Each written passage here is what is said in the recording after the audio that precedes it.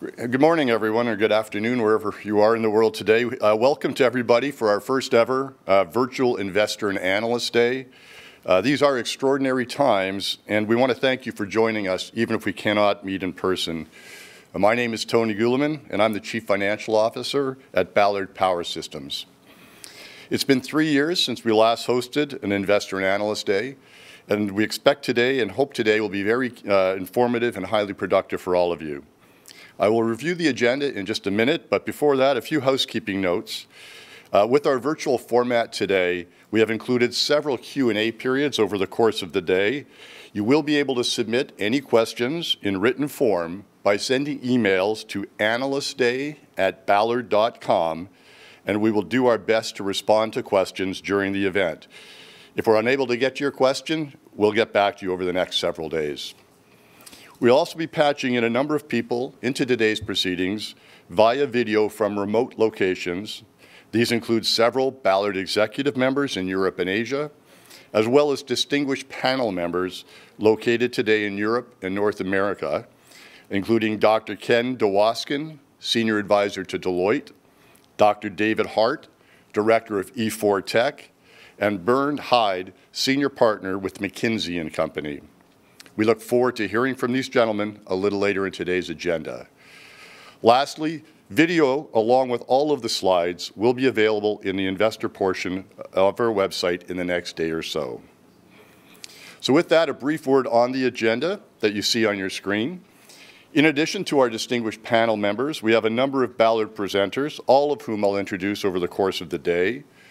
With the unprecedented investor interest in hydrogen and fuel cells, our lineup on the Ballard subject uh, matter experts will be addressing a number of key areas, including our strategic direction, our corporate growth, growth platforms, progress in key target applications by geography, our product development roadmap, our cost reduction strategy, an operations update, comments on our approach to ESG, and finally, a financial review. And then Randy will wrap up at the end of the day. Today's agenda is to provide a deep dive into our plans to provide for scaling of our business and moving forward to profitability. Today's speakers are people that are ideally suited to provide you with plans, insight, and context, and I hope you'll find all the presentations and discussions interesting and informative. We expect today's Investor and Analyst Day agenda to take about five hours without any formal breaks. So please note that a, a video of today's proceedings presentation material, as well as all the bios of speakers, will be available for download from the investor section of our website at www.ballard.com in the event you're not able to listen for any portion of the proceedings. And lastly, I would just like to point out the usual safe harbor statement that applies to all of the information we'll be providing during the course of today's event. So let's get started. Our first speaker today is Randy MacEwen, Ballard's president and CEO. Uh, Randy became president and CEO of Ballard in October 2014, and Randy is going to provide a brief review of Ballard's corporate strategy and investment thesis. Randy? Thanks, Tony, and good morning from Vancouver. I'd like to personally extend my warm wishes to you to join Ballard's Investor and Analyst Day 2020. We have an exciting agenda lined up for you, and with the objective of providing better understanding and increased transparency on Ballard's business. And I'm particularly proud that we have the opportunity today for you to hear from Ballard's leadership team. Every day they inspire me with their commitment to customer obsession, safety, integrity, and innovation. Like many members of the Ballard Global team, I've been in the industry for a long time. In fact, first started getting exposure to the industry about 24 years ago. Now, a lot has changed in the past 24 years, indeed over the past 24 months. Uh, and we want to share much of this with you. But your, your time today, in my opinion, understanding the Ballard story and the interest in the hydrogen and fuel cell community is well founded based on where we are today. Now, there are seven key factors that are impacting the hydrogen fuel cell sector. First, we have extraordinary policy changes that have happened literally over the last two years.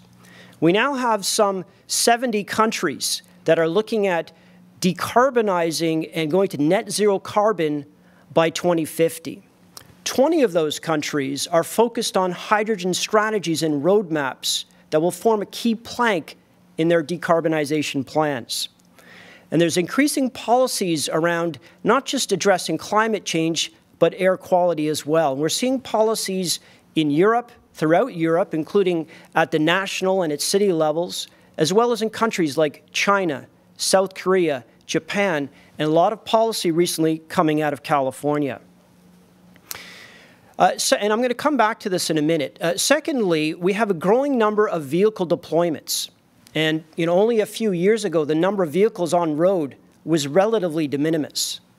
But today we have really for the first time scaled adoption occurring, the first signs of it in buses, commercial trucks, passenger cars, and forklifts.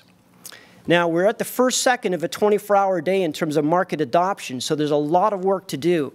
But what's happened with these initial deployments is that the, the discussion has transitioned away from does the technology work? We've proven it works as an industry. The discussion really now is about how do we improve the economic value proposition and drive down the cost.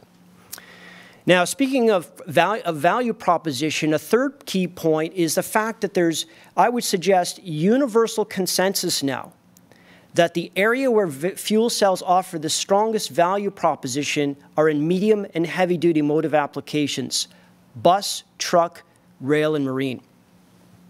We're also seeing that the cost of renewables, which have plunged about 80% over the last decade, are now paving a pathway for low cost production of green hydrogen.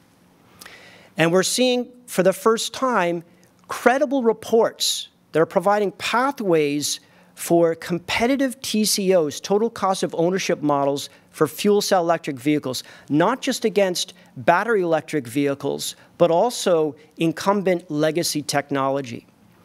And uh, we've seen a sea change for corporate investments over the last really uh, two years.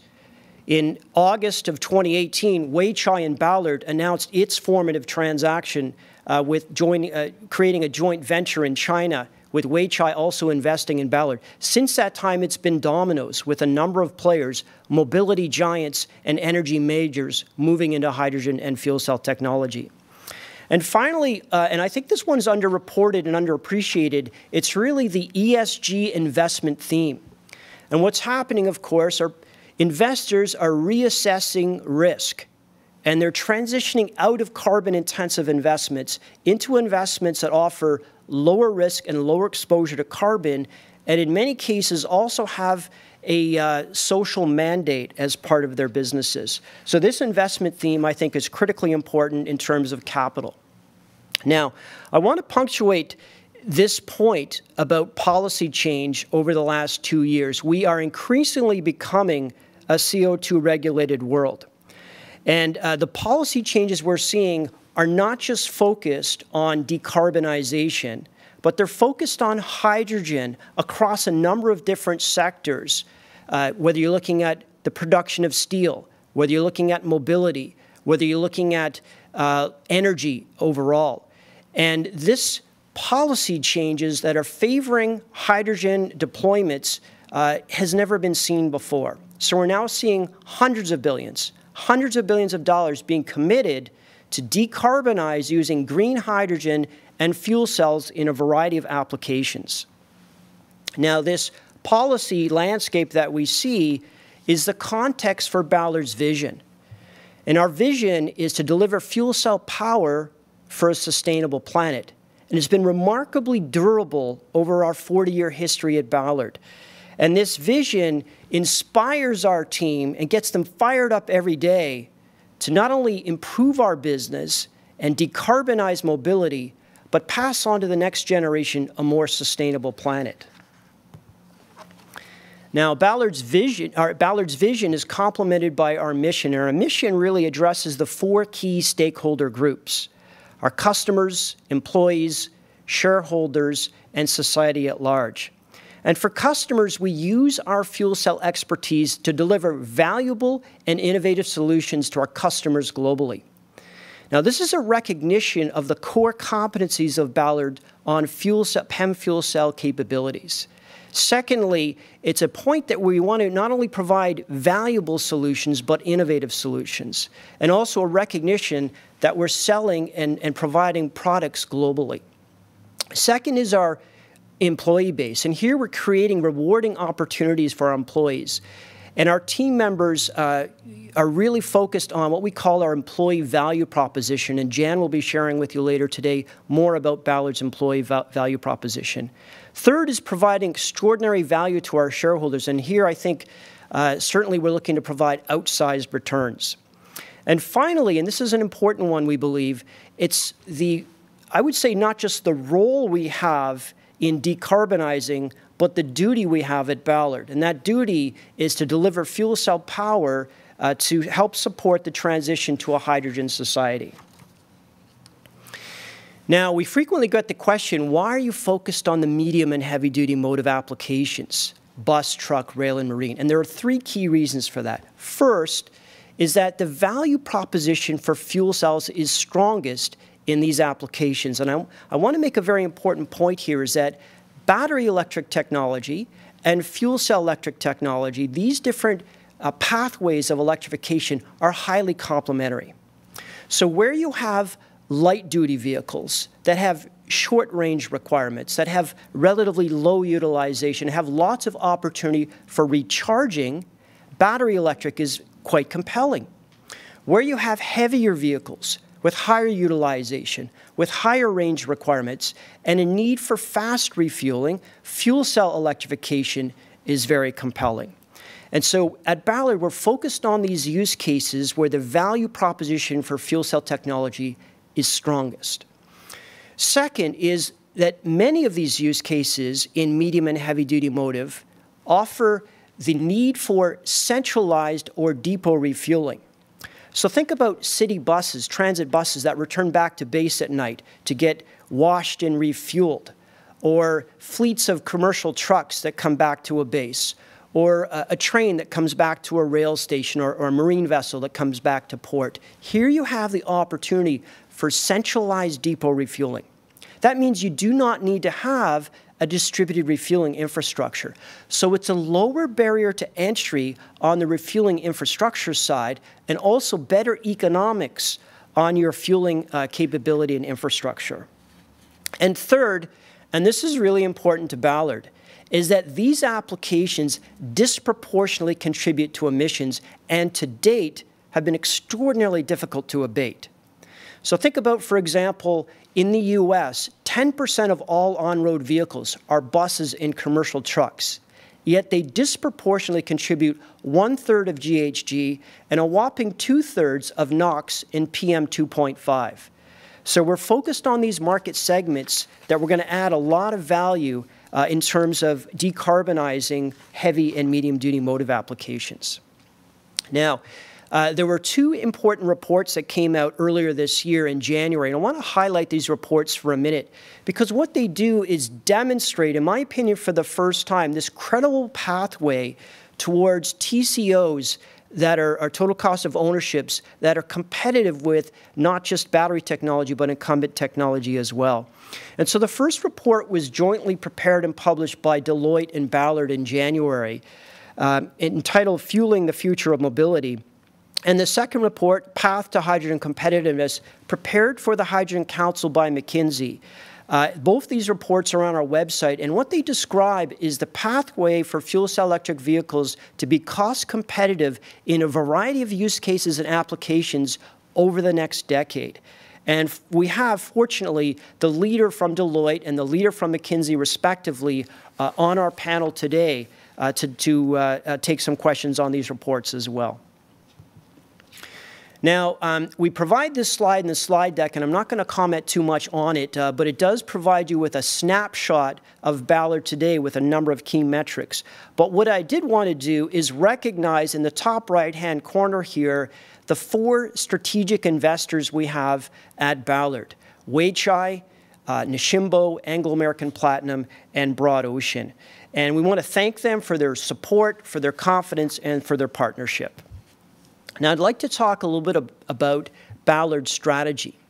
And we articulate this as our E12345 strategy. Now, E represents engaging the e-mobility ecosystem. It's a recognition that we cannot do this alone. We have to engage the entire supply chain, the entire value chain and ecosystem in order to drive the adoption and accelerate the adoption of fuel cell electric, electric vehicles by simplifying fuel cell vehicles for customers and driving down the cost. And here, uh, there's a lot of work to do uh, at Ballard in, with the industry, and we're, uh, we'll talk a bit about this going forward today. Now, one of E12345 is that we will continue at Ballard to be number one in PEM fuel cell technology for these medium and heavy duty motive applications. So we continue to invest in research, in technology development, in product development, in customer experience. So that we're not just the leaders today and 10 months from now, but five and 10 years from now. So very important for us to maintain that leadership position. Two of E12345 are the two growth platforms we have. Here's Power Products, where we design, manufacture, and market our PEM fuel cell products. And secondly, Technology Solutions, where here we have customers that may have fuel cell ambitions, but don't necessarily have in-house fuel cell competencies and capabilities. So we support those customers and their dreams. And both of these platforms are highly cross-leverageable. Three of E12345 are the three key geographic markets, China, the European theater, and California. And four, and this one is critically important, this is the four parts of the value chain that Ballard participates in. And we've been doing this not just for, for six months or, or six years, but for you know, 25 plus years at Ballard. And so this is really about designing and manufacturing fuel cell engines for end markets, bus, truck, rail, and marine, as we'll talk about the passenger car market as well. Inside of those fuel cell engines, you have fuel cell stacks as well as balance of plant uh, components. The balance of plant components we specify uh, and procure from third parties with full design uh, and control strategies for that module. But that stack inside of those fuel cell engines critically important. And the stack is comprised of unit cells, which have MEAs, membrane electrode assemblies, and bipolar plates. And at Ballard, we understand the material science and the design of MEAs, where you're looking at membranes, gas diffusion layers, catalysts, ionomers, how you process and seal those MEAs and manufacture them in, in, in uh, scale. How those MEAs are then paired up with bipolar plates and the, and the serpentine design of those plates for flow fields. How you're pushing oxygen and hydrogen and water through at different temperatures and, and pressure and, and uh, operating conditions, and then taking that, those MEAs and plates under compression hardware putting that stack inside of an engine with these balance of plant components, having them work in the field in different climatic conditions and duty cycles and uh, road conditions. Ballard is expert at this, and that's because we're in these different parts of the value chain. And this being in these different parts of the value chain also enable us to compress costs. And of course, as we're servicing these modules in the field and getting back data every day, every week, every month, every quarter, that's informing our product development for the next generation. Of course, today we're on generation 8 of our fuel cell engine and generation 13 of our fuel cell stack. So this vertical integration is critically important to uh, Ballard's strategy. And five of E12345 are the five key applications we focus on. Four of them being the medium and heavy duty motive applications of bus, truck, rail, and marine. And the fifth one, the passenger car market, a longer term market where we see lots of embedded optionality. And I think what's important to understand here is that the same core competencies, the same technology, and in fact, in many cases, the same products or a significant portion of the bill of materials of products are being leveraged across these different market opportunities. So multiple shots on goal with our strategy. Now, before I uh, get into our sustainable competitive advantages, there's a, a major uh, event that happened yesterday I want to share with you, a major announcement at Ballard that enhances our sustainable competitive advantage. Uh, first, we um, announced yesterday uh, an important strategic collaboration with MAHLE. Now, we'd previously indicated we're working on a comprehensive strategic collaboration with a major Tier 1 supplier based in Europe for the commercial truck market.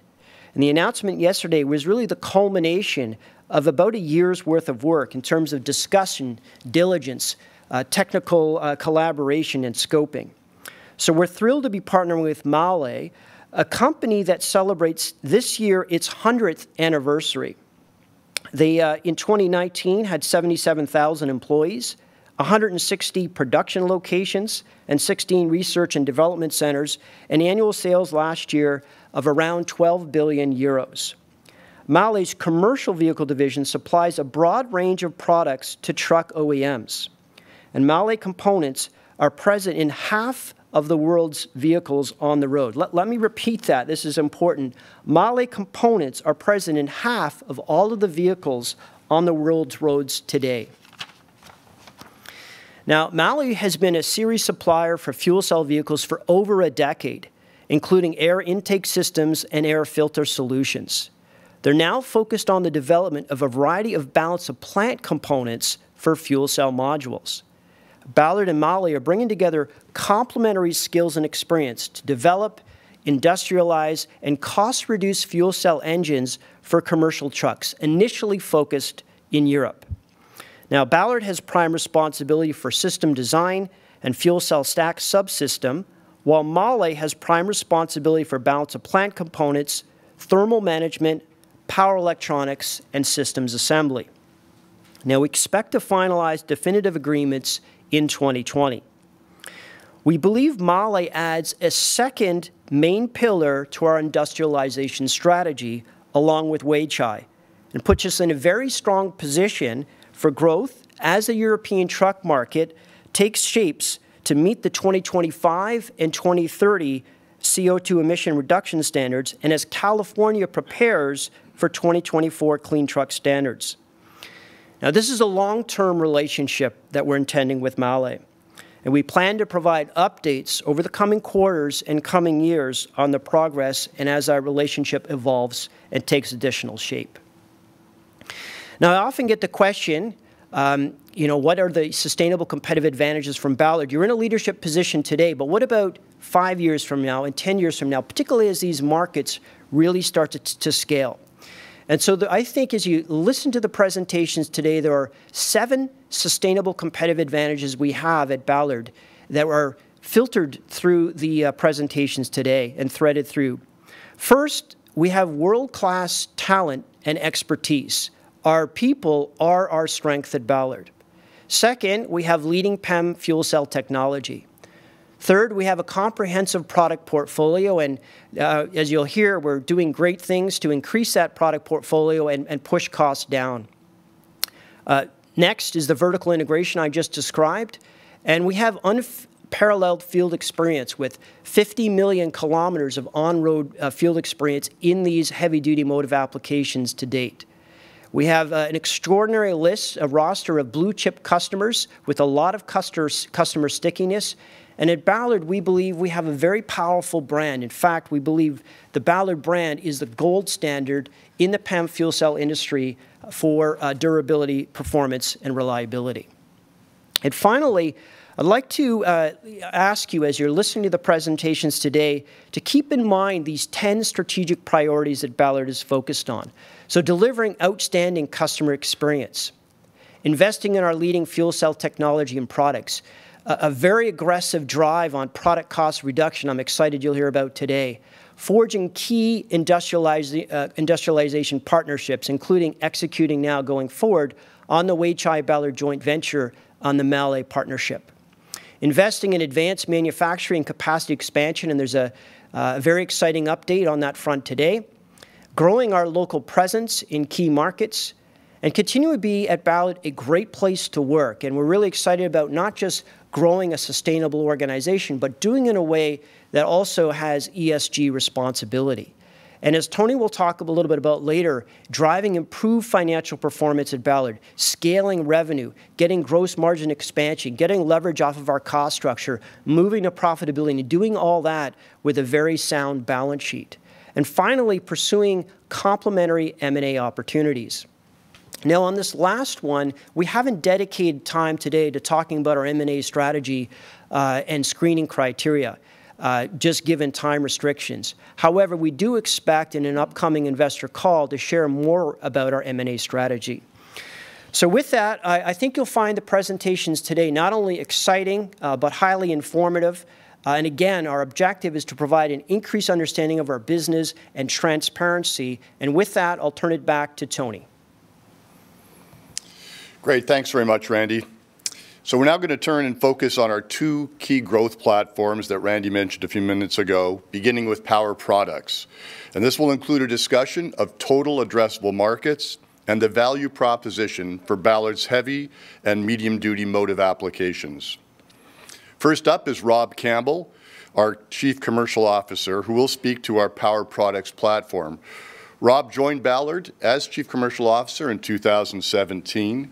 Rob has extensive experience in global business development in China, Japan, India, Europe, and the U.S., and has deep experience in the clean energy space, including the solar industry and the fuel cell and electrolyzer sectors, having at one time been Hydrogenics' EVP of Sales and Marketing. Rob, over to you. Thank you, Tony. It's great to speak to you today even virtually. We've been very busy since our last Investor Day in 2017, where I outlined our power product strategy and focus on heavy-duty motive as the leading market application for our transition to a zero-emission world. Today, I'll provide an update on our progress, as well as more details on our markets, and most importantly, why Ballard is winning in these markets. Now, just as a bit of context, as Randy mentioned, we use PEM fuel cell technology to deliver power bus, truck, marine, and rail. And we will show you why Ballard will continue to lead in this technology. And uh, because it's most effective in terms of coordinating the heavy-duty fleets and vehicles with fueling infrastructure for the initial entry into the zero-emission market. But first, let's check in on how PEM fuel cells are doing in the marketplace in order to help reinforce our beliefs. Now, as reported by E4 Tech, and I'm sure more to follow from Dr. David Hart of E4 Tech here with us today on this, we are seeing significant scaling of PEM fuel cells with an historic CAGR of 30% and a market share within the fuel cell family of technologies of approximately 80%. This scaling is driving major investments, resulting in substantial cost reductions. More on this later on exactly what Ballard is doing, so please be patient for Kevin and Lee's presentations. PEM has been, is, and will be the dominant fuel cell technology in the market for mobility, and as PEM clearly outdistances all other technologies. PEM fuel cell technology is also at the core of Ballard's strengths. Our plans, as we shall see today, will keep us in a dominant position going forward. So with that bedrock foundation of leading PEM fuel cell technology, we are going to now walk through how real and how relevant our heavy-duty motive strategy is today and will be in the future to deliver important sustainable results. I am going to focus my comments on our key applications as outlined by Randy, bus, truck, rail, and marine. We will hear afterwards how these applications are doing in our key regions, China, Europe, and California. First, I want to quickly summarize some of our key milestones since 2017 New York City event to underscore the tangible progress Ballard has made and progress that continues to set the stage for our future sustained success. We start with this Class 8 project with Kenworth, a drayage truck active in the Port of Los Angeles today. Over to France. This is the first bus rapid transit project with Van Hool. Looks futuristic, but you can actually ride this bus today. Early engagement in marine. Just get these buttons working. With a partnership with ABB, a brand new market for Ballard. A purpose-built zero-emission train with Siemens. More on this later from our European team.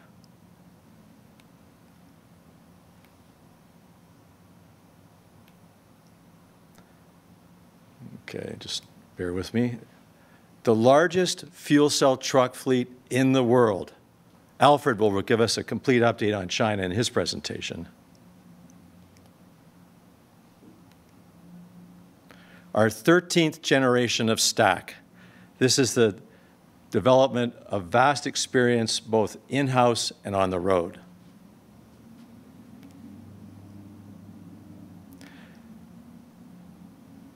And keep the, and this is a containers, keep those containers moving at the Port of LA with this capacity fuel cell yard truck. And keep those packages moving with UPS, more important than ever with COVID.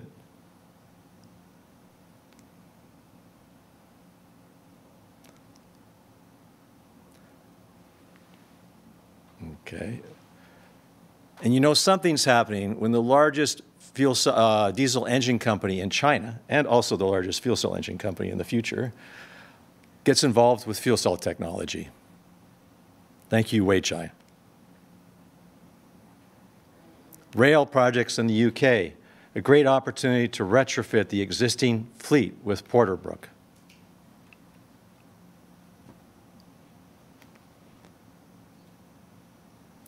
The launch of our latest technology, FC Move, and we'll hear much more about this as we go forward. And the market marine moves quickly. We jump in with both feet and form a marine center of excellence in Europe.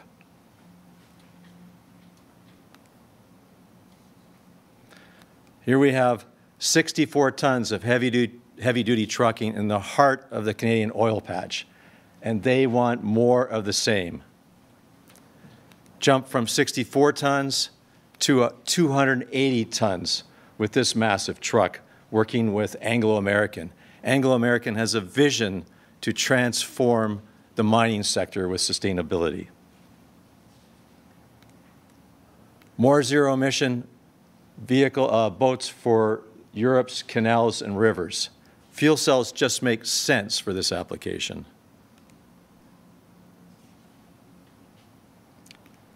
and more development with Norled, with the world's first liquid hydrogen ferry. This will set the stage for larger ships in the future with the use of liquid hydrogen. A purpose-built truck, sorry, purpose-built bus with uh, our latest FC Move technology. This bus is now on tour across Europe. Next stop, Paris. Wrightbus, a fantastic success story for Belfast and a true champion for fuel cell buses moving forward. Back to North America with New Flyer, tested to the Altoona Gold standard for robustness, and they did it with Ballard. And finally, this month, the launch of FC Wave, a special design product for marine and the interest is super high for this new technology. How impressive was that? Thanks to a tremendous team effort by Ballard and in close collaboration with all of our customers. And look at the results in aggregate. Thousands of buses and trucks and significant engagement in rail and marine. So you could ask, why are we winning with these customers? Why are we leading with these applications? Simply put, experience matters.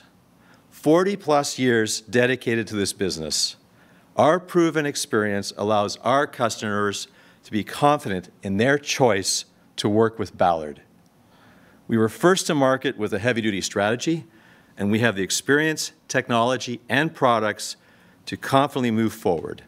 Now the market is accelerating as never before and time is of the essence to address climate change and reduce pollution. Customers do not want to take technology risk with this transition, and they do not want to wait. Ballard is the clear choice for market adoption. Further proof points.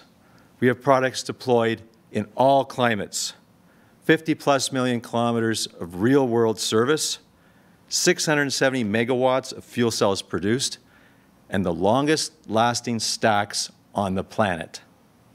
Simply put, we have you covered when it comes to bus, truck, rail, and marine zero emission needs. Now, as mentioned, Ballard's heavy-duty strategy plays to our technology strengths. These markets in heavy-duty are also the first movers on our journey to zero emission because they deliver maximum environmental benefits in terms of emission reductions. Medium and heavy-duty trucks powered by diesel represent only 5% of the vehicles on the road, but currently contribute more than 20% of transportation emissions as trucks are typically driven much greater distances than cars. Now, heavy duty also enables maximum market adoption with fleets, creating attractive economics for fueling stations and fuel supply. And we are not alone in our beliefs in heavy duty.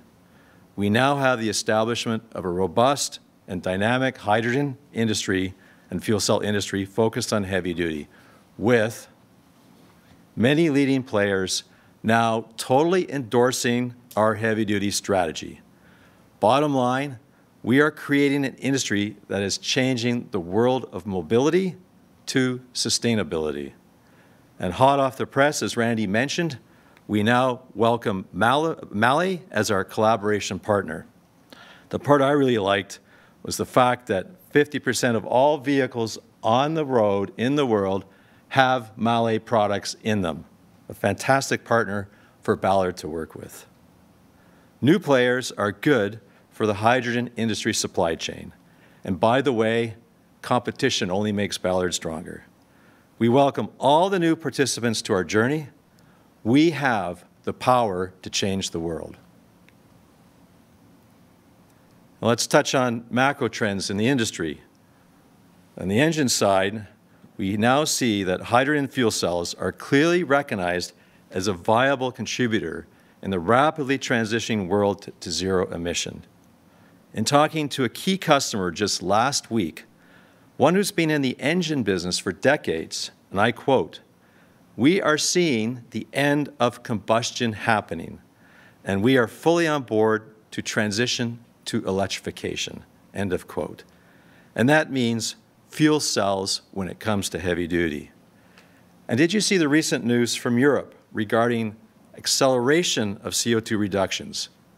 Very bold, very needed. And how about the UK and California looking to bring forward their plans to eliminate internal combustion engines by next decade? A major acceleration. The pendulum is in full swing to zero emission vehicles, ladies and gentlemen. And on the battery side, batteries have enabled the first wave of electrification and of course will play a major role.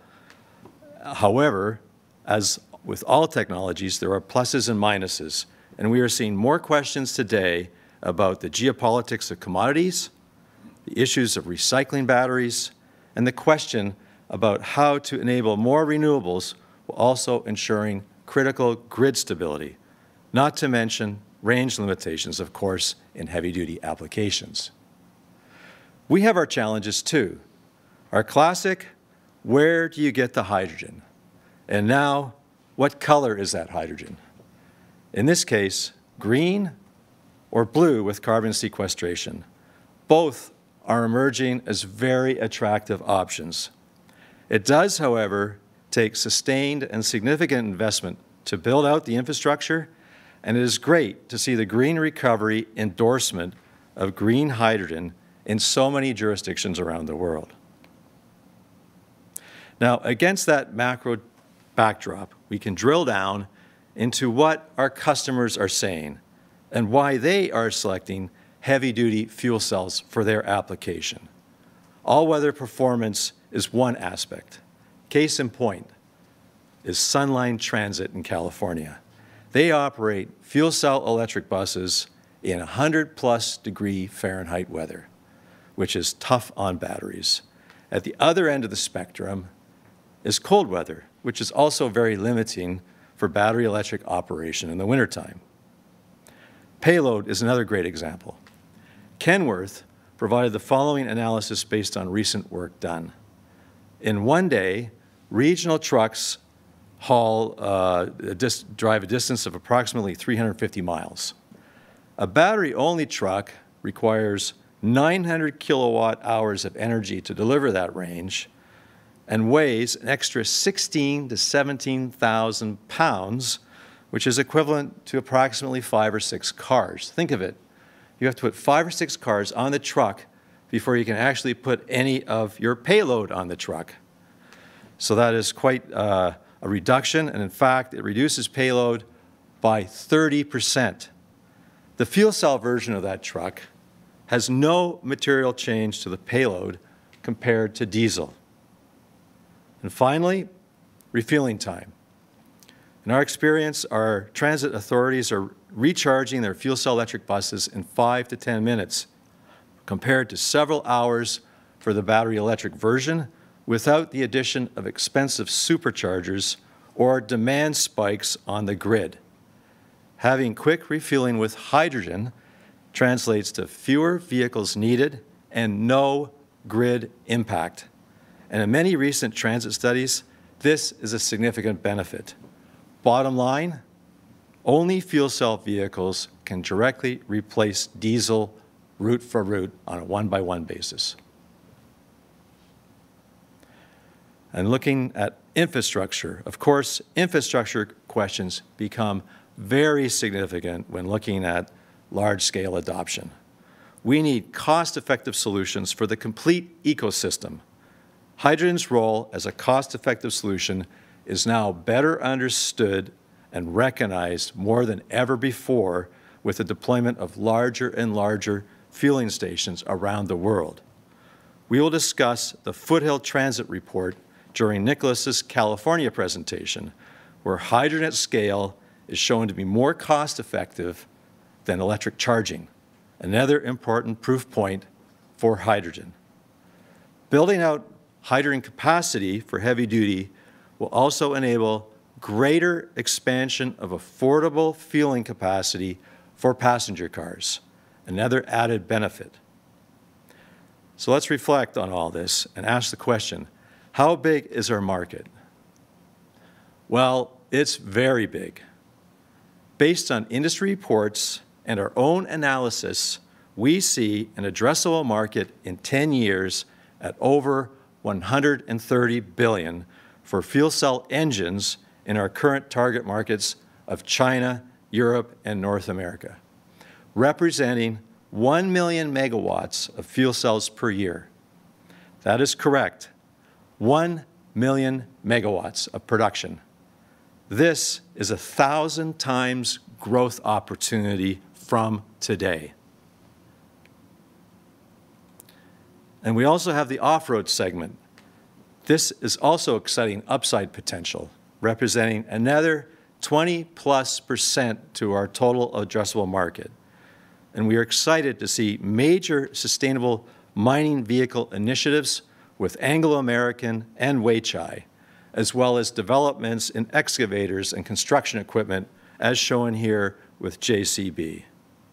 Further, we are active in backup power and distributed generation, and are cultivating some very exciting strategic relationships for megawatt DG and backup power needed for such applications as large-scale data centers.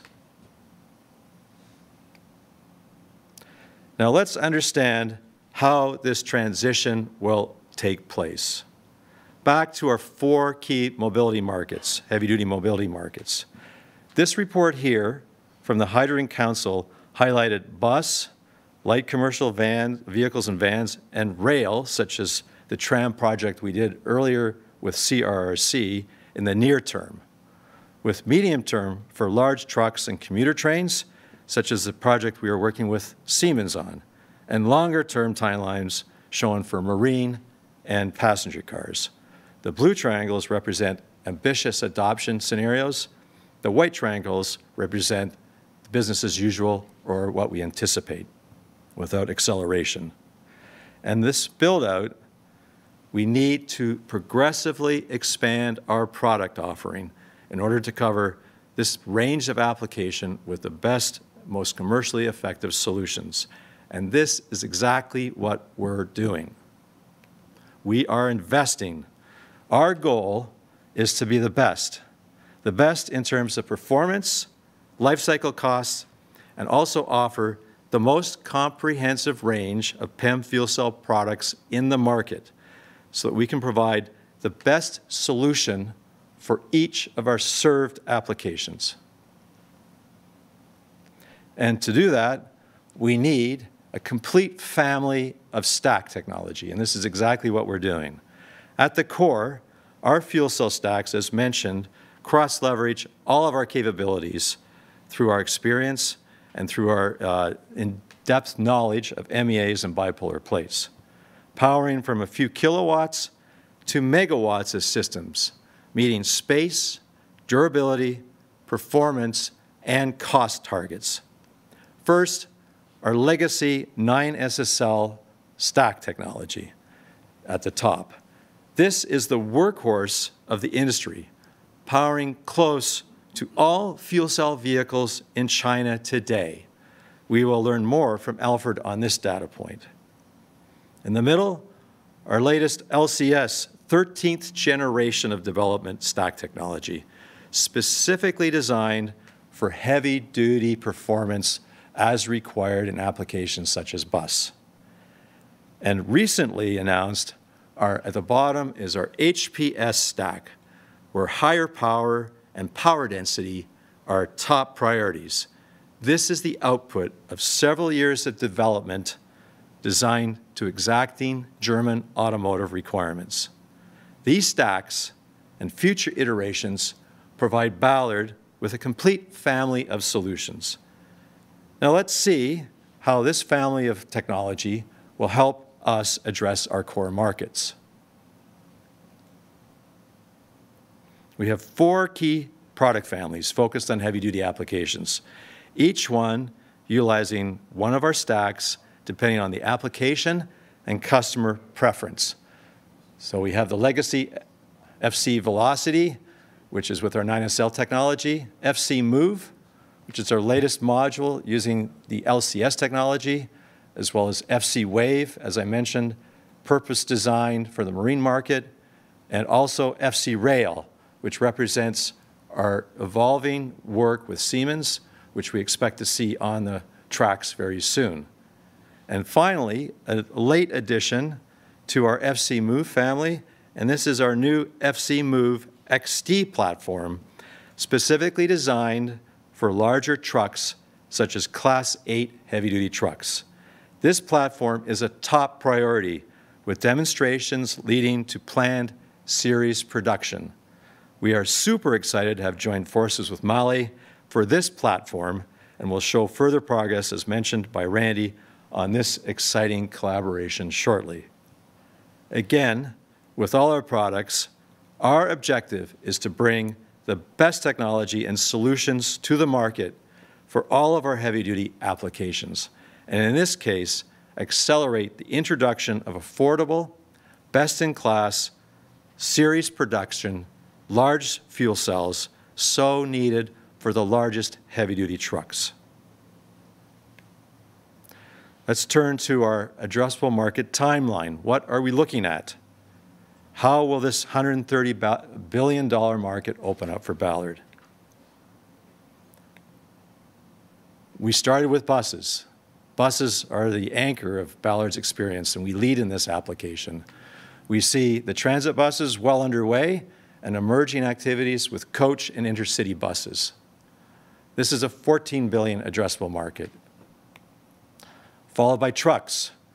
Trucks have multiple applications and we see with this a scaling from range extension applications to larger power, ultimately leading to long-range, heavy-duty fuel cell trucks. This is the largest market segment we're going after, hence the large focus and priority Ballard is putting on this sector at 100 billion of addressable market. Followed by rail. Rail, we have our initial projects such as CRRC in China with the tram, followed by passenger car, uh, sorry, passenger trains expected in Europe in the next year or so. This is a 4 billion addressable market. And finally, marine. Marine will take time to develop for the very large ships. It's worth the development cycle with an additional 13 billion of addressable market for a total of 130 billion. This happens over the next five years or so. It's dependent on uh, many things, but it will be our focus and we will drive the adoption as fast as we can. And in terms of driving that adoption, we have key levers for expansion. And I've highlighted four key levers. And we just must look at the overall situation. First, we identified our markets. Second, we know what products are needed to address these markets. And now we're proceeding with laser focus to make everything happen based on these four elements I show here on the slide in order to underpin our sustainable growth and enable the full transition to a zero emission world with mobility. But let's dig deeper again. Technology improvement. PEM fuel cells are Ballard's DNA, and we are driving further gains through continuous improvement in our core technology streams. We're also scaling while simultaneously innovating, as we will shortly learn from Kevin. Our short-term scaling enables speed to market based on Ballard's proven technology. Our innovation keeps us in the lead for the long term. Product industrialization. We are driving costs down at record pace through industrialization. Our scaling and design improvements are tracking exceptionally well on costs for CapEx as well as OpEx, and we are rock solid in our roadmap. Kevin and Lee, as mentioned, will show more on this important work. We are also intent on accelerating the market and are doubling down, as you have seen, on our core technologies. In addition, we have long recognized the importance of partners to complement our own skills and competencies. Partners with industrialization skills as well, and high volume, serious manufacturing in key geographic markets, as well as added channels to market. We have Weichai in 2018 and now MAHLE in 2020. We're privileged to be working together with such strong partners Sheshan Weichai, Donka MAHLE. This is very exciting. And when turning to application integration and ecosystem, again, we are intent on acceleration of the market with our partners. Partners with application knowledge to have a clear understanding of product requirements and performance goals that allow us to better integrate solutions thank you to all of our customers for your long-standing and strong support. And partners to help bring together the complete solution, renewable energy, hydrogen production, fuel distribution, fueling stations, vehicle supply, and aftermarket service. As you can see, the chain, the supply chain, is long, and this has been a challenge in the past. We believe in a team effort to drive solutions here as the scale and scope are understandably very large and need a strong team to support it. And the good news is that new business models, such as H2 Bus, are underway, well underway, to provide total solutions that will help simplify and cost reduce the complete process while also enabling much deeper integration of renewable energy into our economies. So let's sum up. The future is a bright Ballard blue. We have the proven technology, the experience, and the team needed to deliver. We are leading with cost reduction and scaling. We are collaborating with the industry's best to accelerate the transition to a sustainable planet. We are Ballard. Thank you, and back to Tony. Great. Thanks very much, Rob.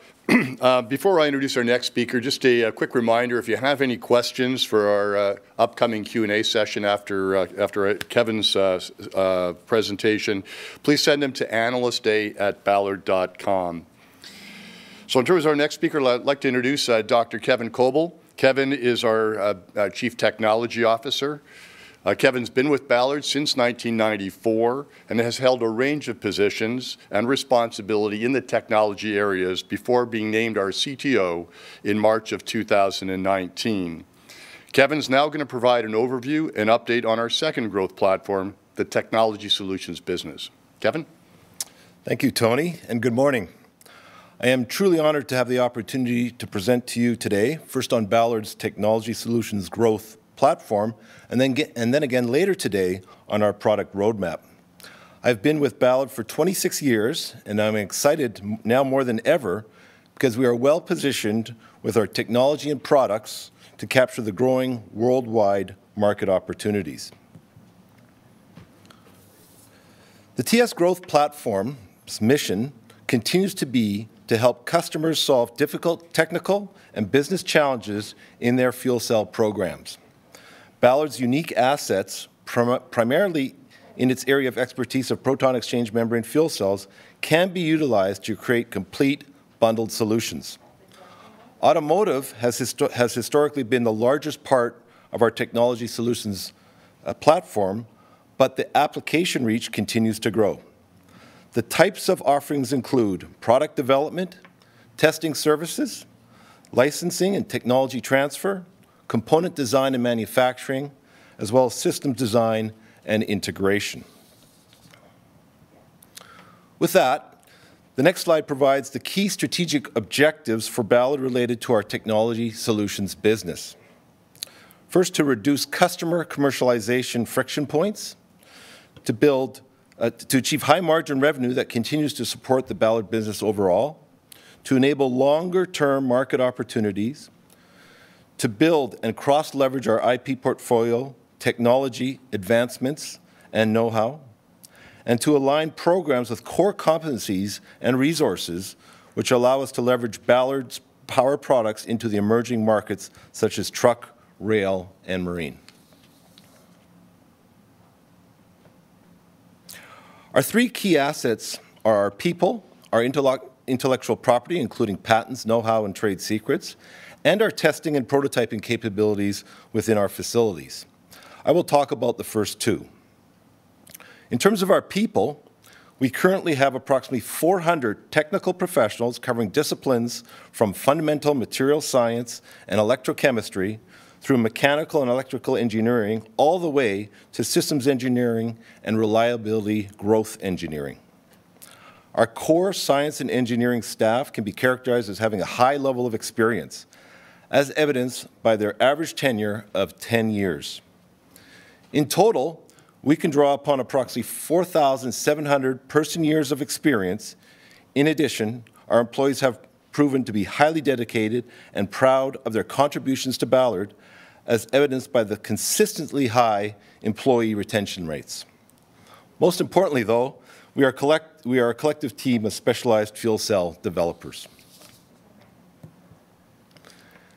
In terms of our intellectual property, given our long history and significant cumulative investment, Ballard's IP position is very strong, and as shown in the graphic, covers all aspects of proton exchange membrane fuel cell technology.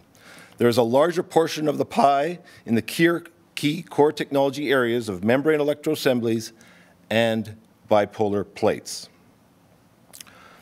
Perhaps even more importantly, from a technology solutions standpoint, in addition to the 400 patents and patent applications, we have know-how and trade secrets which are critical to effectively leverage this intellectual property from a commercial standpoint. Our deep know-how includes catalyst layer processing, MEA manufacturing and sealing, plate design in carbon and metal, plate manufacturing, fuel cell system control strategies, system modeling, and optimization. In this slide, I have summarized our broad portfolio of key technology solutions markets, as well as some of the key customers. Not surprisingly, they overlap extensively with our key power product markets already covered by Rob. We are engaging with customers in our key markets, but also leveraging our activities to support customers, customers looking at emerging markets. Our technology solutions business is highly cross-leverageable giving us an early view into industries evaluating fuel cell solutions, which also provide a highly innovative environment.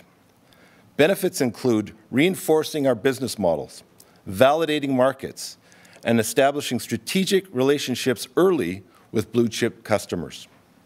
A few examples that I will speak to momentarily include in automotive, our engagement with Audi and more broadly the VW Group, in buses, trucks, and forklifts with Weichai Power in China, and in rail, Siemens, which builds on our earlier work with China, in China with CRRC.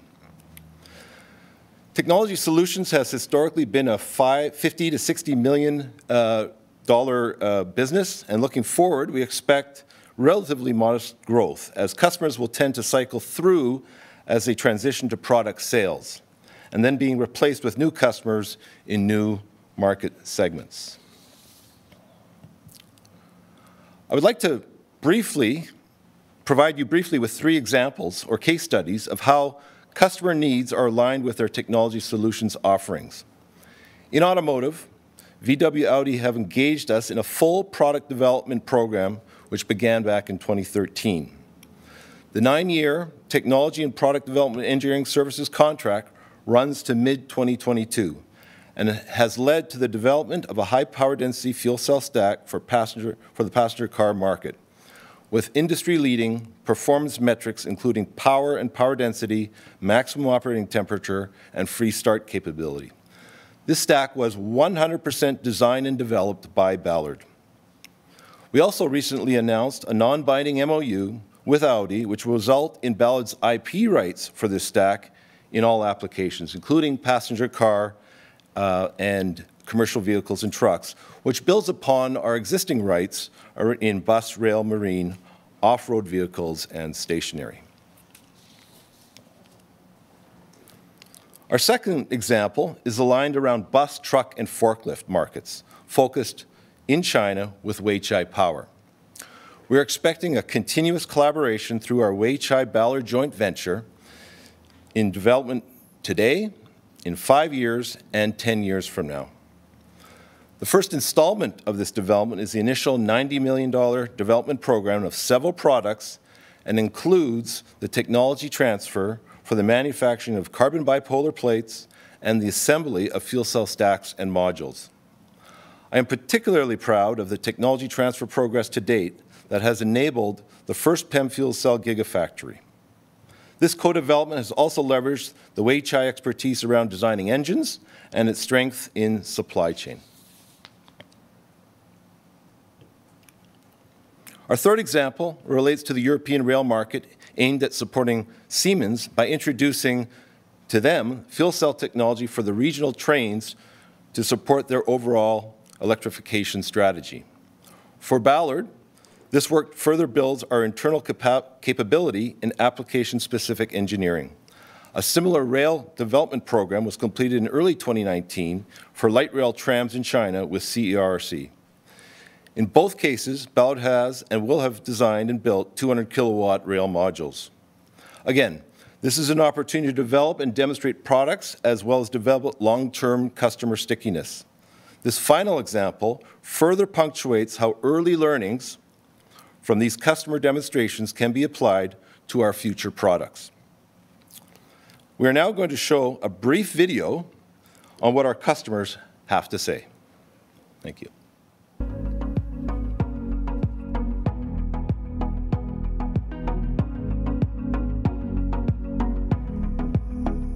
Hello, my name is Lauren Skiver, CEO General Manager for Sunline Transit Agency.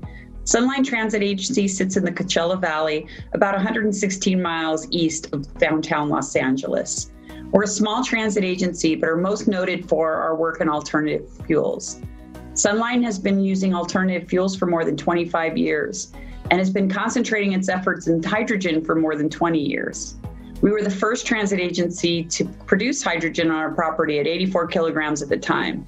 And we now have the largest electrolyzer for transportation, a Nel Proton project that we've done on our property, producing 900 kilograms per day. That long history is only the way it is based on our relationships. And one of the key relationships we forged over the years is with Ballard. Ballard has been a strong partner in Sunline's success not just because of their product and the reliability and productivity of the fuel cells they produce, but because of the relationship. Ballard has been strong in providing support, education, training, and getting to the bottom of any root cause issues we have with our vehicle types. And this includes other things besides the fuel cell system. I think that's why Ballard has been so instrumental into our success.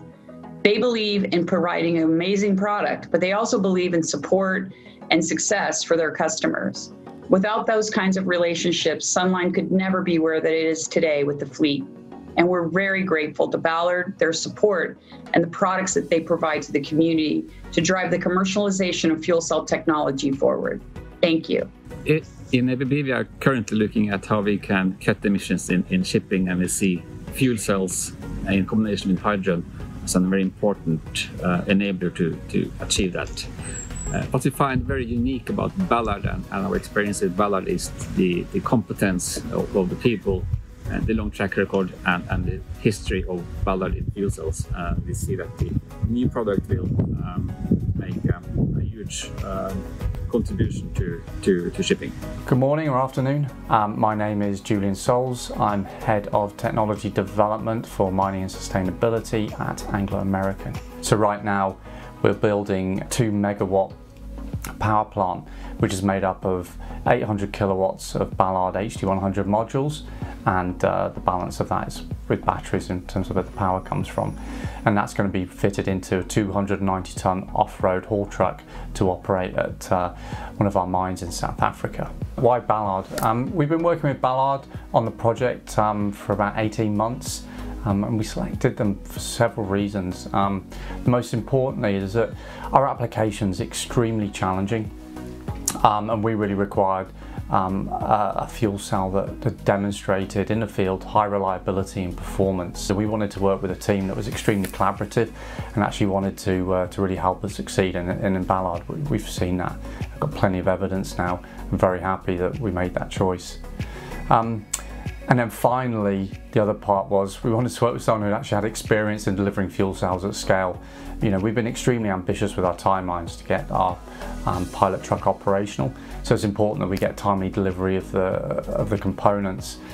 Um, you know, we felt that Ballard had a strong track record of this and, you know, we have taken delivery of all nine stacks that we ordered and we're currently in the process of integrating eight of them to our power module. And so far we've been extremely pleased with the choice we've made and we're very excited to, uh, to move into the next phase and, and early next year get it into the truck and, uh, and demonstrate the application of um, fuel cells and hydrogen in mining. Good day, my name is David Warren. I'm Director of Sustainable Transportation at New Flyer. My role with the company is to oversee the low and zero emission programs within our company. So when we look at fuel cell electric uh, technology, we see the advantages to um, to the range capability, less fill time, and the scalability of hydrogen for uh, for uh, large fleet deployments. We are very grateful to Ballard. Um, I can testify that my experience with your company has been outstanding. The quality of the people I deal with and the uh, the uh, technology that you've introduced and the reliability improvements that we've witnessed over the last 10 years of working with you. Thank you. Hi, Ivan here from Norled in Norway. We are now constructing the world's first hydrogen-driven car ferry using Ballard's fuel cells. This is the 200 kilowatt maritime application that Ballard has been developing for some years. We've been active in in the cooperation with Ballard to develop this fuel cell uh, together with our naval architects and ship operators. So it's been a very, very fruitful cooperation, and uh, we now are looking forward to get this ferry in operation in the autumn of 2021. The ferry is currently being constructed now, and the, uh, the final engineering, the, the final risk assessment is ongoing. So this is uh, certainly a stepping stone for Norled and for Ballard to, to get this uh, project up running. Ballard has been a delight to work with. A very forward-thinking company uh, with a fantastic product. We have had uh, in our Wright buses Ballard fuel cells running for 12 years.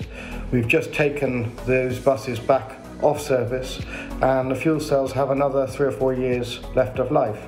This is the only fuel cell company that has at least 12 years of arduous running uh, as a technology partner.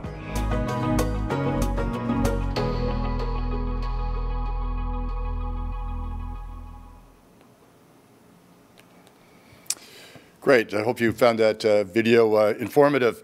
Uh, we're now going to take a, uh, a, brief break here to take some questions uh, that we've been getting, and we've had several of them. Again, just a reminder, if you have any questions, please send them to analystday at ballard.com. Um, I've also had uh, a number of questions that uh, around cost reduction um, and some of our uh, efforts in some of the geographies, and I, I, think we'll get to some of that later. So let me uh, be a bit selective here on the questions. And again, if we don't get to them, we'll, we'll get back to you later. But prefer, perhaps the first question uh, I can direct is to Randy. Again, noting that uh, Ballard is, again, with the, particularly now with MAHLE and with Weichai, has its global footprint. And the question is around IP protection and what Ballard's doing to ensure that it protects its IP. Yeah, so this is a, a question we frequently get, and uh, it's important to understand we take four key principles when we look at IP protection. The first is the quality of the counterparty. And so as an illustrative example, when we look to collaborate with Weichai in China, we did a lot of due diligence on who is Weichai. Uh, you know, we actually went and met with a number of companies that Weichai had invested in or partnered in globally. They're very much an international company that respects brand, respects reputation, respects intellectual property. So the quality of the counterparty is critically important. Of course, MAHLE uh, is similar. Secondly, we also look at how we structure our arrangements commercially with a counterparty. And so where we intend to provide intellectual property, we contract for that and we get paid for it. So a value transition uh, that we get uh, paid for, and then we put uh, structural barriers in our contracts to prevent leakage where we're not intending to transfer and get paid. And the third, and this is critically important, is of course we've got to stay ahead on the innovation curve. We don't stay static on where we are. So we're constantly investing uh, in our core R&D technology, in our core uh, products to stay ahead uh, in, with future generation technologies. And the fourth is where there has been leakage or some type of compromise of intellectual property, uh, we're going to be very aggressive in defending that uh, and making sure we're taking the appropriate actions. Great, thanks, Randy. Um, we've had also a number of questions on, on MAHLE announcements, and uh, perhaps I'll throw this over to Kevin. Uh, some of the questions are a bit about the technical scope of supply, referencing Ballard, taking the uh, fuel cell system, MAHLE on the powertrain. Maybe just comment on how you see that, how important it is that Ballard you know, is involved in integration, and any comments you might have as well. We've had questions on the timeline, when we might see some product in the market.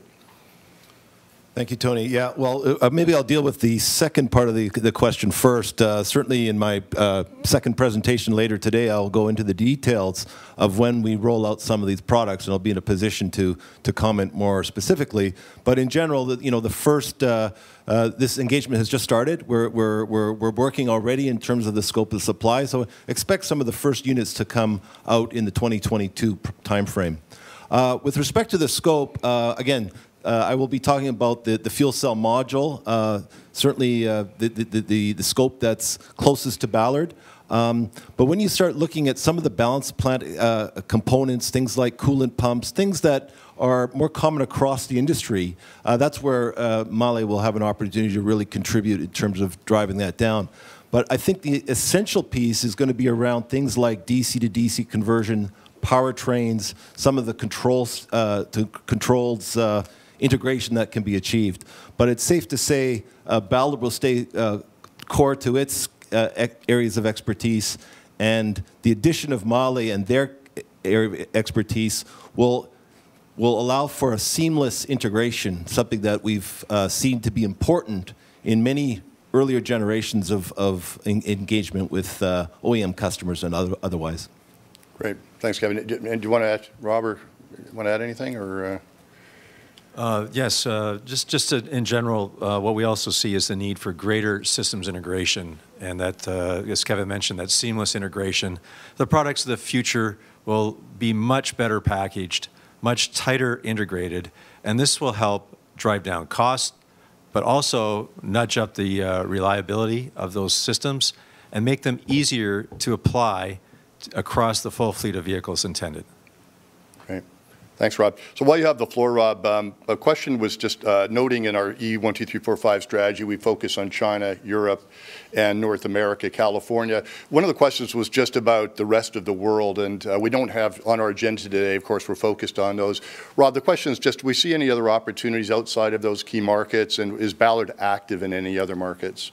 It's, it's a great question, and, and Randy mentioned uh, there are already 20 countries around the world with hydrogen roadmaps.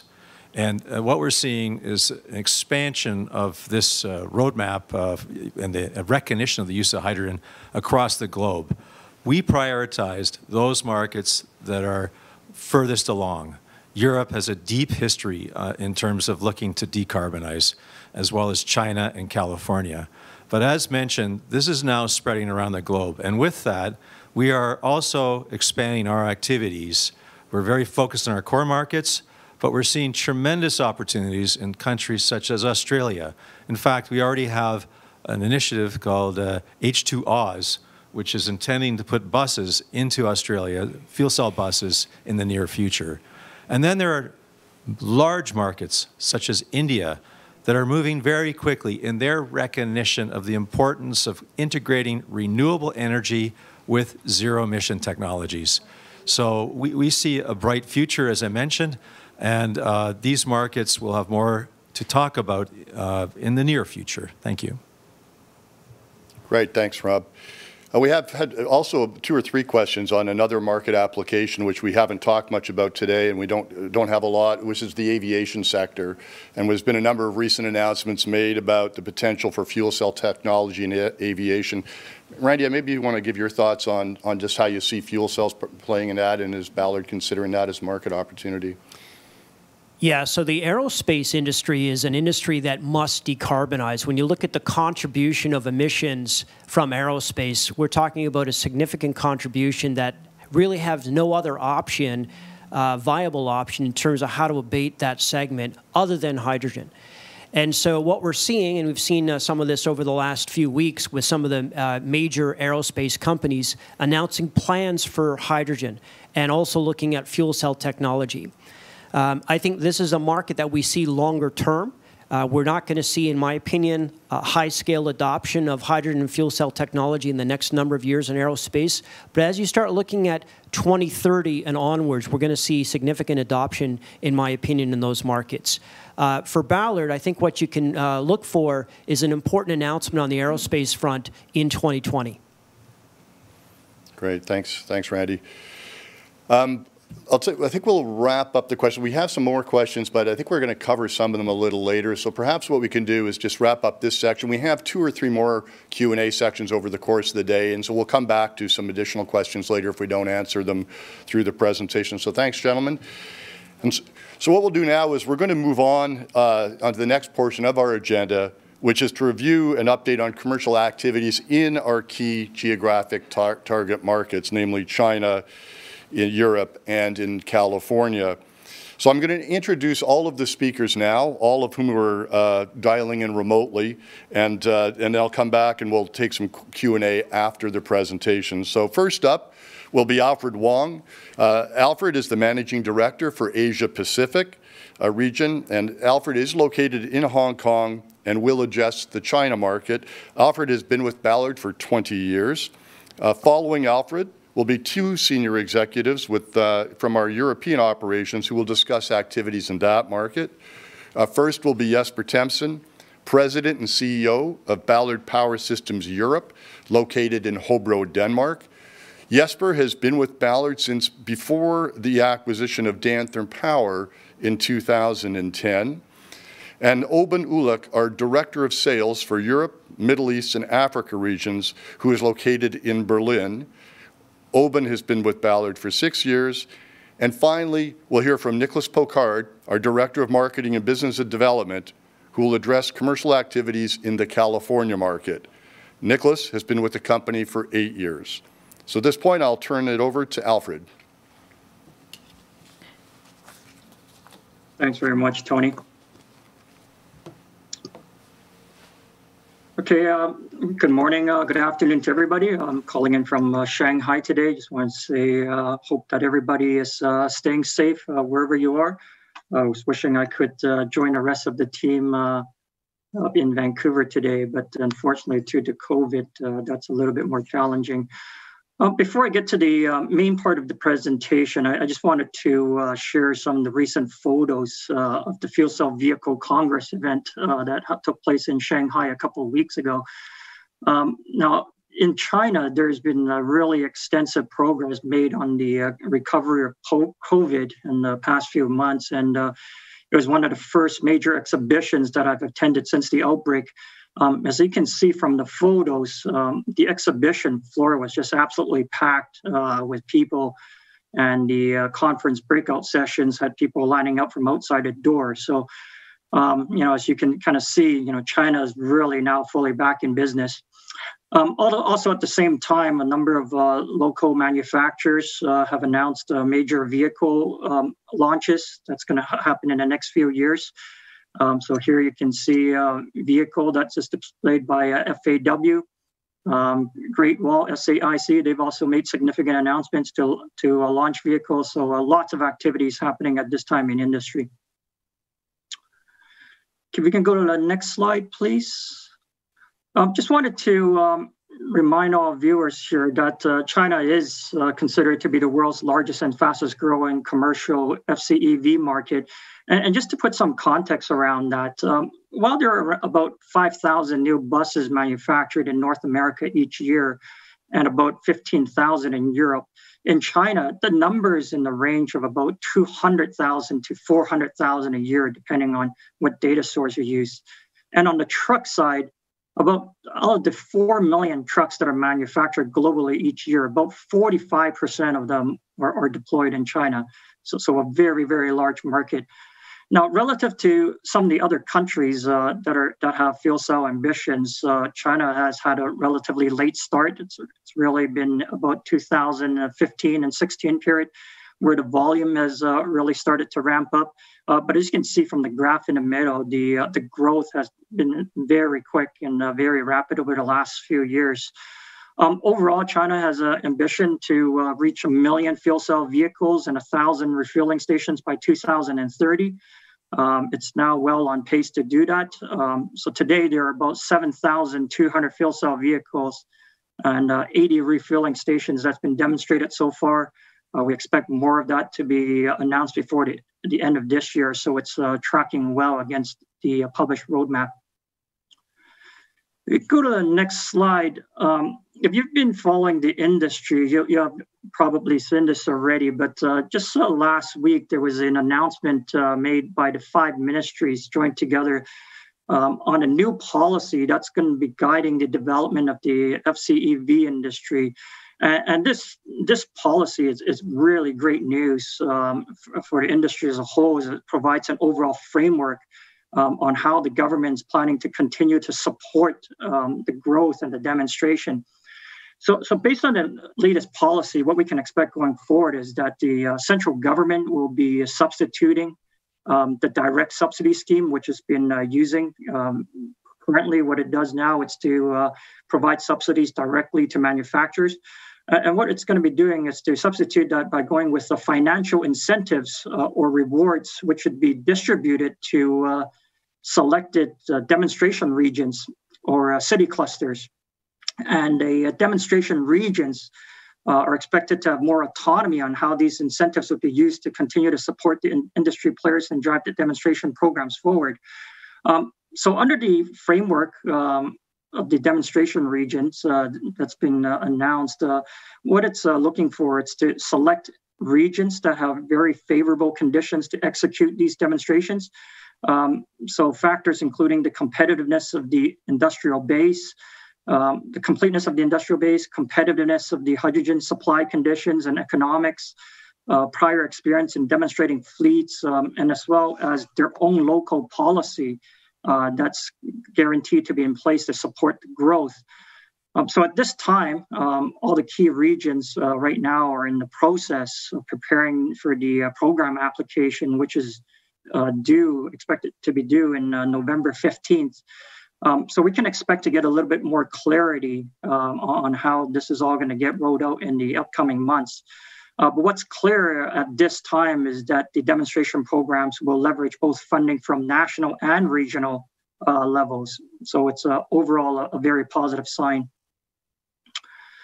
Going to the next slide, um, at the regional level, um, at this point, uh, there are now 36 regions uh, that have announced uh, region, plans to promote SCE, FCEVs and as well as the deployment of refueling stations.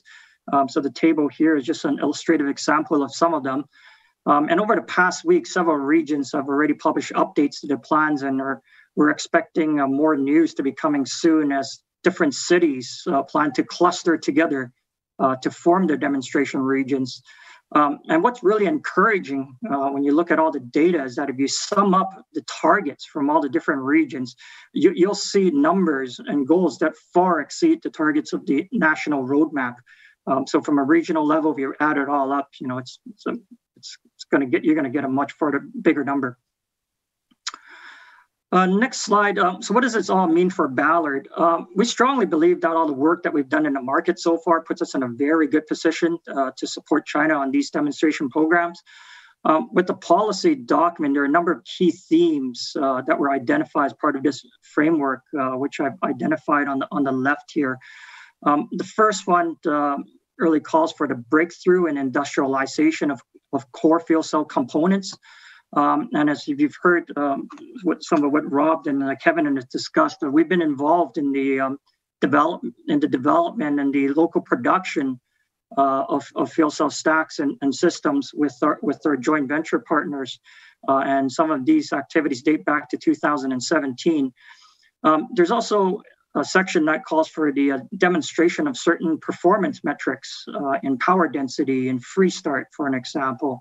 And at Ballard, we've uh, successfully demonstrated a number of, or all of these uh, parameters in real life operating conditions. Um, thirdly, and, and I think that one that's really important is that um, going forward, the, the, the, subs, the financial reward system is really going to favor um, the demonstration of heavy duty trucks, heavy duty vehicles that, that have a very high power requirement. And uh, we, we understand from our work that we've done before that this is really the area that is that it's uh, provides the strongest TC. Uh, that's the most attractive. that That's the most attractive value proposition to the end users.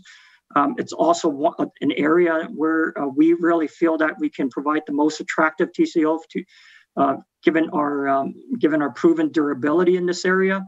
It's really what sets us apart from our competition. And uh, lastly, uh, the, the policy does mention putting a focus on the promotion of products from leading enterprises. Um, and I think I believe that uh, partnership with Weichai, which I'll, I'll get into a, more, a, little bit more later in the pr- presentation, uh, will really position us, position us to win in this market. Just going forward to the next slide, um, you'll see that uh, we currently have uh, three operating entities um, in China three operating entities in China. Uh, the first one, it's our uh, it's our WFOE that we've established in uh, Guangzhou in 2017. Um, and under this wholly owned sub, um, it, it, really serves as our overall co- command center in China. And uh, we've populated this entity with um, sales, service, application engineering, quality, supply chain capabilities that could support all our activities in the country. Um, as I mentioned before, we also have our uh, Weichai Ballard joint venture, uh, which is a 51%, uh, with 51%, 49% uh, owned by Weichai and Ballard respectively, which was we established uh, 22 months ago. Uh, when we entered into our strategic collaboration. Uh, that's the exclusive manufacturer of the LCS uh, series of stacks and FC Move modules in China. Again, we'll touch touch on that in, in a moment.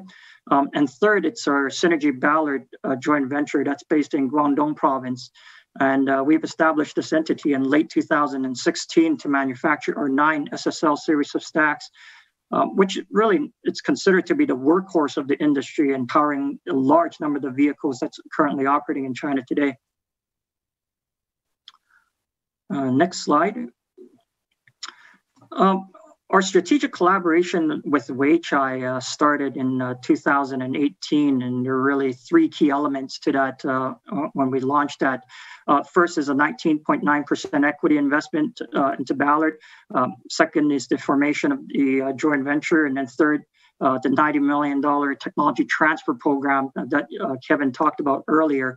Now, at Ballard, we're absolutely convinced that we have the best partner in China to drive our business forward with Weichai. And um, I, I, recall that at the time when we were looking for a partner to, to move forward with, we were looking for somebody with exceptional operational capability, um, strong supply chain presence, strong customer base with all the OEMs. And uh, Weichai really checks off all those boxes. Um, they're the number one heavy duty engines. They have the, they've been the number one in heavy duty engine sales in the world. Um, and within China, they, they own a 30%, uh, 34%, excuse me, a market, a market share uh, with plans to grow up to 40%. Um, and as I mentioned earlier, the, um, the fuel cell vehicle policy in China is really going to put an emphasis on the demonstration of commercial trucks and, and trucking applications of higher power. And, and, and in, in Weichai and all their engine deliverables, 70% of their products go into uh, go into truck applications. Uh, in addition to a loose engine, Weichai is also very vertically integrated with a number of strong OEMs. Um, so as you can see on the uh, on the right side, just a select handful of them. Uh, Zhongtong Bus, which is uh, one of the top energy bus manufacturers in China, with annual capacity of about 30,000 new energy buses per year. Uh, Sinotruk, second largest heavy duty truck manufacturer in China, Shaanxi Heavy Duty Industrial, uh, or heavy duty automotive, uh, which is the largest manufacturer of new energy commercial vehicles in northwest China, um, and also Kion, which is the world's second largest supplier of forklifts.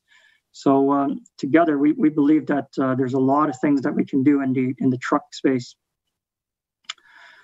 Uh, next slide, um, you'll see that uh, you'll see this later on in the uh, in, in, today's event as well. Um, we've just uh, at uh, in Weifang, uh, where where Weichai is located, we've just commissioned the world's largest manufacturing fuel cell center, the largest fuel cell manufacturing center, which we've codenamed the Giga Shandong One. And it's a brand new facility that just finished construction this year. Uh, it's got a total floor space of 225,000 square feet. Uh, it's certified to IATF 16949 automotive standards, and it's got a capacity of, to produce 34,000 uh, stacks, uh, which is equivalent of two gigawatts or 2,000 modules per year. So um, we're really looking forward to um, getting this factory up to full speed and producing products. And if you go on to the next slide, um, the scope of our joint venture with, with Weichai really doesn't stop at manufacturing, but we're, we're also continuing to invest in the development of next generation products to, to meet the uh, evolving requirements of the local market. Um, so in the um, technical center uh, that we have with Weichai, we now have 115 engineers uh, that's and, and technicians that's now working with the Ballard team on four separate module programs and two stack programs. Uh, we want to ensure that we remain to be the best in the industry to continue to, to push innovation. Um, and also, the team there is, is working in one, one of the world's most well equipped facilities. Um, so, in the uh, technical center in Weifang, there's a full array of stack and module test stations, balance of plant component test stands, prototyping capability, um, and other specialized equipment that's uh, specially designed for hydrogen testing. Uh, go on to the next slide. Uh, since we've started our uh, activities at the JV, we've uh, now uh, built and uh, commissioned over 100 modules that's been integrated into five separate vehicle platforms. So four of these are 12 meter buses with Yutong, Zhongtong, Asia Star, and uh, Huo. And also we've got in, we've got a, a, module that's now been integrated on a 49 ton semi with the Shaanxi heavy duty auto. And a majority of these the buses that we've put together so far are now under oper- under revenue op- under revenue service in Shandong province. There are now 10 uh, dedicated fuel cell bus routes uh, that's testing these buses. Um, and over the next few months, we can expect to uh, see more vehicles added to this list. Go to the slide 12 on the next slide. Overall in China, um, we, we strongly believe that we offer the best performing products in the industry, and this is reflected in our dominant market share uh, that we hold today at about 45%. Um, so Ballard technology now can be found in close to uh, 33,000, uh, 3,300 vehicles, excuse me, uh, with 17 different OEMs, and uh, have now these vehicles have now traveled in excess of 42 million kilometers. Um, of these vehicles, about one third of these are buses, uh, and the remaining um, two thirds are, are, trucks. And again, we've been working with a number of um, very, very very high profile blue chip uh, OEMs, including uh, Yutong, Zhongtong, uh, Dongfeng Motors, and others. Uh, going on to slide 13, um, just, uh, just as a reminder uh, to some of the viewers, before any vehicle um, can get qualified for subsidies, it, it, uh, in China, it must go through a certification process uh, by the Ministry of Information, Industry and Information Technology, where the vehicle is entered into a, a new energy vehicle promotion list. Um, so so far now we're now up to 70 uh, vehicles. Uh, last week it was 65, but today now there are now 70 different vehicles that's uh, now uh, listed that has a Ballard technology inside. Uh, that ranges from eight and a half meter eight and a half to 12 meter buses and various different types of trucks, uh, as well as specialty vehicles. And that list is continuing to grow. Uh, on the next slide, I just wanted to uh, show you some of the photos of the uh, over a thousand buses that uh, we currently have deployed in China. Um, so now these buses have, are, have been operating in more than 10 cities and now have already accumulated over 13 million kilometers of service. And the and then on the, on the truck side, uh, we now have over 2,200 trucks operating in over 20 cities, uh, including uh, major metropolitan areas, uh, including Shang- Guangzhou, Shenzhen, and Shanghai. Um, and now we're at over 29 million kilometers uh, of service, delivering goods for some blue chip companies in China, including e commerce giant JD.com, which is the equivalent of the Amazon uh, in the US, and also a logistics company such as uh, SF Express, uh, which is the equivalent of UPS or FedEx. Um, aside from trucks, we also have uh, one of our landmark pro- pro- projects. Uh, it's a tram project that we've been uh, running over the past year in the city of Foshan. Uh, in, in South China. Uh, and uh, this really is the um, first commercially operating tram line in the world. Um, and we've been uh, working on this project with CRRC Sifang over the last five years to, uh, put, to put this product forward. Um, currently, we've got uh, five trams um, running in the first phase of this project. Um, it's running along a 17 kilometer route through the city. And uh, each tram is powered by a 200 kilowatt Ballard module. Um, and it's got a maximum capacity to carry close to 400 passengers and has a range of 125 kilo- kilometers. Um, and as of this date, the uh, the it's now got over 100,000 kilometers uh, of service uh, in this fleet, and and it's an absolutely beautiful tram system. Uh, if you ever do get an opportunity to visit China once the uh, COVID rest- travel restrictions are, are over, I do highly encourage you to uh, come visit and, and, and ride this. It's, it's quite an experience. And, uh, and on, on the next slide, um, there's still a number of emerging opportunities that uh, I think represents great upside for our business at Ballard, and, and th- those include mining trucks, forklift, passenger vehicles, and, and marine vessels.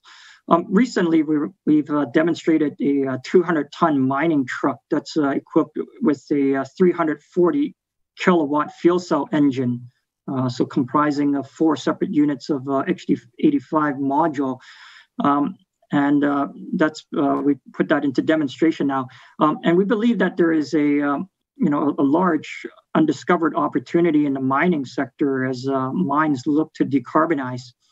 And also, as part of our activities with Weichai, we also have ongoing activities to, to look at development of fuel cell forklift solutions um, uh, together with uh, their, their Kion. And um, we'll, we'll, expect to uh, have more on that uh, shortly. Um, lastly, just uh, kind of the in conclusion, uh, I, I, do strongly believe that China is going to continue to be a dominant force uh, in the commercialization of FCEVs. As I mentioned before, it, it is the world's largest commercial vehicle market. It's got all the right elements with the strong government support and with an ambition roadmap. Um, and I believe that over the past few years, with all the work that we're done, we've done, uh, we're very well positioned to continue our growth, um, especially under the uh, the Weichai Ballard joint venture platform, where we have an absolute obsession and focus on cost reduction and advancing localization. Um, and lastly, you know, give, even with despite all our ongoing activities, I still believe there's a vast amount of untapped opportunities um, in, in, emerging applications uh, that that uh, that we could look at, including passenger vehicles and other specialty mobility applications. Uh, so do look for us to do more uh, in China going forward. Okay, and with that, I'll, I'll pass the floor to uh, Jesper and with uh, Oben, who will carry on with the update on the European market.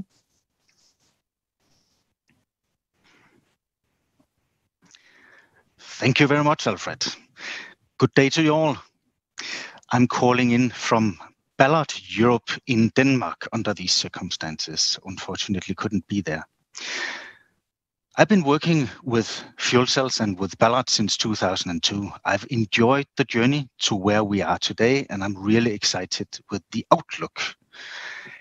As illustrated on the next slide, we see a lot moving our way in, in Europe being deeply involved in the European market, it's amazing to see what is happening on policies and funding supporting green economic growth and, at the moment, green economic recovery in Europe.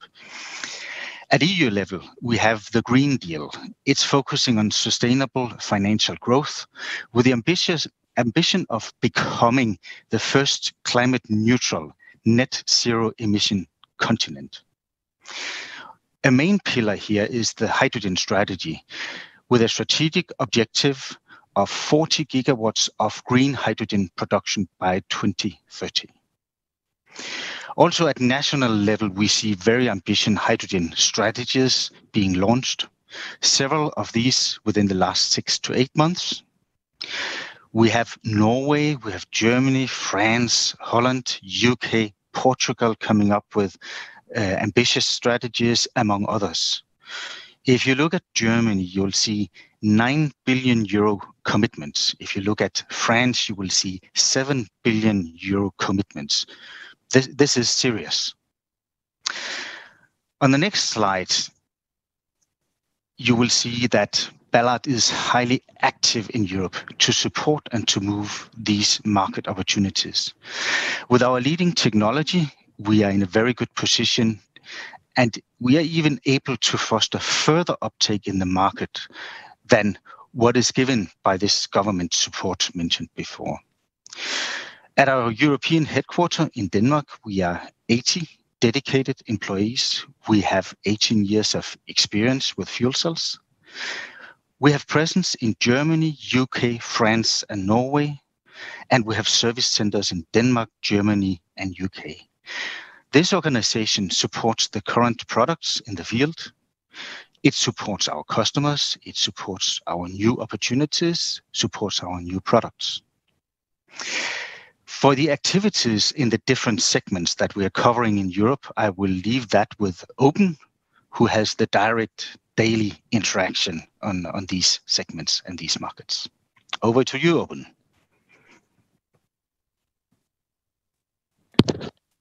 Thank you, Jesper. Good morning and good afternoon, everyone, uh, from a sunny afternoon in Berlin. I've been with Ballard for about five and a half years now, which I qualify as the fastest five and a half years of my life. I'm going to update you today uh, on fuel cell buses, truck and rail segments in Europe, how these segments are developing, how large the opportunities are, how Ballard is doing, and what our strategies. And then I will hand back to Jesper to continue with the maritime segment. European cities and authorities are taking concrete steps to improve the air quality in city centers. All over Europe, low emission zones are being deployed. Buses are important pillar of the public transportation in city centers as well as in suburbs. And uh, it is critical that the public buses become zero emission and get electrified. Several large European cities like London, Paris, Hamburg, Copenhagen, Amsterdam, and many others have committed to buy 100% of their buses as zero emission by 2025 or before. So a lot of activity is happening. As you may know, the public buses have a lifetime of roughly uh, 10 to 12 years. So we expect uh, about 8 to 10% of the uh, bus fleets will be replenished per year. So accordingly, the procurement of zero emission buses will reach about 66% by 2030. Hydrogen fuel cells will play an important role in this transformation. In a recent, very exciting announcement, UK government announced that announced the first hydrogen bus-only town initiative. 17 UK cities applied, and we will see soon who will be the first city. Going to the next slide, I want to inform you about the uh, status of the deployment in Europe. Over the last seven, eight years, several fuel cell bus, electric bus demonstration projects have been completed. Technology has been successfully demonstrated. Very key things like long range, over 400 kilometers a day, fast refilling, seven to eight, 10 minutes, and route flexibility, practically giving the chance, uh, the possibility one-to-one replacement of diesel buses without compromising the existing time plans. We are currently experiencing a rapid uh, increase of fuel cell electric buses in Europe. In 2019, maybe there were about 40, 45 fuel cell buses on the roads. At this moment of time, in total, 225 fuel cell electric buses powered by Ballard are either in service or ordered at the bus OEMs and will be delivered soon for 17 European cities. Furthermore, 848 additional fuel cell electric buses are either at tendering stage or planning stage, preparing for rollouts pretty much in every part of Europe, as you can see on the map itself, in Germany, in Austria, Latvia, Netherlands, Belgium, UK, France, Portugal, Spain, and other countries like Croatia and Poland are expected soon. We had previously announced a partnership, uh, H2 Bus Europe project, which is really an ecosystem partnership with key partners in the hydrogen value chain, with the aim to deploy 600 fuel cell electric buses by 2023 at three countries, and then carry that to 1,000 buses in the next stage. And at this moment, first deployments are being planned, and we are expecting the tender soon. It's estimated up to 100,000 zero emission buses will be deployed by 2030 in Europe. And uh, 25 to 30% of those buses require actually fuel cells to deliver the duty cycle. So with that, we are expecting a market opportunity of 25,000 fuel cell electric buses for Ballard in Europe. Our current market share is a little bit north of 80%. And as the market grows, uh, we will see more competition and customers will enjoy more choices. We are confident to keep our uh, market leader position in this segment. In the next slide, I want to give you some examples of our customers coming with new products to the market. Over the last 18 months, there have been a number of new fuel cell electric bus announcements by our European bus OEM customers, such as world's first fuel cell double-decker bus by Bamford Wrightbus, or articulated 18-meter bus, bus rapid transport by Van Hool, or the new generation 12-meter bus Urbino 12 hydrogen by Solaris. Solaris has also introduced a fully zero-emission trolley, eliminating the diesel range extender by a Ballard fuel cell to allow over 100 kilometers of autonomy for a conventional trolley bus. We expect to see more and more products to be announced within the next years so that our customers will have more choices. Now, in the next slide, I would like to talk about a very important segment for Ballard, which will be actually uh, fuel cell trucks. Decarbonization of uh, the heavy-duty transportation is one of the key targets in European Union. For this purpose, European Union announced a new regulation for heavy-duty trucks in June 2019 and set emission reduction targets for OEMs. In 2022, the buses will be added into this uh, regulation. The new, the new regulation requires CO2 emission reduction of, in the first place, 15% by 2025, and later 30% by 2030 versus 2019 levels. Very strict rules. There is a common consensus between OEMs and industry that in order to meet these targets in Europe, fuel cells will be required. The longer the ranges, the more payload the truck has, the more kilometers it drives on the highway, the stronger is the value proposition of fuel cells. Of course, with the universal benefit of quick refilling with hydrogen. There have been major announcements recently by tier one OEMs as well as tier one suppliers that uh, they will develop fuel cell solutions. In the next slide, I will touch base about the size of the opportunity and the strategy Ballard has for this segment. Our market research shows that the opportunity is up to 100,000 trucks by 2030. This is a very large opportunity for us here in Europe. Ballard has a three-tier strategy. The first step is to participate in the demonstration projects, test the initial products on the field, collect data, and prepare for the next phase. Ballard is currently involved in a number of truck demonstration projects in Germany, in Netherlands, in UK for various applications like 26-ton truck on highway drives or a refuse truck in the city centers. So very different duty cycles, and it helps us greatly to learn. As said, this is going to be a large volume market. We know that we need to be in key geographies closer to the end users, as well as in Europe. So for this purpose, we need to foster partnerships with Euro- European tier one partners who has scale, who has experience and access in this segment. And uh, you have heard from Randy and from our website yesterday, Ballard will collaborate with uh, MAHLE of uh, Germany to develop medium and heavy duty fuel cell systems for commercial trucks. MAHLE is a tier one OEM, Germany, with 77,000 employees globally. The partnership really merged the strengths of both companies, Ballard's deep understanding of fuel cell stack technology and system design over 40 years, with MAHLE's expertise in balance of plant components, market access, and scaling capabilities. While this is a very important uh, step for us, we are also proactively looking for opportunities to build ecosystems, ecosystem partnerships with other value chain partners to reduce the overall TCO and uh, similar to H2 Bus Europe project, we are looking for opportunities in Scandix as well as other places to roll out truck fleets. With the next slide, I would like to give you some uh, updates on another very interesting application, which is rail. Over 40% of the rail tracks in Europe are not electrified. So typically, diesel engine uh, vehicles are running on these lines. Rail vehicles have very long lifetimes, 20 to 30 years. So communities who buy diesel engine rail vehicle right now, they know that they will tie themselves up for 20, 30 years, which they don't want to do. Currently, there are two options to electrify these lines, either overhead lines or overhead opportunity charging or fuel cells. Building new overhead lines cost anything between two to four million euros per kilometer in Europe. So it's very expensive. To build also charging infrastructure at small railway stations, remote places from main power lines is not economical. So fuel cells offer an economical proposition in this segment, especially for regional or commuter trains and shunt locomotives, whether these are new investments or retrofitting.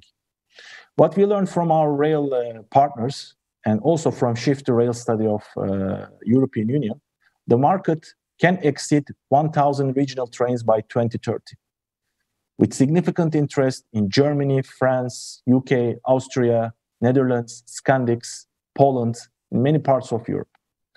All these countries have plans to significantly increase green hydrogen production, and rail is one of the possible solid uptakers of green hydrogen. German national uh, hydrogen strategy in Germany, where I live, has already measures to support deployment of fuel cells. Next slide, please. Ballard has built partnerships like with Siemens Mobility of Germany to demonstrate the fuel cell technology and to secure a market access in mid and long term in Europe. We are currently developing a 200 kilowatt system for Siemens' new EMU platform, Mireo. This is a purpose built train. It's the best in class performance in electrical regional trains. As it's purposely designed from scratch, Ballard and Siemens work closely together to take benefit of the latest technologies available to us. Siemens has started to bid this uh, uh, hydrogen Mireo version in Germany already, so I'm very hopeful that you should be able to see these trains in revenue service in short time. Furthermore, there's another application where we see synergy is shunt locomotive with similar product line. There are over 65,000 shunt locomotives in Europe. Most of these shunt sites are either in city centers or near city centers, adding to the air pollution. So we need to clean them up.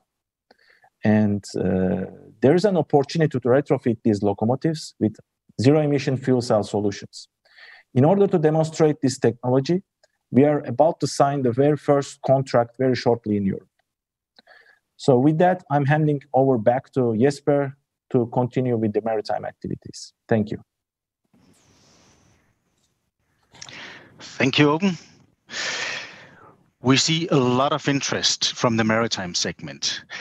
Um, first of all, uh, zero emission requirements from the International Maritime Organization, uh, who is committing to reducing greenhouse gases by 50% by 2050. That is supported by Europe cutting CO2 emissions by 50% in the same period. That is significant and a change in the industry. Norway is a country leading in, in this segment. They are enforcing 100% zero emission in shipping in their heritage fjords already from 2026. So this all is moving towards zero emission shipping, where fuel cells are getting well positioned. As you can see on the next slide, we are gaining experience and building partnerships in, this segment. So we are developing megawatt scale systems with ABB for cruise ships. We are developing the world's first seagoing renewables powered ferry in Scotland under the HySeas 3 project. We are electrifying port equipment with hydrogen and fuel cells in the H2 port project. We have a very significant flagships project where we are powering a Norled ferry in Norway with 600 kilowatts of fuel cell power and a river barge in France um, with ABB 400 kilowatts of fuel cell power for main propulsion. Then we have the first liquid hydrogen ferry, which will be with Norled. That's on the Hjelmeland route in Norway. Also a very interesting, significant project. And finally, at the moment, we have just delivered 200 kilowatts for the Electra fuel cell river barge in Germany. To support this and many new upcoming projects and opportunities, we are investing, as you can see on the next slide. The opportunity here is significant. We estimate 2,000 megawatt opportunity in 2030. And we're investing in our Marine Center of Excellence. As mentioned before, it's in Denmark and it was established in 2019. But we're also investing in our new FC Wave 200 kilowatt product that is dedicated to the marine segment. We had the product launch earlier this month of the FC Wave 200 kilowatt product. And before Nicholas talks about California, I would like to show you a short video telling more about this new product. Thank you.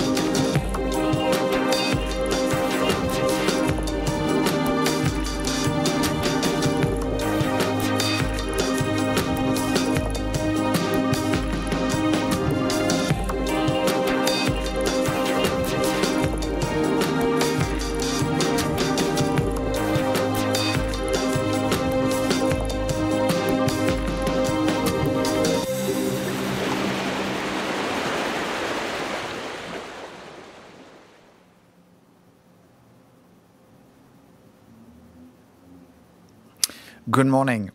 I'm very happy to be joining us today, uh, you today. Uh, I'm here from Vancouver with the rest of our team. I've been working uh, in the uh, fuel cell industry for the past 15 years, and I truly believe that the period we are going through at the moment is really exciting. We see a lot of change, and I think we start to see the adoption of mobility uh, using hydrogen and fuel cell technologies. So what I would like to do today is to give you an update of what is going happening in California. California is leading the way toward the clean mobility. California is also leading the way with adoption of regulation which are going to drive the adoption of zero emission mobility. As just of last week, the uh, governor of California has signed an executive order directing that all new sales of cars and passenger truck starting from 2035 will have to be zero emission. But California is also leading the way with the adoption of hydrogen mobility. Today, there are over 8,500 fuel cell cars in the streets of California close to 50 fuel cell buses in operation in major cities. And there are over 20 fuel cell trucks being tested in different ports and uh, warehouse facilities. There are a network there's a network of close to 50 hydrogen refueling stations, which is uh, spread across the state. So yes, California is leading the way and is putting vehicle on the road. But let's start to look at a little bit what is happening with transit buses. As of last year, the California Air and Resource Board has issued the Innovative Clean Transit Regulation. With this regulation, by 2023, transit agency will have to start buying a minimum of 25 percent of zero emission bus for the fleet. This number is rising to 50% by 2025 and will reach 100% of all new purchase of transit bus will be zero emission by 2029. This means with the lifetime of the buses which are being deployed, that by 2040, all transit buses operating in California will be zero emission. This represents really a huge market opportunity for battery electric and fuel cell electric buses. So if you see where Ballard is today, we are the true leader in the hydrogen mobility for transit buses. There are today 37 fuel cell electric buses powered by Ballard products in operation at Orange County, AC Transit, or Sunline Transit agencies. Those buses are working every day and have proven their performance. The test done by uh, OCTA recently have shown that a fuel cell electric bus is a new flyer fuel cell electric bus can reach 350 miles of operation during a single day on a one single refueling even operating on highways at higher speed as required by Orange County. Today, fuel cell modules, which are installed on those bus, are showing uh, availability of above 97%. And this is the data from 2019 and 2020 operation of the Ballard fuel cell modules. Today, products are available. Standard fuel cell buses are commercial products offered by New Flyer with a 40-foot or 60-foot fuel cell electric bus, and by Eldorado with a 40-foot uh, fuel cell bus. All those vehicles have been tested by the FTA at Altoona and are available for purchase by transit agency across the United States. Ballard has probably have around more than 95% of the market share in California for all the new fuel cell buses which have been purchased in 2020, uh, 2010. But what is more important is the customer satisfaction. We need to make sure that the vehicles which are deployed today in the streets of California and the rest of the US meet the requirement of operation and what the transit agency is expecting. And if you look at what uh, Michael Hirsch, the general manager of AC Transit, uh, is saying, for him, he's been very impressed by the performance of the fuel cell buses. There's no range issue. They fuel quickly. And more important, the reliability of fuel cell electric buses is comparable to the one of internal combustion engine like diesel and CNG buses. But what is very interesting, as transit agency are planning for the ICT regulation, and how they're going to mix the ARB regulation, where they will have to, to uh, uh, transform all their fleet to zero emission. They're looking at how we're going to do the deployment of zero emission buses at scale. It's always very easy when you start with five, ten buses. You can plug them with battery electric. It's a bit more difficult with uh, fuel electric. Even if you start with one or two vehicles, you need to invest in a, in a, in a full hydrogen refueling infrastructure. So the cost per vehicle, when you start only with a handful of vehicles, is quite high. But as you are increasing the numbers of vehicles, the infrastructure investment you have made is going to be mutualized with a larger numbers of vehicles. And what you start to see is as you're increasing the uh, fleet size, the cost of the infrastructure per vehicle is going down for hydrogen refueling infrastructure, but on the other hand, is going higher per vehicle for battery electric recharging electric infrastructure. Why is that? Well, as you are putting more and more battery electric bus to, uh, to recharge, you are going to need more complex uh, electric charging, and you're going to need more and more energy to be uh, uh you know, delivered to a depot. You will have issue with space, how are you going to recharge your vehicle, and you might need even a power substation.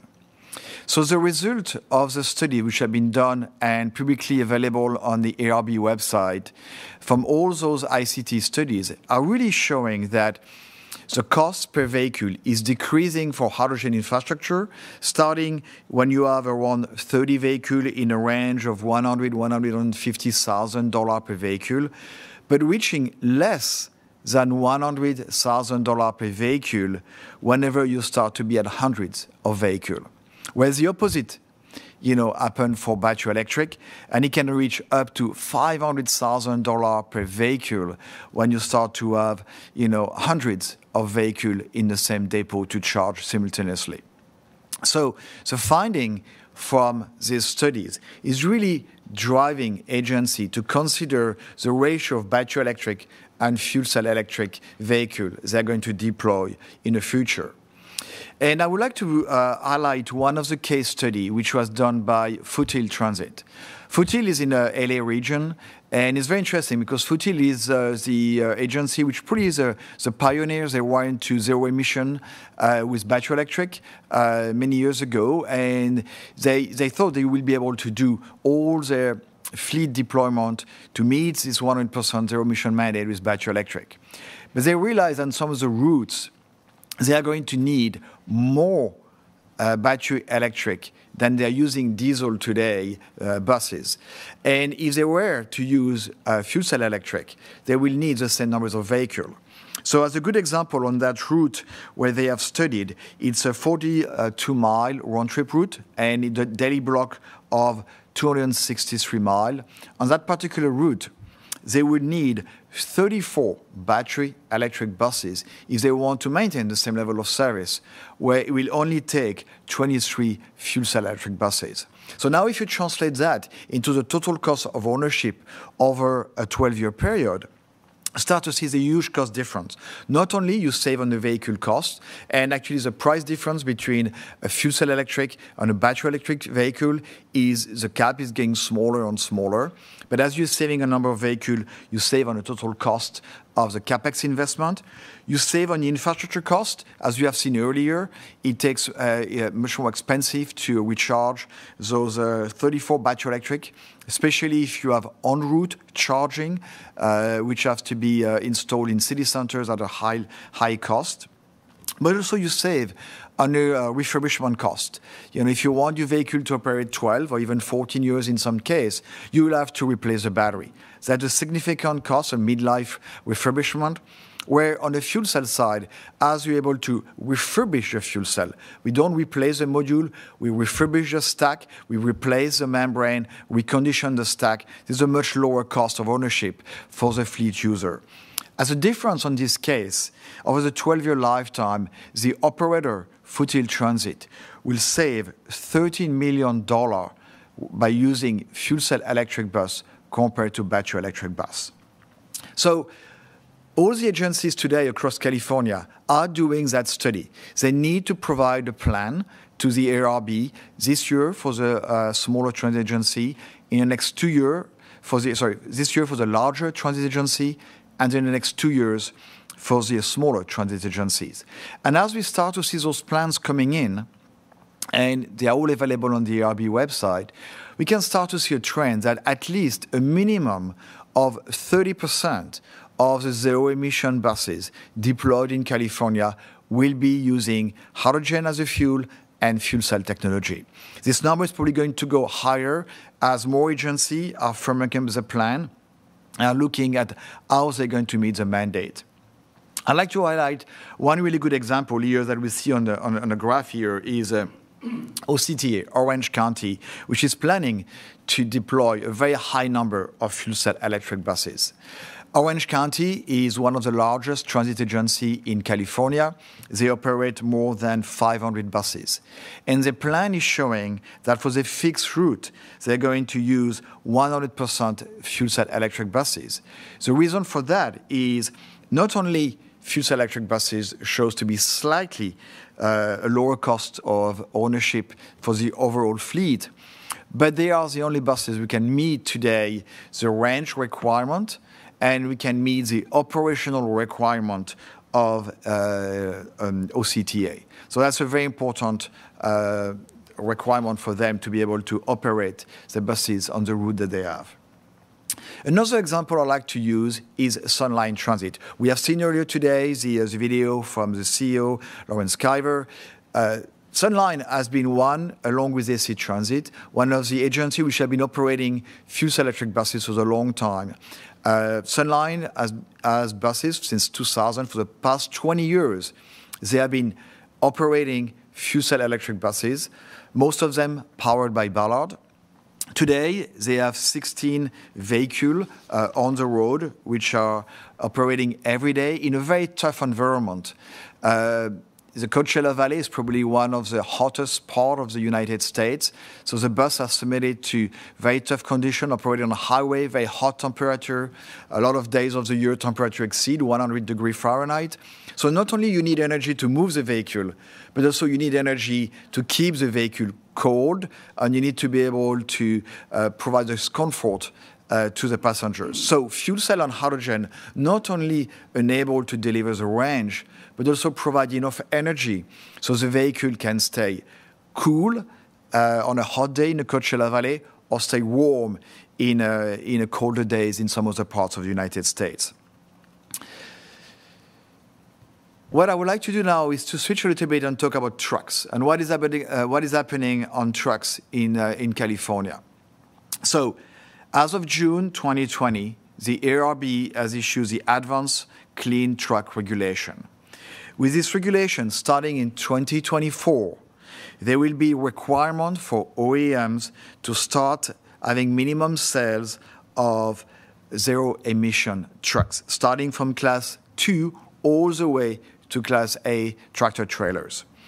By 2035, there will be a significant percentage of those vehicles will have to be zero emission. Up to 55% of the class 2 and 3, 75% from class 4 to 8 straight truck, and 40% of the truck uh, trailer uh, tractors.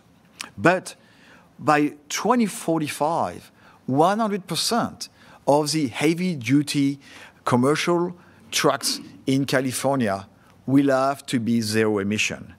This represents roughly a quantity of 300,000 trucks sold by 2035 and this give a, a, an idea of a market size of 7.5 billion for the engine market. But California is not, is not alone here. It's leading the way, and he has signed uh, a joint MOU with other 14 states, and those states have committed to uh, promote and push to do everything they can to have 30% of all new medium and heavy duty trucks being zero emission by 2030 and 100% by 2050. So we'll see more and more fuel cell truck being deployed in California and hopefully in other states. So what are we doing at Ballard today? Uh, we are working with a number of industry leaders in order to integrate, demonstrate the operation of fuel cell module inside of uh, trucks to uh, work with uh, vehicle OEM, system integrator, fleet operators, from them to get familiar with the operation of a fuel cell truck, the maintenance of a fuel cell trucks. We have, for example, as Rob mentioned earlier, a Class 8 drayage truck in operation in the port of LA. This truck was integrated with a BAE power drive, electric drive, and a Kenworth truck. We are developing a numbers of Class 6 that you can see on this picture here, truck uh, for UPS, and uh, another five Class 7 uh, trucks, which are going to be in operation also by UPS in California next year. We're also putting trucks on the ports, like those yard trucks with a REV Group Capacity. And this gives us a lot of information in order to develop the next generation of our fuel cell truck product, as well as forge strong partnership with system integrators and truck OEM in order to deliver the best product in the future and drive this uh, cost reduction to provide the operators with a competitive total cost of ownership. So we strongly believe that Ballard is very well positioned to uh, support the deployment of heavy-duty mobility in California, not only with bus and trucks, as you have seen today, but also with rail. The first hydrogen rail project has been announced in California. There are numbers of marine ferry barges, push boats, which are being developed currently in the state. But also, we strongly believe that California has continued to lead the way because of its resource of renewable energy. With declining cost of solar and wind renewable energy, this opens a route to affordable, available green hydrogen in order to fuel mobility, clean mobility in California, but not only. Green hydrogen will be used in distributed power generation, microgrid application, and backup power. The recent event, or current event in California with wildfires and a lot of uh, natural disaster result of climate change is really putting a stress on infrastructure. So today, resilience is becoming a very important topic uh, in California, but also in other states and across the world. We need to have better resilience on our grid, on our critical infrastructure. Therefore, looking at alternative solution to power those critical infrastructure, telecommunication network, data centers, or grid, local grid is very important. We strongly believe that hydrogen and fuel cell technology will have a key role to play to provide power generation, energy storage, and backup power for those sites. So California is leading the way. California is also presenting a showcase for other states, and we start to see other states joining what's happening in the Midwest, in Ohio, with deployment of fuel cell buses, in um, in Nevada, uh, with uh, Las Vegas joining the cities which are going to be deploying fuel cell electric buses. And you see also growing interest in Oregon, Washington State, Colorado, which are also going to be deploying fuel cell electric vehicle. So California is showing the way, and we lead a hydrogen economy deployment across the United States. Thank you. So great. Uh, thanks very much, uh, Nicholas, and uh, thanks uh, to our other speakers. Um, we're going to uh, pause just to take a couple of questions uh, for this for this group um, before we move on. And again, if you do have any questions, please do submit them online to analystday at ballard.com. Pardon me. So the, we have a couple of questions around China. I think Alfred's taken us through much of the policy, but we've had a couple of uh, tougher questions, Alfred. I know you're ready for them, but one of them obviously is the opportunity in China is huge. I think we all acknowledge that, but I was wondering if you could comment on the competitive landscape and how you see Ballard and the Ballard, uh, the Weichai Ballard joint venture staying ahead of the competition. And now Randy's up on the panel as well, and Randy, you may want to comment as well. So, Alfred, perhaps you could go first and comment on how you see the competitive landscape in China. Yeah, I, I think the we, we are seeing a number of companies, uh, new companies that are entering into this space uh, that we haven't seen before. So, um, with the local support uh, that that uh, we expect uh, through this policy, the, the level of competition will increase, uh, and we expect it to increase. but nonetheless, I think the, the platform that, that we have with Weichai um, I do strongly believe that is the best platform. That is going to be the premium platform uh, for fuel cells going forward. Um, we've got a great team there that's working into in developing fit for market products. That's really going to cover, you know, the, the necessary requirements uh, for localization. Uh, we're, we're, working, um, you know, we're, we're, working with downstream OEMs to to look at fitting uh, products into trucks. Um, so, you know, while while I do feel that competition is coming and, and will be coming more furious than, than in the past four years, uh, we, we are in a good position. Okay, thank you.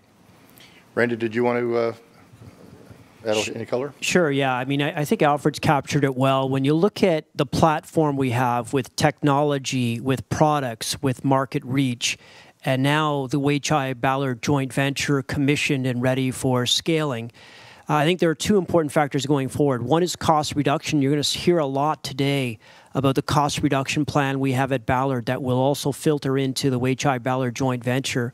And I think the, the other thing that's important, Alfred touched on this very powerfully earlier, is the fact that the subsidy regime or the new regime uh, that we're looking at moving forward for fuel cell support in China has certain requirements. And whether it's localization requirements, technical requirements, or strong uh, contributors, uh, strong players, uh, we're checking all of those boxes. So we feel very well positioned in the largest market, not just for fuel cell vehicles, but the largest market for commercial vehicles globally. Great. Th thanks, Randy. Thanks, Alfred. Um, we've had a number of questions on the marine market opportunity. I know we've talked, uh, as been noted, quite a bit about bus and truck in terms of the near-term markets.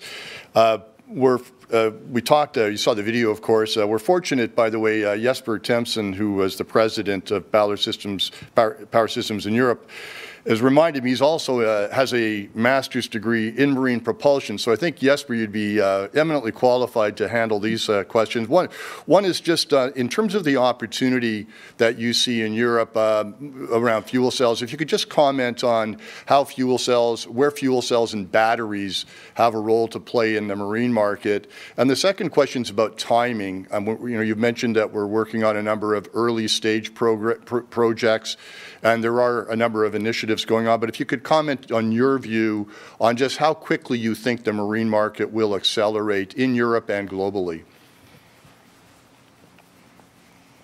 Okay, thank you, Tony. Uh, good, good question. I would say uh, looking into the future is always difficult, but but uh, starting with the comparison between uh, fuel cells and batteries. Um, batteries, that's kind of a storage technology. Batteries are good for, for short distances. So, so if you have a ship going short distances between charging points and you have enough time for charging, uh, that's basically where you should use batteries. When you go for longer distances, when you go for more payload, uh, that's where fuel cells uh, uh will, will have its uh, competitive advantage. So, so um, we we see at the moment uh, uh, that the, the the the marine markets, at least for for inland and coastal areas, that will be split between batteries and fuel cells, uh, where there are zero emission requirement. That goes back to neither of these technologies are today uh, competing directly head to head with diesel engines because there is a price premium for the new zero emission technologies so far. So then the big question is on timing. When when will uh, when will batteries and fuel cells be competing directly head to head on cost with uh, with diesel, and should they? Because it's a zero emission technology that's difficult to uh, to to really predict. But uh, but but we see we see a big interest in the market today, um, pointing in that direction that that this is uh, the the future technology, one of the future technologies for for ship propulsion. Great, thank you, Jesper. Um, just a couple more questions. One uh, for Nicholas. Uh, California clearly, as you pointed out, is a market leader. Um, and you did touch briefly on some of the other markets in the U.S. So I just wondering if you could provide your perspective on the U.S. market outside of California, um, where some of the, key markets or key states would be, and how quickly you think some of those might move to adopt fuel cells. And you, touched on a couple, and perhaps, you know, Rob may want to uh, pile on as well. It's a, really good question. Uh, we start to see, it started in California, but we really start to see, I think, initially probably on the west, there's two, I think, pole of growth is the, the, on the west uh, uh, of the of the country. Uh, I mentioned Colorado, in in Nevada, in Washington State, and Oregon. a lot of initiatives looking at the production of green hydrogen also, but also there's a lot of activities in the northeast. Uh, there have been a deployment of uh, fuel electric vehicle uh, in, in a northeast corridor as well as in the Midwest. Uh, Midwest also the, the home of the automotive industry uh, in North America.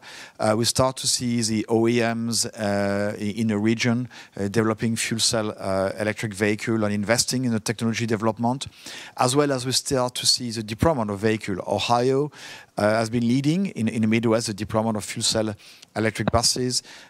soon there will be this vehicle, also fuel cell buses in Michigan, and uh, we are working uh, with New Flyer to put uh, very soon a fuel cell electric vehicle in Illinois. So we start to see the Midwest also another area. But also don't want to forget about Canada. Uh, we start to see now some some growing interest in Canada. Uh, the Canadian government has released, their, uh, or is going to release very soon their hydrogen and fuel cell strategy, and. Numbers of cities across Canada are looking at the deployment of fuel cell electric buses. Great. Yeah, th thanks very much, Nicholas. Randy, do you want to add a couple of comments? Yeah, I think one interesting thing, it doesn't matter if you're looking at rail in China or marine in Europe or drayage trucks in the port of Long Beach. One of the interesting themes that, that we've seen emerging is what we call multimodal modal applications. So we have, for example, fuel cell uh, hydrogen production, first of all, uh, centralized, let's say, at a port and the ability to use that hydrogen refueling infrastructure for a variety of applications. So like forklifts at the port, like drayage trucks at the port, like rail and marine applications there. So increasingly, I think we're also going to see, and we're, we're seeing signs of this uh, in the U.S. as well, and I think we'll see this globally, this multi-mode applications and leverage off of your hydrogen refueling infrastructure. Rob, do you want to? Yeah, just just a final supplement. You know, we have to remember the one key thing we need is low cost green hydrogen. And the United States in the Southwest has tremendous renewable energy resources as well as tremendous capacity to produce hydrogen. And so I see, you know, already uh, some of the lowest costs of uh, electrical production from renewables in the Southwest. So my prediction is the Southwest will lead the market in the United States, but it'll be an example for other regions that can then start deep integration of renewables, whether it's hydro power, wind power, or solar power, or carbon sequestration, as I mentioned, to come up with the fuel supply. And that the market with that development is ready to go. It'll be, it'll be nicely synchronized. So I see a, a, a great spreading of the technology. Great, thanks. Just uh, two last questions, and, and one is uh, we haven't talked today about backup power in, in, much at all, but Nicholas, you did touch on, on California, and we did have a question here about, uh, and, and, we talked about this for, for, the last several years, about why in the U.S. particularly they've been so slow to pick up fuel cell backup power, particularly for the 72-hour generators, particularly in California. Have you any comments or any observations on what's taking place in that market? I think it's changing. I, I think uh, what we are seeing, uh, you know, the, the, the disastrous events we have seen in California at the moment is is really. Um, uh, helping people to realize that we need resilience. We, we need extended backup power. That uh, yeah, backup is an insurance policy. So when everything is good, you maybe don't want to have this uh, insurance policy. But uh, as we realize that you know our infrastructure has that threat, that you know, communication be disturbed. That uh, today in California, um, utility company have to shut down the grid in order to avoid more wildfires. They need to be backup power. They need to be solutions which are going to provide communities and uh, critical infrastructure with continuous uh, power generation. And this is where hydrogen on fuel cell really start to be today a very um, very interesting solution as, as a backup to the grid. And, and the, we'll see very soon some announcement by major players in order how they're going to start deploying a backup for data centers and uh, at, at, a larger scale uh, in order to protect those assets. So I, I think uh, it, it, it, took a while. The technology is working, has been proven for a long time, but I think sometimes it, it just needs a bit of more urgency uh, to drive the uh, deployment. Great. Thanks, Nicholas. Rob, did you want to add a comment as well? Yes. Uh, so we're all aware that there's a tremendous transition going on in the marketplace in the utility sector with renewables and energy storage. Backup power, in terms of megawatt backup power, will be one area where the renewable energy can be deployed to give that grid stability. But the overall subject of energy storage is now being addressed with uh, primarily batteries, battery technology. When we get to larger amounts of energy, it's just not practical. And this is where hydrogen has a new opportunity to fill an economic solution to enable greater use of renewable energy in the market provide the stability to the grid and do it in a cost-effective way. So that is another emerging market. And as Nicholas mentioned, we're, we're very active in this sector as well. We've got years of experience and more on that to come. Thank you. Great, thank you. So time for one last question, and it's a tough one, and it's always not a good idea to ask your boss to answer the tough questions. But Randy, I know I know you've addressed this on a, on investor calls in the past, but we've had a couple of questions around the Weichai JV and the thought process around the an IPO. So I know you've addressed this before, so maybe that's not a tough question because you've thought about this one, but I'll, I'll let you have that one. Sure, and I think the important thing to understand is as we entered into a collabor- collaboration with Weichai we're really thinking about a long term relationship here. Uh, and w- as we went through the diligence process with Weichai, one of the things that really reinforced this for us was their questions about what will the technology look like five years from now and 10 years from now. So we really wanted to have a structure and a plan to attack the large China market for the long term. And our joint venture with, uh, with Weichai uh, you know, where we own 49%, Weichai owns 51%, uh, we're looking at ways to effectively transition value from the joint venture uh, to the benefit of Ballard shareholders over the long term. So obviously we have revenue streams, for example, while we're selling MEAs to the Weichai Ballard joint venture. But longer term, what we're looking at is EBITDA contribution. So a 49% pickup of our EBITDA uh, from the JV as it transitions from, from commissioning uh, to early adoption uh, to scaling over the next number of years. Uh, and then importantly, how do we crystallize some of the value embedded in that Weichai Ballard 49% ownership that we have? And so Weichai has done this very effectively with a number of other companies where they've IPO'd and effectively spun out a portion of those business for public shareholders to participate in. Uh, so my contention, I've said this very often, I believe there's a lot of value in our ownership interest in Weichai Ballard joint venture that isn't necessarily reflected yet in the Ballard valuation. And uh, if and when that vehicle was to be taken public, that would be a, a very effective way for us to uh, basically unlock a lot of that embedded value. Great. Thanks, Randy. And uh, that brings us to the end of the questions that we have. And again, if you have any additional questions, please email them in and we'll get back to you. So we're going to shift gears a bit right now and move to uh, our panel discussion. Uh, and uh, I'll introduce them uh, briefly and then uh, and Guy McAree as well. So again, I mentioned we have a number of key uh, and very, uh, I'll say, highly regarded panelists, particularly in the hydrogen space. A number of them have been authors of, of a number of documents uh, that we've referred to. Um, and so uh, Guy McAree, our Director of Investor Relations, uh, will uh, moderate the panel. And again, the, the folks that we have today are Dr. Ken DeWoskin, a Senior Advisor to Deloitte, Dr. David Hart, Director of E4 Tech Consulting, and Bernd Heid, Senior Partner at McKinsey & Company. Guy, over to you. Great. Thanks so much, Tony. And uh, welcome to everybody that's watching. We have a very large uh, turnout. It, obviously, a lot of investors and potential investors uh, interested in the fuel cell industry. When we thought about the agenda for today, we wanted to make sure that we covered uh, lots of important information and, and we think interesting information that we thought everyone would want to see and also to give you a chance to see some of the senior folks at the company and get and get a, a sense for uh, the quality of individuals at the company. But we also wanted to give an opportunity for some third-party experts to voice their opinions on important issues related to fuel cell adoption, in particular the fuel cell value proposition and competitive positioning as we move forward. So uh, as Tony noted, we've got three uh, uh, preeminent individuals a tremendous amount of uh, insight, I think, and, and, and uh, important background that they can offer uh, over the next little while as we have a conversation with them. I, I think maybe the first thing to do is just to go around the table and have each of them kind of introduce themselves, uh, provide a little bit of information on their professional background for those who aren't familiar with who they are, uh, and, and maybe identify where you're calling in from. We've got people calling in today on our, um, on our analyst day from all sorts of different locations around the globe. So maybe starting with, with you, David Hart, could you uh, just spend a, a few minutes and provide a little background?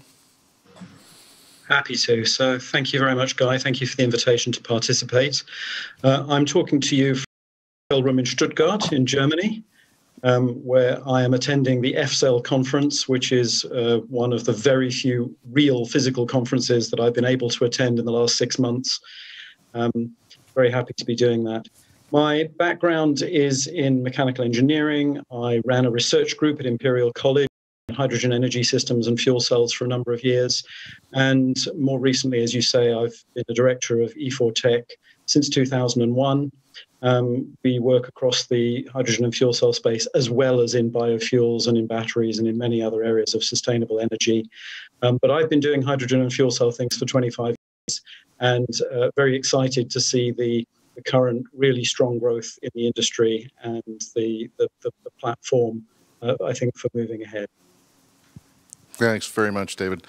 Uh, Bernd Heid is a senior partner at McKinsey and Company. H hello, Bernd. Could you uh, provide a little bit of an introduction on yourself and where you're calling in from?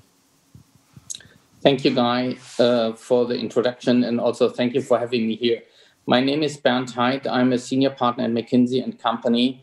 I call in out of Cologne, Germany. Uh, I lead our global hydrogen activities, and I've in I've been in that space now for over a decade Uh, and I must say that uh, probably most of that time it felt like swimming against the current.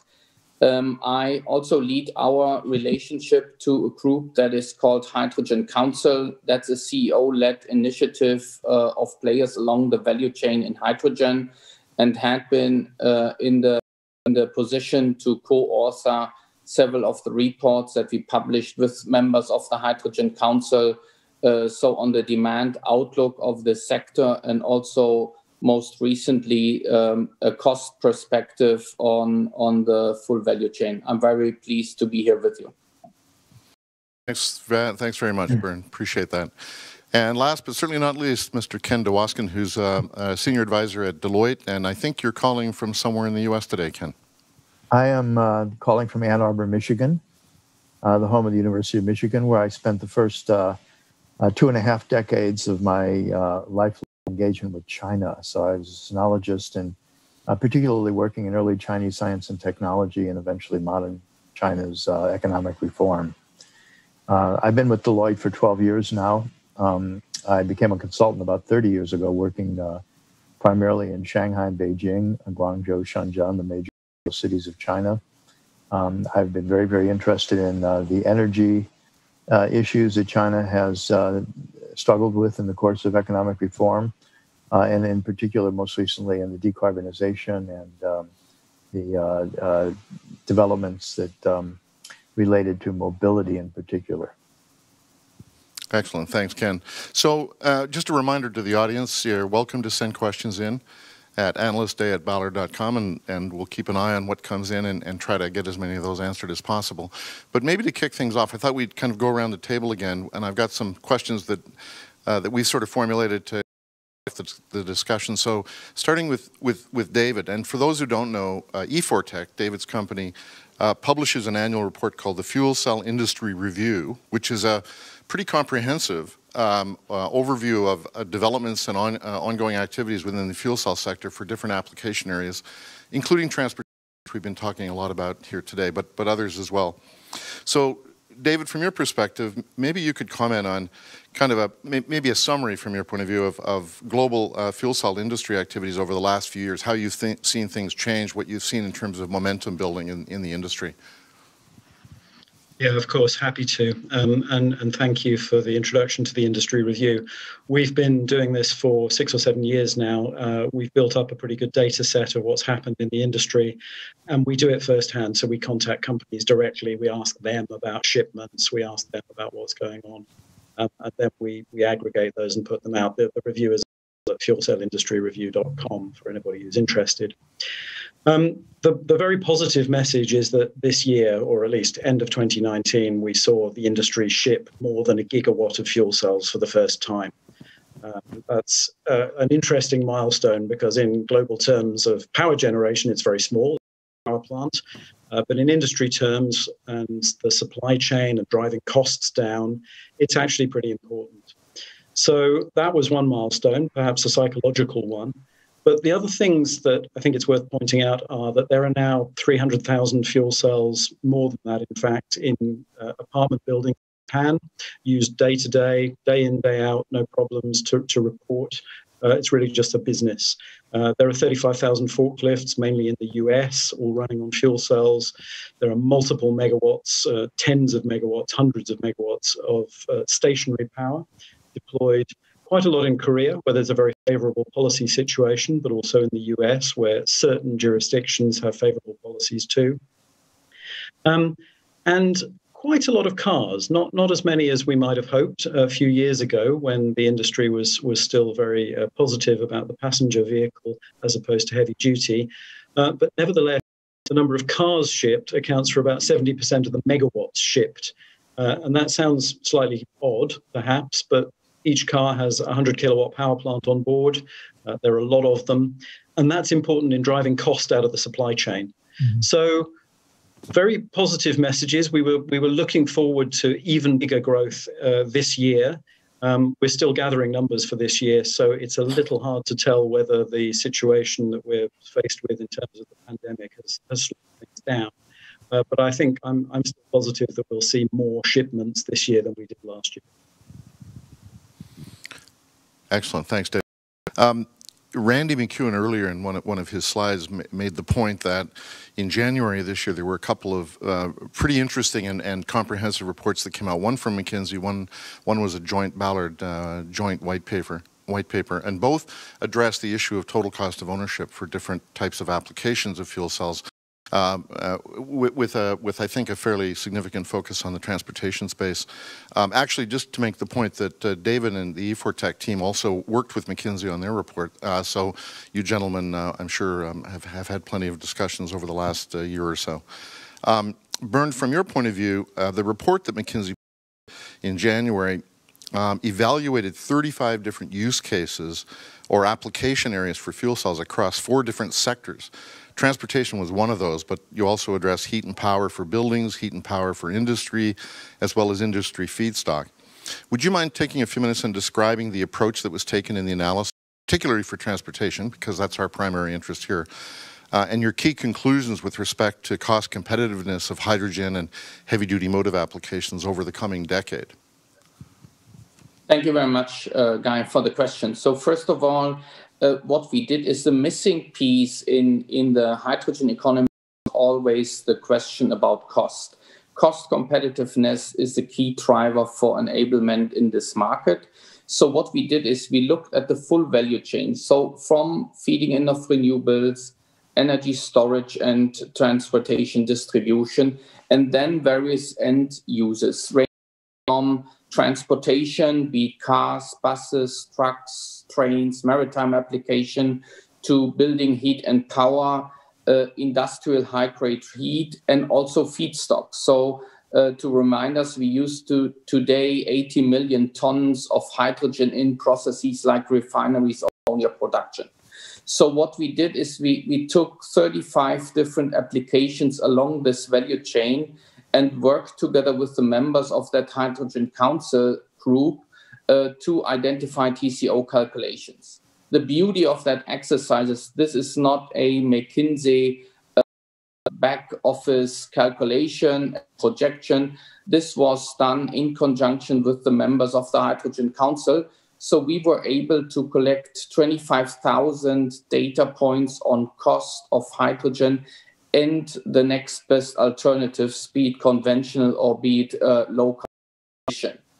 So and that makes it so powerful in in uh, in this calculation. So what we found here is if you compare the applications in two dimensions, the one is is hydrogen more or less competitive vis-a-vis conventional power such as diesel uh, or others or is it better or not than the next best zero emission technology? Think of, of battery electrification or biofuel uh, and alike. And we found that out of the 35, nine applications are better than um, um, the next best zero emission, but also better than the conventional one. So here, hydrogen is an, a no regret move. And as Guy mentioned it, uh, heavy duty trucking is one of these applications. So that's also why you see that strong momentum behind this application. But there were also applications where clearly we see hydrogen deployment as it's the best uh, alternative uh, to decarbonize.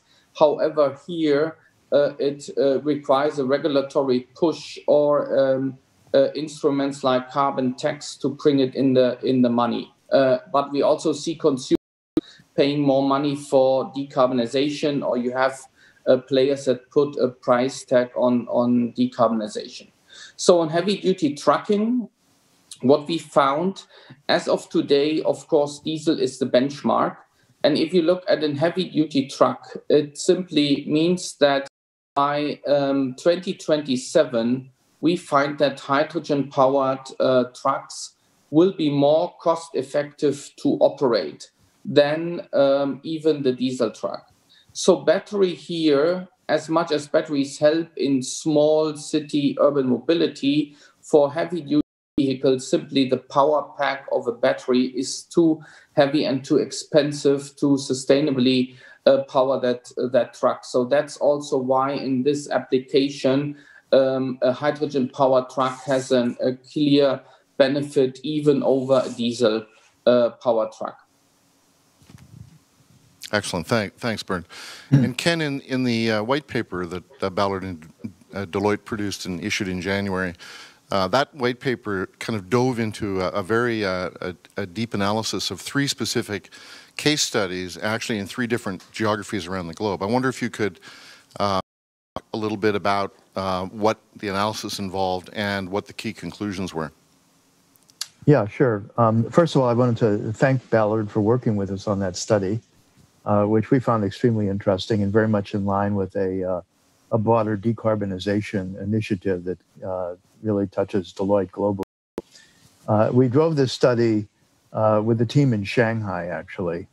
Uh, the team in Shanghai has good experience in mobility and significant experience in energy as well.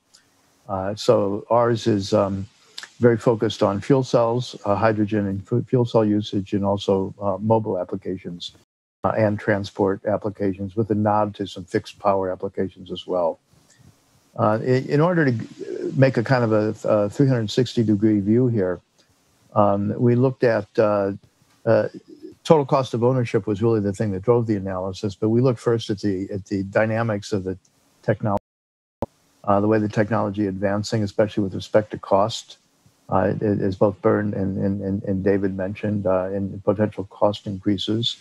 Uh, we looked at um, the uh, three application areas really uh, mobility and transport. Mobility, we looked at passengers, uh, passenger vehicles, we looked at trucks, we looked at buses, and we looked at forklifts, where there's quite a quite a significant application base already, user base already. And um, each of these uh, also then we, we, we looked at in the context of, of four geographies, US, uh, China, Japan, and, and Europe uh, for the cases we actually studied.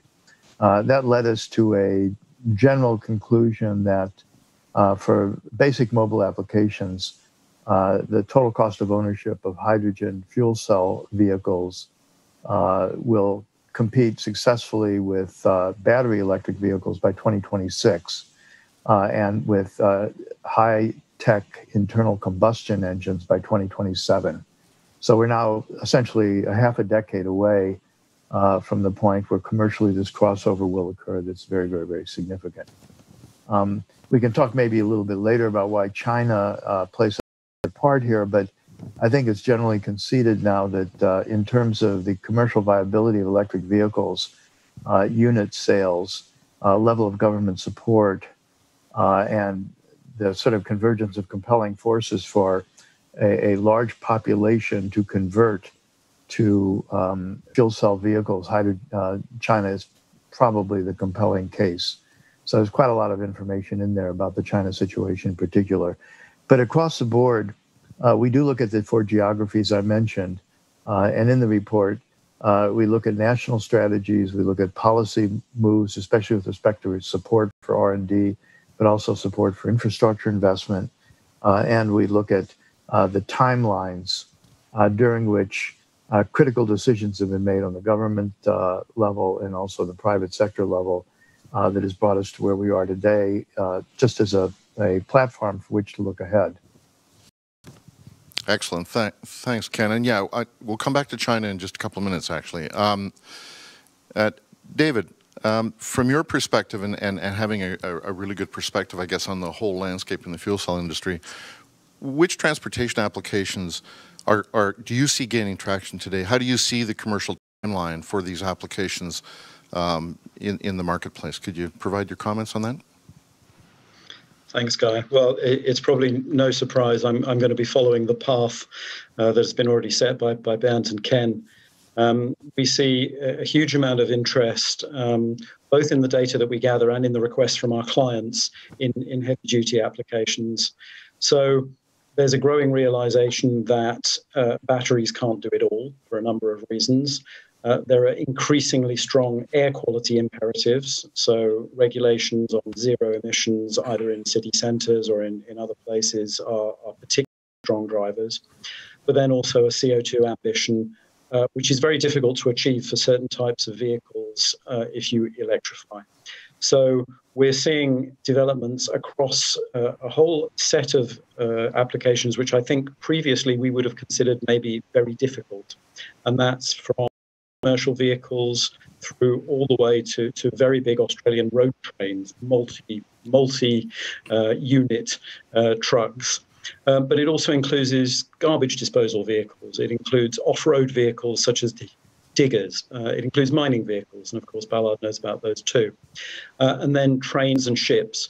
So these are all interesting because, as Bernd I think was saying, you need a total cost of ownership logic to these. These are not these are not passenger vehicles which are bought by an individual who wants to be a first mover, an early adopter. These have to operate for tens of thousands of kilometers and tens of thousands of hours. Um, and so seeing the traction in that area is extremely positive. In terms of timelines, the first vehicles are, coming in. I'm based in Switzerland. Uh, we already have about 10 Hyundai trucks which will be operating, delivering for the co-op supermarket. They're hydrogen, they're using renewable hydrogen produced from uh, hydroelectricity, water electrolysis. Um, we will start to see the first few units uh, of all of these types of vehicles in fives and tens and maybe slightly bigger uh, over the next two to three years. And there are already bus fleets in Europe in particular in China, increasingly uh, trucks in China. So I think the period to 2023 is probably setting the stage, um, making sure the infrastructure is starting to be put in place, uh, getting the supply chains in in order, getting the production capabilities up.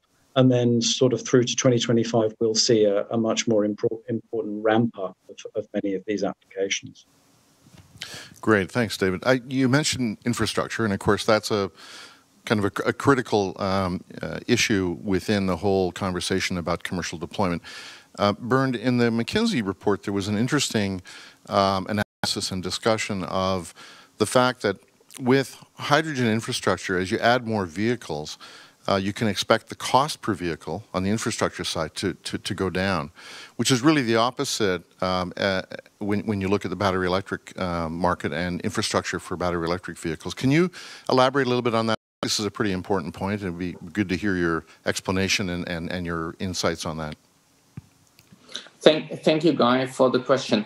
And indeed, what we did is when we look at the at the overall cost in terms of total cost of ownership, uh, next to the to the vehicle itself, the fuel that powers the vehicle, and also um, um, the the cost associated to that, we need to take the infrastructure into account.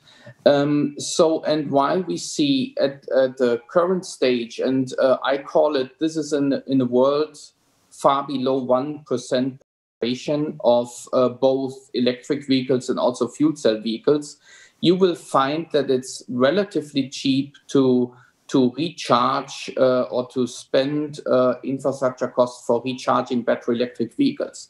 The cost actually, as of today, are in the range of a few thousand. So that's uh, let's call it five thousand euro per vehicle equivalent, and that's understandably because uh, you need a, a charging pole. A lot of that is done with home charging and uh, this will change over time. So um, as we, of course, you need to upgrade that infrastructure. On hydrogen, and I will come to that, on hydrogen, it's quite the opposite. Given that we we have a massive investment upfront in that below 1% world in infrastructure, we are around at 16,000 uh, euro equivalent per deployed. And you can look at the example in, in Germany. Germany is one of the more advanced infrastructure places. We have 85 operating stations for a total uh, of a few hundred vehicles. So, in the end, that also explain why, relatively speaking, the infrastructure is so expensive. However, if you do the same math for world that is more in the 20% and above world, you will find that the infrastructure cost for battery will go up because the microgrids that we have uh, buried in the ground will not sustain a massive buildup. Currently, the microgrid is somewhere around seven and a half kilowatts. For fast charging, you need 350. But even if you do the overnight charging, uh, it it uh, it already puts constraints on the infrastructure in an urban area. So that is why this infrastructure build up that cost uh, uh, an equivalent of then seven and a half thousand euros per car. So you see the number goes up from four and a half to seven and a half. And at the same time, given that the hydrogen infrastructure can be better utilized, uh, you reduce the infrastructure cost for fuel cell vehicles from 16 to five and a half. So therefore, more or less that equation flips around. And as I described it now for, for mobility, this of course is an equivalent also in, in other areas of that infrastructure. And that is also why I strongly believe that there is no fight uh, of is it battery only or uh, fuel cell only. These are very complementary technology. And uh, basically, depending on the boundary conditions you have, uh, favorable business cases in the one or other direction, depending on where you stand in that ecosystem. Thanks very much, Bernd. That's uh, that's very helpful. Ken, let's let's come back to China because that is an area that I know you have a tremendous amount of experience and expertise in. So maybe you could give us your perspective on kind of the strategic importance is placing on hydrogen and fuel cells and and as part of that, you know, do you fully expect uh, China to, to reach the, uh, the overarching goal of a, a million fuel cell vehicles deployed by 2030? Um, yeah, very, very good question, and, and, and thank you for it. Um, you know, in, in, in this world of incredible uncertainties that we live in now, I think one of the few certain things is that China will play something of a leadership role uh, in the decarbonization of its economy.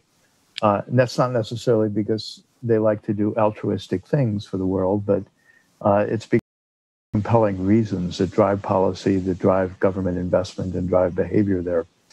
Uh, so let's start with infrastructure. I mean, ever since 2008, the in the wake of the global financial crisis, uh, China has been stimulating its economy very significantly uh, through uh, fiscal devices, monetary policy, and essentially every tool they have in the toolkit to do that.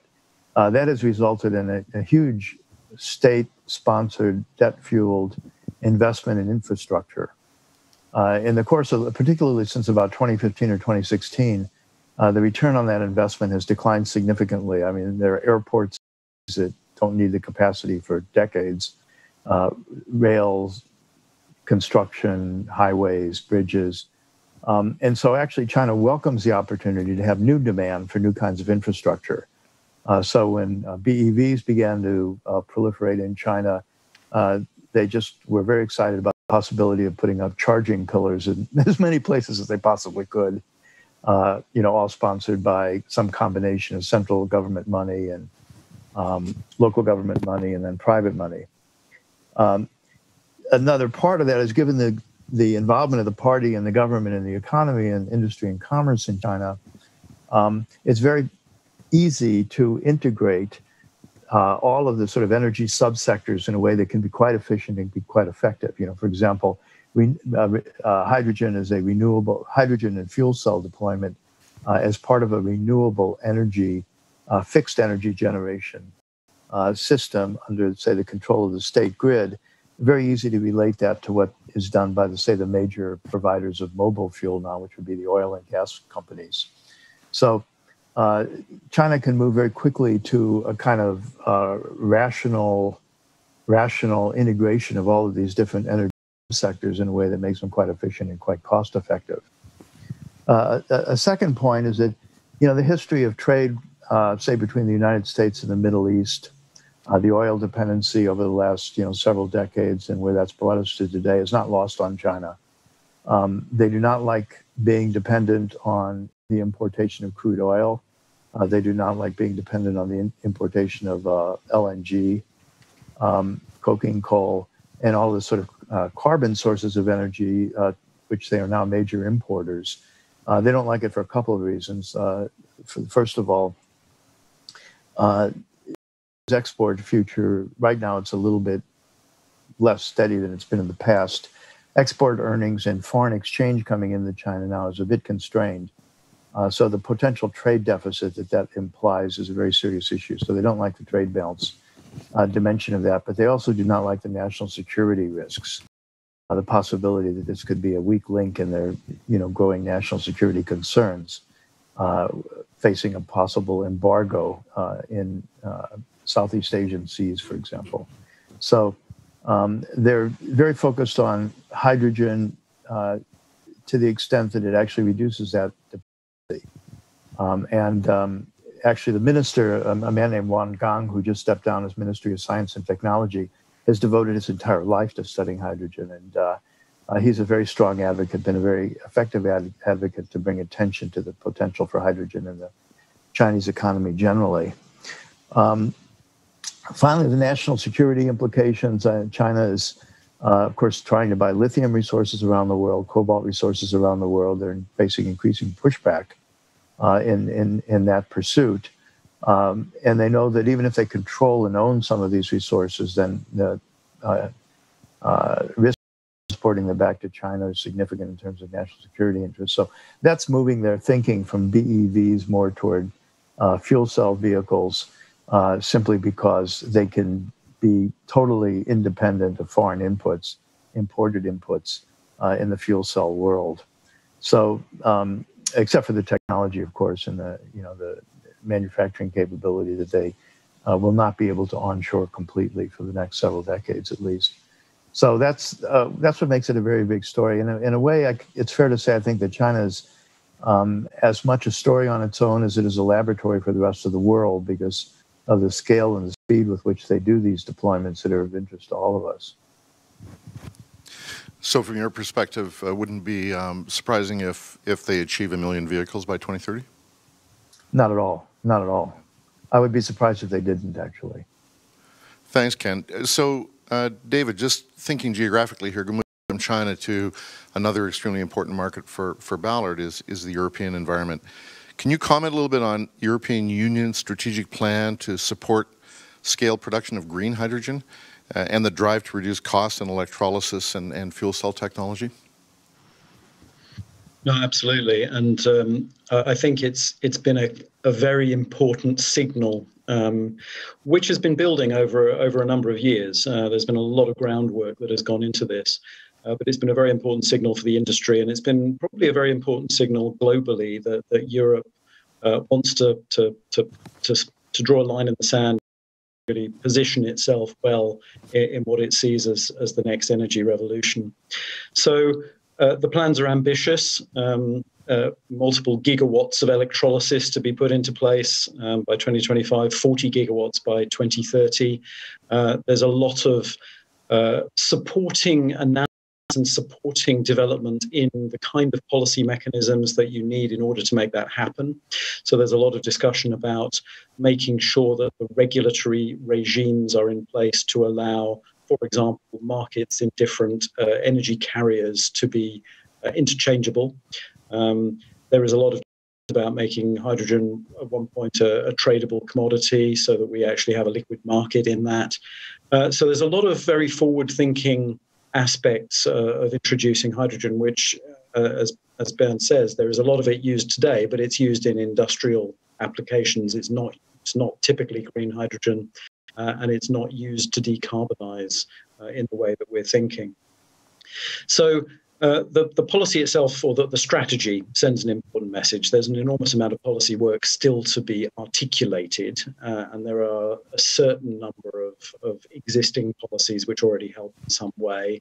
Uh, the Renewable Energy Directive, or the, the second uh, version of the Renewable Energy Directive, allows renewable hydrogen credits to be claimed in certain circumstances for refiners, for example, making certain types of fuels.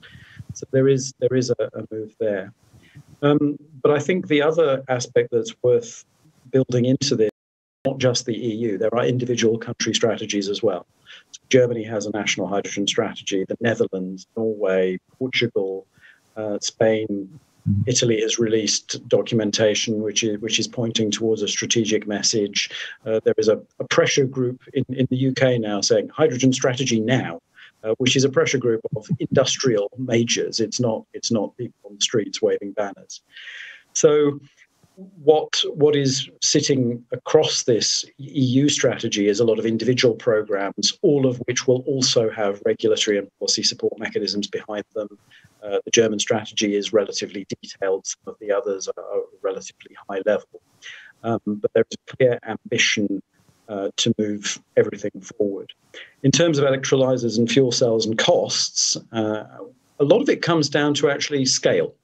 So the electrolyzer industry, as it currently stands, is is really a project by project industry. There are very few players who have scale, and simply by putting in place uh, standard mass production techniques, allowing the certainty of orders so that plants can be built is really important. So if, if somebody orders 500 megawatts of electrolyzers, that gives certainty to to the electrolyzer producers that they can build a new factory. And a couple of them are already doing that. So that will bring costs down a long way. There is, of course, innovation as well, but that you don't have to have a magic breakthrough to bring the cost down to make renewable hydrogen competitive, as Bernd has already amply, amply discussed. Um, in fuels, it's similar. Uh, there is a lot of supply chain work as well, and there are incentives for the supply chain. In Europe, it's very important to think that uh, there is an enormous amount of economic activity which depends, for example, on the transport sector. So 65,000 jobs in Germany uh, going through the component suppliers, the ones. They are all considering how to participate in fuel cells and in hydrogen.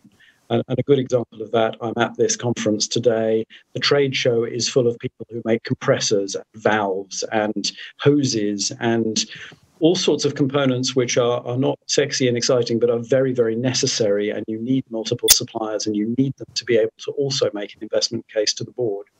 And because the European Union and others have put this strategy in place, it's much easier to go back to the board and say, we need to invest in production there will be a market. We will be able to bring the costs down, and we need to in order to make sure that we're well positioned. So I'm I'm confident that the costs can come down, will come down. Uh, I think there is still a bit of a, a, race for positioning which is going on, which is um, going to be informative about which companies are actually the ones who, who are the long term sustainable in the sector. Thanks, David. Uh, you know, earlier presentations from some of the Ballard folks touched on um, on rail as one of the heavy-duty markets that uh, we're focused on in the longer term. We've had an investor uh, question, which maybe Bernd you could address, which is, and I think this is an area that's of, of real interest to you, is, um, you know, what do you think the opportunity is for uh, commercializing fuel cells in the in the in in and to electrify the rail industry?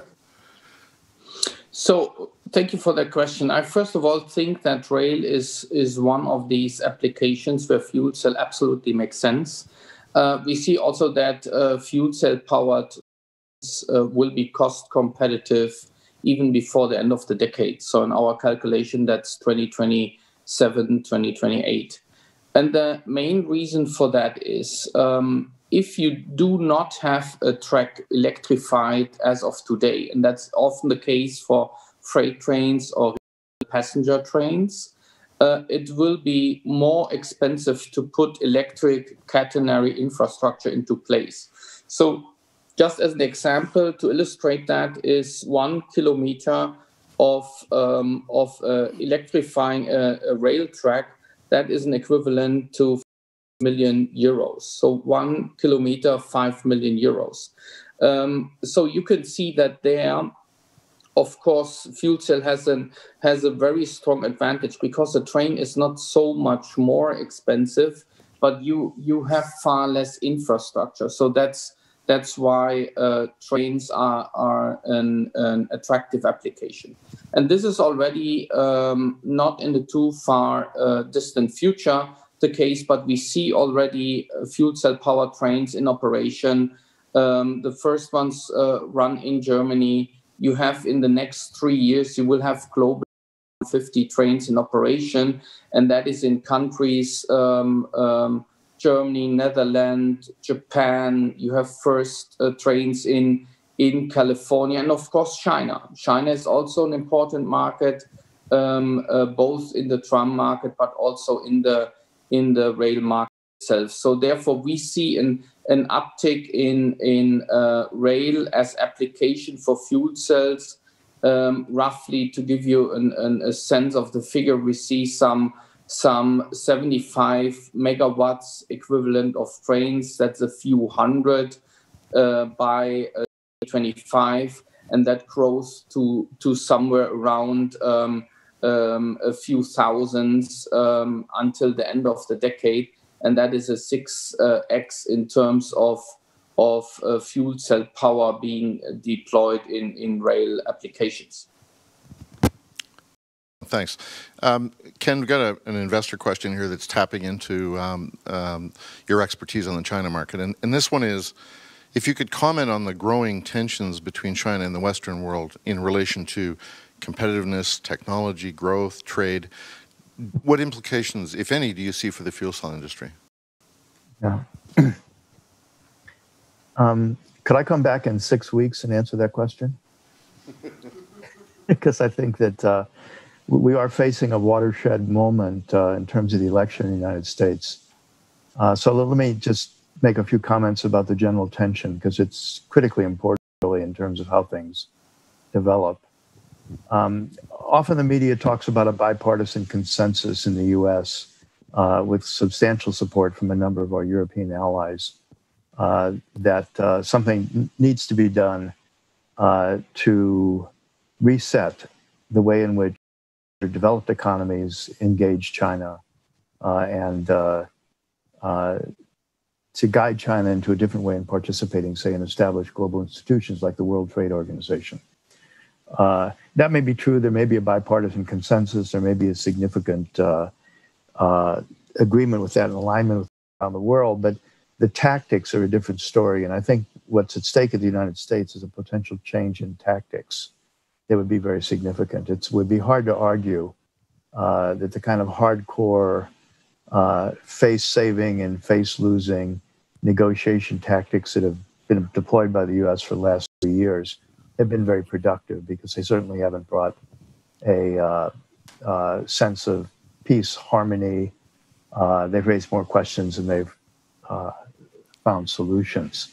So that again makes the upcoming election a real because I think that if the administration changes, then we're more likely to continue with tough negotiations with China, but not demand, say, structural changes in the way the economy in China has fr- frankly been organized for 2,500 years. Uh, we're not going to change that with a negotiation in terms of things like involvement in the economy.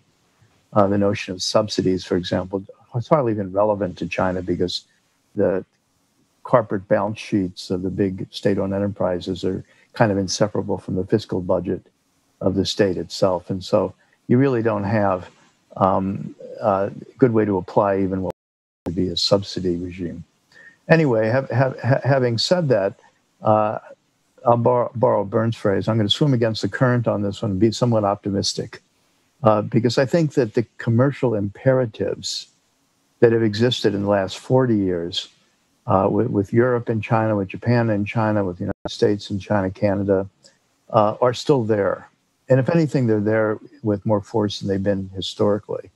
So the politics aside, the politics are going to come and go, and uh, the trade and investment tensions and specific actions that people take, the black swan actions, um, you know, might get worse, might get. If you if you look out over three to five years, uh, we will find solutions to some of these tensions uh, we will understand the common interest in finding a more harmonious way to proceed forward. Now, on fuel cells in particular, um, I'll go back to what I said before about China's, you know, national security concerns and um, interest in self-reliance, because this is really a critical point. Uh, if anything, uh, the tensions of the last three years uh, that have merged have uh, strengthened the resolve on the part of Chinese leaders, uh, General Secretary Xi Jinping and others, uh, that are now guiding the country to be more self-reliant. So we have, you know, Made in China, China 2025, uh, and now this new campaign called the Two Circulations, which draws a lot of attention uh, to China working on its domestic economy, achieving a greater degree of independence from its uh, dependence on export trade and imports from abroad. So hydrogen and fuel cells, because they can be independent of the rest of the world, the point I made before, uh, actually are driven forward by the tensions that exist in the system right now rather than challenged by it. So I think actually it's generally good news, and hopefully, uh, you know, always at stake, of course, is intellectual property issues with China, and that's a more complicated, maybe subject for a different discussion. But um, uh, going ahead, I think that uh, uh, technology ownership is going to be critically important for companies that are involved in this business. Uh, that China is going to have to proceed with its decarbonization agenda, not necessarily, as I said before, for altruistic reasons, but for national security reasons and economic reasons. And so I think that um, uh, tensions notwithstanding, that uh, things will continue along the track they've been traveling for a while. Great, thanks. On on that optimistic note, we're kind of coming now to uh, to close. So I I just want to say how much we really appreciate all the the time that you've all committed to this. Uh, you know, different time zones and so on. So I know it hasn't been um, uh, most comfortable for you to dial in. But thank you, David Hart. Thank you, Bernhard and Ken DeWoskin. We really appreciate your insights, and I know the folks in the audience, the investment community, gain a lot from uh, you know your perspectives um, uh, today. And so we just want to say thanks so much. Thank you. Take care. Thanks. Thanks to you too. Thanks for having us. Back to Tony. Great. Thank you, Guy. And uh, I'd like to echo Guy's comments. Thank our panelists. for really an outstanding session. Thank you. Uh, so now we're going to move into a more detailed discussion on our uh, uh, product roadmap, uh, followed by a uh, detailed discussion on our product cost reduction roadmap. Uh, first up will be Kevin Colbow, Dr. Kevin Colbow, who you've already met and doesn't require any further introduction. And he'll be by uh, uh, Dr. Lee Sweetland, our Director of Advanced Manufacturing, who I'll introduce more thoroughly after Kevin's presentation. So, Kevin, over to you. Thank you, Tony. Let's turn our attention uh, to Ballard's technology and product roadmap, and we will cover three sections. First, our fuel technology, providing a fulsome description, including nomenclature as well as current status. I will then discuss our product portfolio strategy, taking, your, taking you through the elements of technology evolution to meet market needs. And three, I will then conclude with product focus cases, reviewing the product roadmaps for bus applications. Uh, this slide here is included in the deck describing the basics of how a fuel cell works. This is something that can be reviewed offline. But more importantly, the bullet points on the left side provide a reminder of the fundamental elements of why membrane fuel cells are the right technology choice. It is a solid state power generator with no moving parts. It delivers high efficiency, two to three times that of an internal combustion engine. It is zero emission and has no toxic materials. So as for background, I would like to take a moment to review the nomenclature for proton exchange membrane fuel cells by using a truck value chain example. Starting in the top left corner of the slide, we have the membrane electrode assembly, commonly known as the MEA.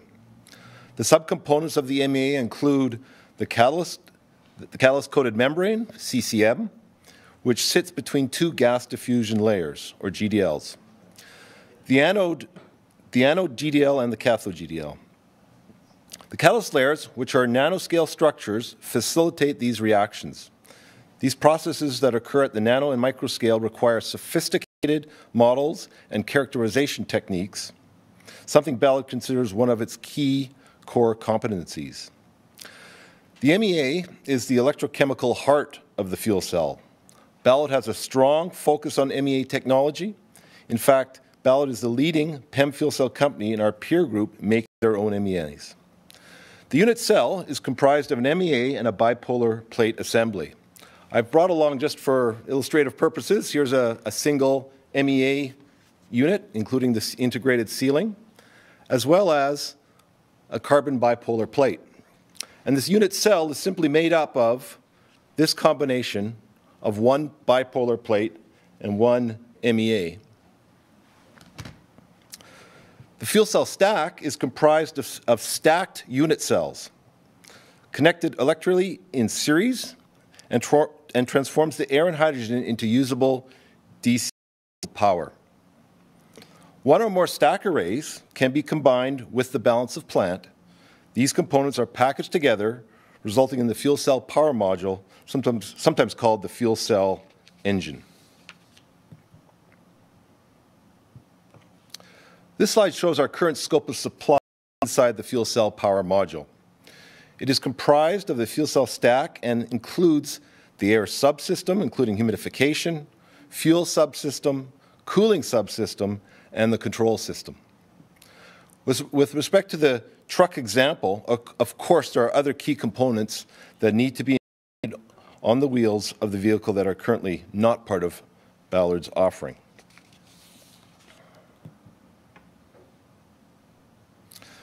This slide here underpins the E4 component of our strategy that Randy articulated earlier today, whereby we have research and development activities in MEAs and plates, fuel cell stacks, and fuel cell modules and systems.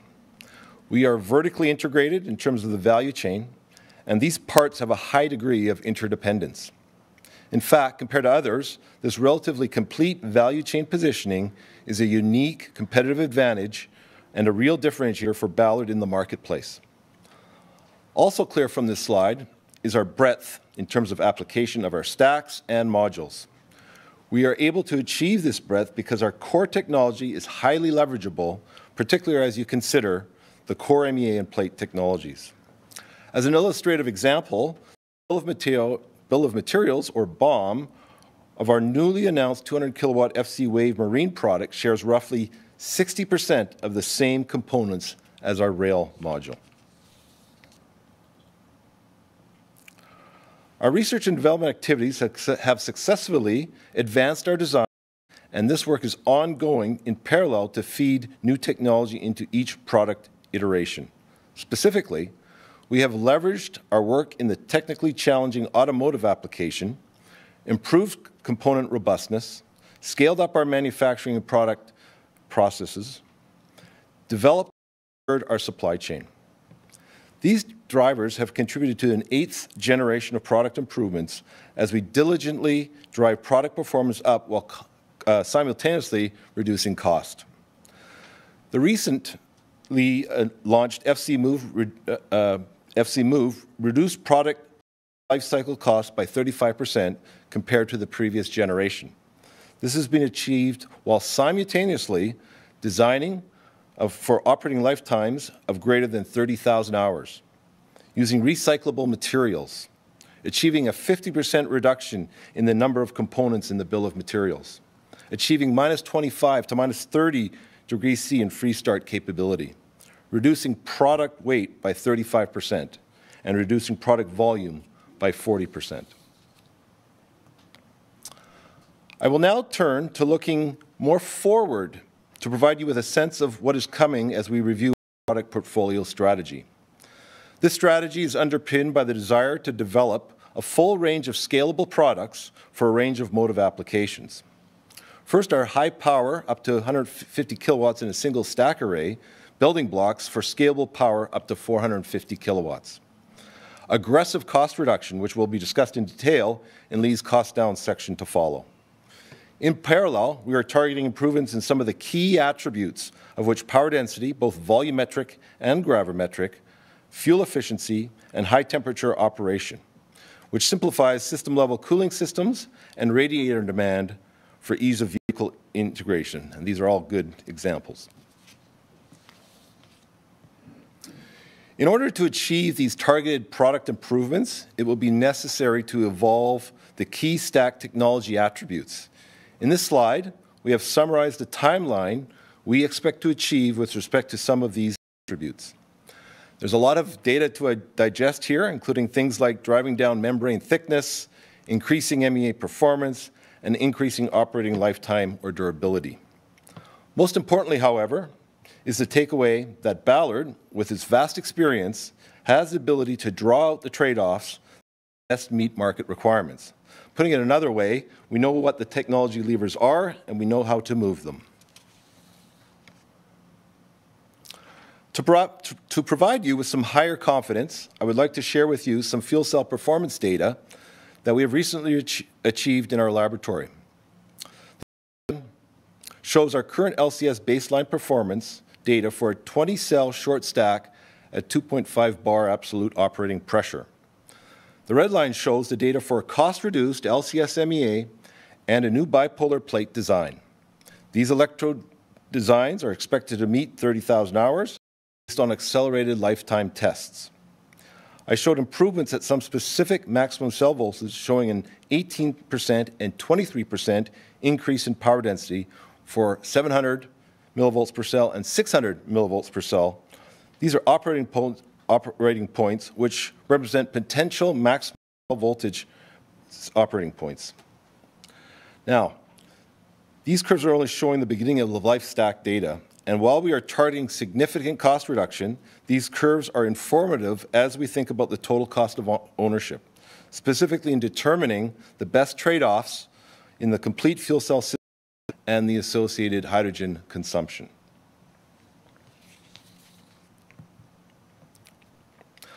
I would like to now present to you our vision for the family of fuel cell stacks that will cover the full range of bus, truck, rail, and marine, uh, marine applications. The blue and green bars represent, represent the range of net power output for each of the stack configurations. These stacks are unique in terms of the size of the unit cell active area, but share the same core technologies. As one moves to the right of the graph, the active area increases, allowing for a corresponding increase in the achievable power output. The choice of power output is also dependent on the application trade-offs made between high power density and high fuel efficiency. Our current generation, LCS-M for medium duty, covers the lower power range below 80 kilowatts of net power.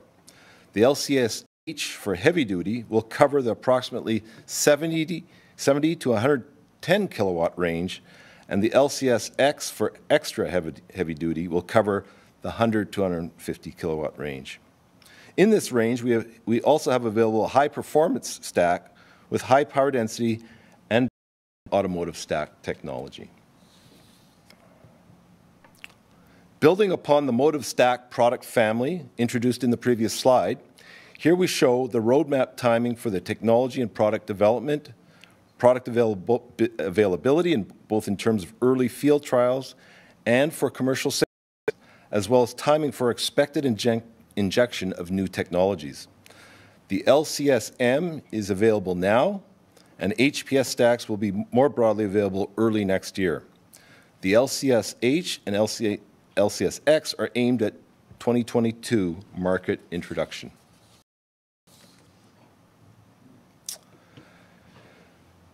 Here's now a deeper look at some of the critical component development. First, with respect to catalyst layers, platinum nanoparticles supported on nitrogen-doped tantalum oxide modified carbon provides an example of collaborative academic research looking into looking into new catalyst composition and new catalyst fabrication methods. This catalyst is at an early research scale, but provides enhanced activity and durability. It is just one of several catalyst approaches under study, and this work is done at the University of and the University of Western Ontario in Canada. Ballard provides guidance on commercial requirements and evaluates catalysts in our test lab. Ballard collaborates on a number of research areas. And in addition to accessing the expertise, the expertise of the university professors, we provide training opportunities for graduate students and postdoctoral fellows, some of who eventually become Ballard employees. Ballard continues to actively research and achieve exciting results with advanced catalysts for better performance and durability while supporting our goal of further reducing platinum content in our fuel cells. Our novel catalyst layer design achieves high performance with greater durability than conventional catalyst layers. Our high-performing design results in a five times durability improvement compared to a more conventional design using the same alloy catalyst. Our second example of critical component development relates to bipolar plates. While Ballard has designed, built, and tested bipolar plates using both carbon and metal, the vast majority of our product experience has been with two types of carbon plates, either in the form of an embossed flexible graphitic foil or a compression molded carbon. Ballard's carbon plates have an operating life that exceeds the typical durability requirements of the product. They are reusable, and because carbon is compatible with the potentially corrosive environment of the fuel cell, they do not require any special coatings. They are lowest cost at all volumes. The graphic on the right shows the ever-improving metric of cell pitch, or thickness of the bipolar plate, which drives improved power density. We are well on the path of achieving a 35% reduction in plate thickness applicable for the medium and heavy-duty relevant vehicle applications, and these cell pitches are approaching those of metal. For clarity, this technology being developed in our LCS M2 stacks will be applicable and transferable to the larger active area H and X stacks as well. In the final part of my presentation, I'd like to present the product roadmaps, first for the bus application and then for truck. In designing our products, extensive market requirements investigation resulting in a detailed set of product requirements. In this slide, we have just we have shown a synthesis of this data for illustrative purposes and have provided a high-level view into the market segmentation. Our focus to date has, has been on the medium-duty bus modules in the 60 to kilowatt range. The expansion of product offerings will serve the light-duty and intercity buses. In fact, the increased driving range of fuel cell electric buses compared to battery electric buses is ideal for the intercity bus applications.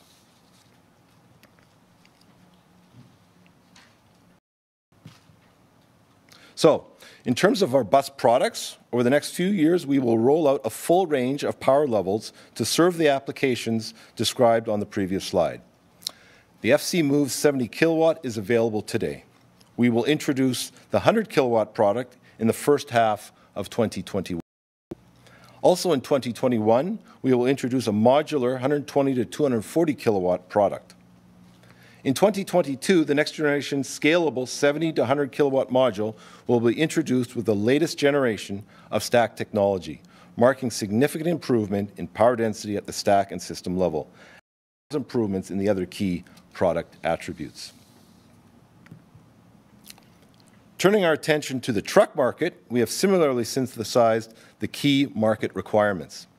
They are a range of power levels serving multiple markets. Hydrogen fuel price uncertainty requires a high fuel efficiency solution to ensure low total cost of ownership. In China, the lowest initial cost is the key driver, which drives towards high current density and stack power density. In Europe and North America, the lowest total cost of ownership is the key driver, resulting in a high power and long life to somewhat lower current density to maintain fuel efficiency. This factor is driving the ranges in power and power density. So here is the uh, roster of truck products. We will roll out a full range of power levels to serve the many applications and synergies with the bus market requirements enables common technology to meet the multiple market requirements. For the, move, for the FC Move XD, the higher power products, a modular approach of combining two or three of the uh, heavy-duty building blocks will be used. The 450 kilowatt power range is now expected to addressed with yesterday's announcement of the partnership with MAHLE, where parallel development, air compressors, and DC to DC converters will help reach these power levels cost effectively. So I've reviewed with you our PEM fuel cell technology, our product portfolio strategy, and our product roadmaps for bus and truck applications. The technology advancements have been, have been and will continue to be significant. As Lee will review with you momentarily, I am proud of the research and product development teams that are working on the 41% contribution and cost reduction related to engineering design. Thank you for your attention. Great. Thanks very much, Kevin. As a, as a non-engineer, I, I understood most of that, so that was well done. Thank you. Our, our, next speaker will be Dr. Lee Sweetland, uh, our Director of Advanced Manufacturing.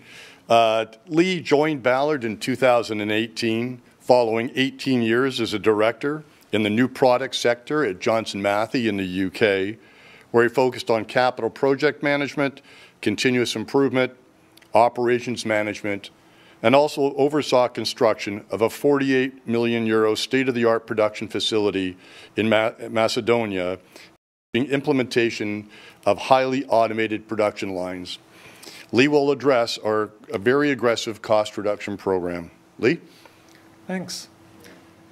As Tony said, I lead the advanced manufacturing team here at Ballard. It's been tough over the past year keeping ahead of Ballard's growth. I'm pleased to say that team are coming to the end of a ramp phase, which will be increasing our capacity to over 6 million MEAs. That's a six times capacity increase compared to where we are uh, in 2019. And we're now starting to explore the technologies for mass production. I have a real passion for stretching boundaries with new disruptive manufacturing processes. And I'm really excited for these future challenges to go into the tens of millions of MEAs. It's my pleasure today, though, to be presenting Ballard's cost reduction plans, which I lead for the stack. I'll take you through the details step by step to provide in our activities, giving you updates on our fantastic progress to date. I'll aim to be as transparent as I can uh, throughout this presentation, obviously without compromising our know-how and our, and our IP. But first, I want to set some context as to our past achievements, the cost targets to be competitive, and finally, how important the cost reduction is to drive the volume, helping us down the cost curve. Over the past 10 years, costs of fuel cell electric buses have reduced by over 60%. The electrification of the drivetrain uh, that is common between battery electric and fuel cell electric buses underpins this cost reduction. Ballard's leading module technology has supported this reduction in fuel cell electric bus and has demonstrated the reliability and durability of our products, achieving a 50% service and maintenance cost reduction over this time period. These early demonstration programs were highly reliant on subsidy support due to the lack of volume. So to grow, there are three key requirements. The first is to demonstrate the use case for fuel cell electric buses, which I think from the earlier presentations today, you've seen compelling examples of. The next is we need low-cost green hydrogen. And as Nicholas stated, green hydrogen has already proved to be at parity with diesel in some areas around the world. But finally, we need cost reduction. And cost reduction is brought about by the technology development within Kevin and my team, but also economies of scale in manufacturing, which battery electric buses have already achieved. So next I'll take you through the expected time frame to hit total cost of ownership parity point that will enable mass production or mass adoption of fuel cell power in buses. The Deloitte White Paper published in 2020 presented the fuel cell electric bus break-even point with battery electric is likely to be in the 2023 time horizon, with further cost reduction enabling TCO parity with the internal combustion engine around 2024 within Europe. However, the break-even points uh, in the China market are expected to be later, uh, around 2027 to 2028, due to the significant progress already made in battery electric penetration, with over 400,000 buses already deployed. So what cost reduction in fuel cell systems is required to make this become a reality? This chart shows the fuel cell system module cost per kilowatt against volume and the various TCO parity points with battery electric for buses with limited subsidy and no subsidy. With volumes in the thousands, only modest cost reduction is needed to achieve parity. As we tens of thousands, we need a further 20% reduction to then complete with diesel hybrids.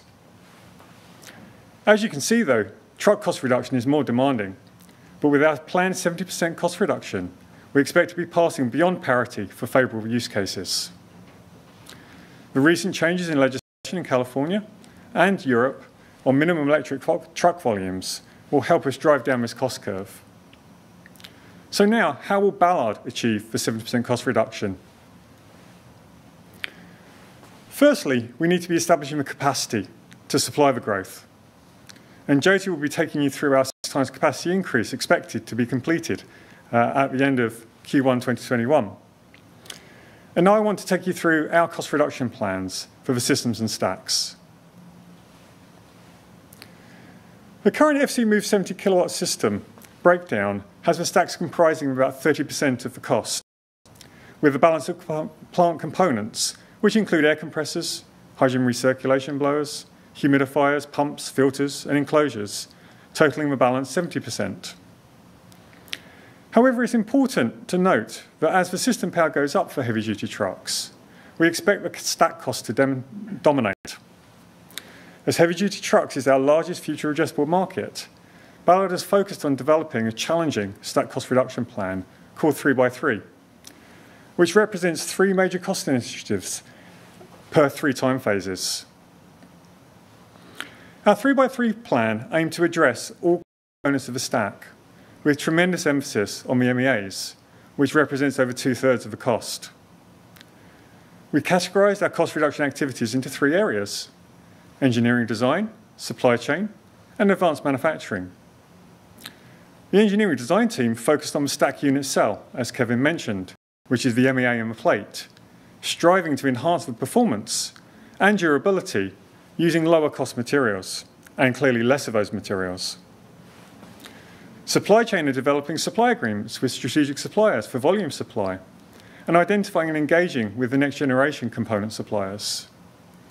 In my team, Advanced Manufacturing, we are leading the scale-up of the manufacturing with aims to minimize materials through increasing yield, uh, reducing our labor costs, and also the cost of capital as we go through this huge volume expansion. Now I'll take you through step by step our initiatives on plate uh, to give you confidence in our activities. As previously mentioned, the MEA represents close to two-thirds of the cost within the stack and is a core competence of Ballard. Our MEAs have demonstrated some of the highest durability seen in the market, and our challenge is to reduce whilst maintaining and enhancing that world-class durability. The most effective way to reduce those costs is to drive up the unit cell performance, i.e., the amount of power an MEA can deliver in watts per centimeter squared. Kevin presented early results on the performance of our next generation stack, and this MEA included a 50% reduction in the anode platinum loading, a 20% thinner membrane, but with advanced Ballard technology to maintain the lifetime, and also a next generation GDL facilitating higher current density operation. These changes have shown good stability in our preliminary design validation durability testing, which is anticipated to be complete late 2020. Now moving on to supply chain, we've been having key strategic suppliers are undergoing their own capacity expansion upgrades, which involve increasing roll widths and processing speeds. This capacity is being driven by increasing volumes in buses and passenger car, but will be driven further as the truck market develops. And at Ballard, we're busy qualifying this scale-up material to prove equivalency to previous generations. In advanced manufacturing, Jyoti will take you through some of the projects that will achieve a six times capacity increase, like the fully automated liquid injection molding project. That will reduce our sealing cycle time by over five times and our direct labor by more than 20 times. Other projects involved processing roll good material at two times the width, five times the speed. And these projects are expected to deliver over 68% reduction in our direct labor costs in manufacturing the MEA. So now moving on to the bipolar plate. Over the past 15 years, Ballard developed a flexible graphite 9SSL plate that has demonstrated outstanding durability and performance in the bus and materials handling market. The consultancy company, Strategic Analysis, as part of their DOE work, presented a cost comparison of flexible graphite, Ballard's technology, versus metal plates used extensively in the automotive applications. As you can see, at all volumes, flexible graphite offers cost advantages. With the carbon-based plate also exceeding the lifetime of a vehicle, it does offer the lowest cost TCO by far. However, to be used in trucks, a new generation of plate is required to enable sufficient volumetric power density and also high current density. And as Kevin showed, our concept plates have shown a 35% reduction in thickness, allowing this to come true, but also offer a 54% reduction in material costs. To be supporting this new generation of supply chain have been heavily involved in developing new relationships as quality for the materials is going to become critical in making these thinner plates. And in, in advanced manufacturing, focus has been supporting the early production of these uh, first generation plates, along with the future scale up. But more importantly, over recent times, we've been supporting the commissioning of the Weichai Ballard joint venture facility in their plate, plate production, which halves the cycle time uh, compared to previous generations.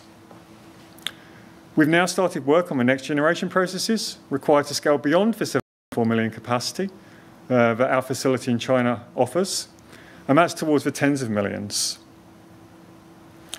Our next generation plate costs are tracking well to the strategic analysis cost curves, providing Ballard with a significant advantage at low volumes and as we scale. Now summarising this 3x3 plan, and the timing that we started in early 2019. Our first phase of advanced manufacturing scale up is progressing well, with most key equipment commissioned or in transit. This will provide the six times capacity increase and significantly reduce our labour costs. Our engineering phase one activities on the LCS M1 stack are undergoing screening DV currently, with scale up activities planned for early 2021. And our engineering phase two, exciting progress is being made on our next generation stack, as Kevin showed, with novel designs and improved MEAs. We expect these, all these activities to help us achieve a 70% cost reduction compared to our 2019 baseline. As you can see, though, in the graph to the right, technology development has been essential in this cost reduction, as volume alone would not have been enough. We are currently slightly ahead of plan. So to having addressed the cost reduction for stacks, I will now turn the focus to system cost reduction. Reduction in system cost is highly dependent on volume growth. Unlike MEA materials, where automotive and bus volumes have been enabling supplier scale-up and significant volume growth, balance of plant component scale lags. Ballard has been developing strategic partnerships with key tier one suppliers. An example of the cost reduction potential is shown for the air compressor. The cost trajectories for three powder compressors. Our FC Move 70 kilowatt compressor is already produced in volumes around 500 to 1,000 units per year and is expected to undergo a 56% cost reduction through efficiencies of scale. However, the FC Move 100 compressor, which also serve our truck program, has to undergo a transformation in its manufacturing to a D-sample maturity, resulting in significant cost reduction from the present low volumes of 74%. As shown, volume growth is critical to achieving the anticipated cost reduction for major BOP components. But now moving on to the balance of plant others, which you can see represents around a third of the module cost. Balance of plant other costs include hardware like enclosures, brackets, and mounts. In low volumes, these have to be hand welded, machined locally at high cost. Our FC Move 100 kilowatt will be transitioning to cast and molded components as our planned volumes now justify the investment in tooling costs. For electrical, there'll be simplification of the voltages and sensors, which will help drive out cost uh, with a transition to machine-made more akin to automotive assemblies. And for hoses, our stack development activities will reduce complexity as a HD100 module has six stacks that need air, cooling, and hydrogen hoses, which will revert to a single stack once the LCSH stack series is launched. This will enable intricate handmade hoses to transition to simple machine-made hoses. In summary, our next generation stacks will help us achieve a volume growth uh, and achieve an 83% cost reduction in balance of plant others. Overall, Ballard's cost reduction plans are expected to deliver a 70% reduction in the stack and module costs as volumes grow. To make this happen, we've formed strategic partnerships to drive up volume, specifically Weichai in China. And we're also leveraging our JV and other partners like MAHLE to help drive BOP industrialization. Combine this with our world-class technology development and our execution of our exciting 3x3 cost reduction plans, we can truly create a sustainable solution. And now I'll hand back over to Tony. Great. Thanks very much, Lee.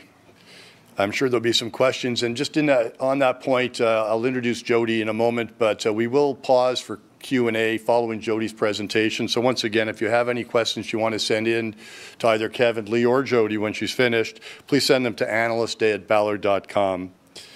So our next speaker is Jyoti Sidhu. Uh, he is our Vice President of Operations and has been in that role since 2018. Jyoti's also been with the company for 20 years. Her experience includes supply chain, manufacturing, Six Sigma, ERP, and Jyoti currently serves on Oracle's Supply Chain Advisory Board. Jyoti? Thank you, Tony. I have been at Ballard for 20 years, and I have never been as excited as I am currently. You might wonder why. Well, all of the points our team has been making all this morning and what you have been experiencing in the market, we have never been in better position than now to deliver on our vision, which is deliver fuel cell, fuel cell power for sustainable future. So let's take a look at what are we doing in operations to deliver on that vision. Power. Our strategy to bring operational excellence that supports the success of our customers and commercial scaling of our production by 2023 is called POWER. POWER stands for Playbook for Optimized Workflow and Efficient Resources. We have been low volume manufacturer historically, and we have done well. As the expected growth continues to take place, demand for our products will continue to go high. We need to industrialize our manufacturing. This is where Power Framework comes into place. It has five key pillars sustainability, quality, efficiency, agility, and capability. Each pillar has key metrics that are driving us towards operational excellence by 2023. Of course, always EHS is the top priority. We have a strong culture of EHS, not only in the products that are deployed in the field, but also the processes that we are using in our research, product development, operations, rest of the organization. We use hydrogen, high power, and we are using chemicals, so it's imperative we get it right. We have an objective to be carbon neutral by 2030. We have a ISO 14001 certification, which guides our daily activities to ensure we continue to maintain strong culture of EHS in our organization. Critically important is quality. We have customers that place great emphasis on quality and reliability of our products. Customers such as Daimler, Siemens, Weichai, Wrightbus demand quality, and rightly so, because they cherish their brand. The performance, quality, and reliability of our products form great important part of our Ballard brand. We have certifications right now, ISO 9001, as well as automotive certification, IATF 16949, and we are in process of obtaining VDA, which is a German standard. These certifications guide our daily activities to ensure what we are doing internally meets our customer requirements, as well as guide us to put plans together how we gather customer requirements, how we, how we bring them into product development, do our process development, ship the products out, and look after end of life of each product. We have been investing in our in our capabilities, in our people. We have been training our individuals over Lean Six Sigma principles, and we have over 80 individuals who are certified currently all the way to Black Belt, Master Belt. These individuals have over 100 projects, bringing in millions of dollars in savings for soft and hard savings for Ballard. One of the key activities that need to happen for expected growth is capacity expansion. Our capacity expansion strategy has been care carefully developed after reviewing the way materials are coming in, the touch points, takt time, yields, the use of robotics, the labor we are using. Plan is underway currently, which is gonna, going to bring us six-fold capacity expansion into MEAs, plates, stacks, and modules. Global map that we are seeing in front of us showcasing our capacity in Vancouver and with Weichai Ballard JV in China. We are well positioned in North America and in China.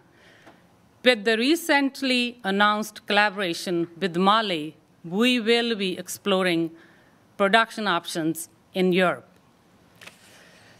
Now, I will take you through all four parts of our integrated vertically integrated value chain stacks, MEAs, plates, and modules. Let's start off with MEAs. Here, we have invested in truly world class manufacturing equipment that is providing us six times of MEA capacity than what we currently had in 2019.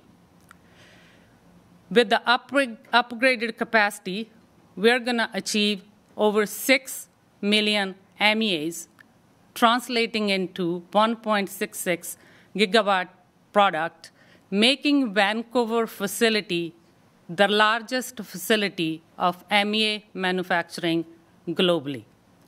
Just as an example, we have created one of unit of operations where we are achieving the cycle time of less than seven seconds for MEA compared to 35 seconds before. And this unit of operation is developed in a way that tomorrow when we need to double our capacity, we can do so without doubling the investment in it.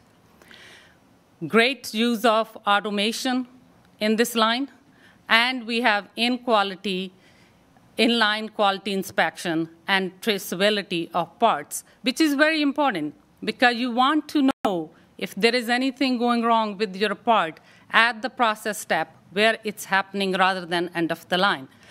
Yields are going to be up 99%, and we are achieving that currently. Again, very, very important because a lot of value gets added in this step. Now let's take a look at the bipolar plate production capacity expansion. In investments we have made with Weichai Ballard JV, our line is capable of producing over 7 million plates, and we have a space currently that can allow us to double that capacity in short period of time. Cycle time reduction has been achieved over 50%, and currently, we are in process of being, developing for scale-up of high power density flexible graphite plates the processes within our Vancouver facility. Now, let's take a look at our stacks. Investments we have made in Vancouver as well as with Weichai Ballard JV our lines are able to produce over 27,000 stacks in Vancouver and 34,000 stacks at JV. We have semi-automated equipment in these processes. We have inline quality inspection and control, which is going to happen later this year, as well as the reduction in our cycle time. This type of capacity provides us great optionality, not just to meet the requirements within China, but outside China. In case we use up our capacity within Vancouver, we have an option to buy stacks from JV and serve our customers. Now, let's take a look at module assembly production capacity expansion. With the investments we have made in semi-automated equipment, in Vancouver, we have a low volume production going on, which is providing us 5,000 systems, but line is capable of going up to 10,000 with current equipment we have in place. At Ballard JV, uh, we have with Weichai, the line is capable of producing 20,000 stacks, but capable of going up to 80,000 stacks. Some of the key things we have implemented in that line are, again, component traceability, really important when we are putting these products into uh, trucks and, and, the, uh, and buses out there as well as animated work instructions. We made sure these work instructions were animated so we could make sure quality of our products could be maintained regardless where the products were being produced, as well as ensuring the uh, standardization we needed in manufacturing. Of course, we are now capturing critical torque data, again, very, very important for our customers. So we have looked so far what we have invested into capacity expansion. Let's take a look what are we doing in our production systems. Again, we continue to invest into Industry 4 technology and MES system that's going in place in our manufacturing right now. This is providing us real-time cycle time data, yields, as well as equipment effectiveness and translating it to OEE, one of the key metrics in the manufacturing environment. It's really cool to use this data to make business decisions. We are in transition of using our metrics, not just for collecting the data, but trying to make business decisions based on that. The metrics that we are collecting from our production are helping us out that we are hitting our yield targets. We are ensuring that materials are brought in, the uh, in our workplace on time, and our labor is being monitored closely to ensure that we can um, keep our costs low. Last but not least, let's look at supply chain. In 2020, we're going to spend over $50 million procuring our materials. That spend is going to increase significantly in coming years. So we are getting ready. We have globally multi-year supply agreements with our key suppliers. Another cool thing we are seeing, we have tier one suppliers entering the supply chain for fuel cells. They're bringing in the sophistication and they are driving us towards operational excellence. Our collaboration with Weichai is providing us the supply muscle that we need in order to bring the right quality at the right price for our, our products.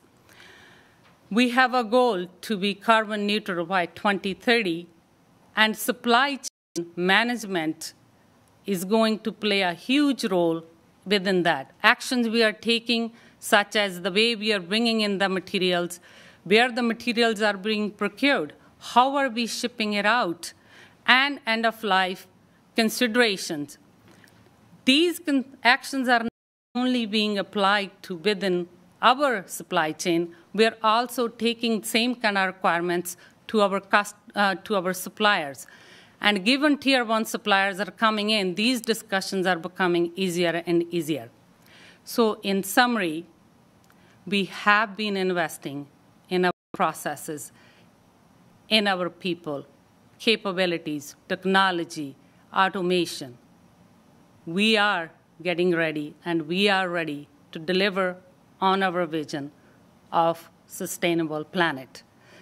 With that, I would like you to watch a video that showcases all the activities that we have been profiling this morning, what's happening in our product development, what's happening in our advanced manufacturing, cost reduction type projects, and all of at all of our locations. So with that, let's play the video. Thank you.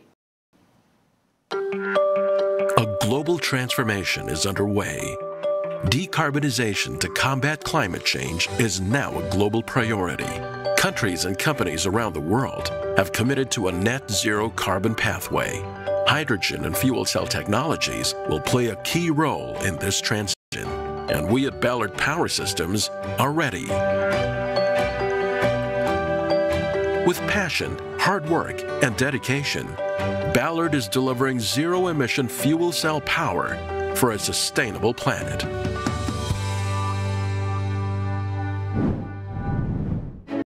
There's a growing industry consensus that fuel cells offer the only viable solution to electrify certain medium duty and heavy duty vehicles. For more than 20 years, Ballard has delivered safe, durable, reliable, and high performing proton exchange membrane fuel cell for the most challenging motive applications. Buses and trucks powered by Ballard technology have on road experience that totals more than 50 million kilometers. Ballard's unmatched experience through eight generations of fuel cell power modules and a wide range of duty cycles, climate, and road conditions has enabled an effective feedback loop for our product design and development efforts, resulting in the fuel cell industry's highest performance products. Ballard's product development and testing facilities are world class. At our extensive 160,000 square foot campus in Vancouver, Canada, leverage our unparalleled intellectual property portfolio and deep technical know how to continuously innovate. And we're investing in our future. New capital equipment at our Vancouver facilities is expanding production capacity of proprietary membrane electrode assemblies, or MEAs, a core element of every cell by five times.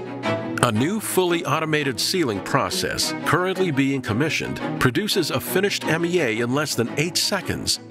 And we're putting the infrastructure in place to double capacity again to meet future market demand.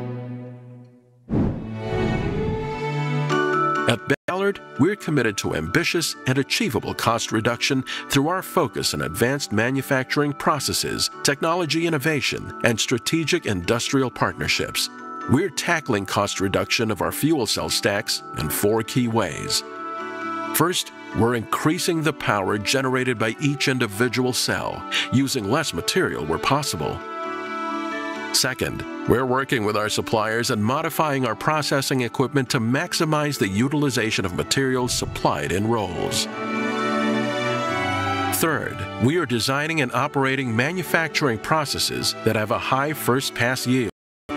Ballard has made significant progress in improving our processes, including more than a 70% reduction in the sealing yield loss in 2019 alone. Finally, we're reducing the amount of labor needed to manufacture MEAs, plates, and stacks. And this is where product design, simplification processes, and automation are the key drivers.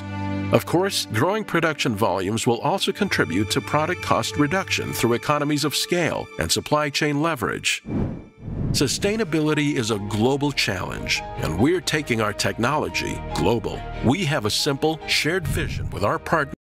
Weichai Power for the Weichai Ballard joint venture to create the leading fuel cell stack and module technology and manufacturing operation in China for buses, commercial trucks, and forklifts. The fully operational fuel cell module factory enables large scale manufacturing of fuel cell products and underscores to be at the forefront of zero emission fuel cell vehicle deployments in China. But we're not stopping there.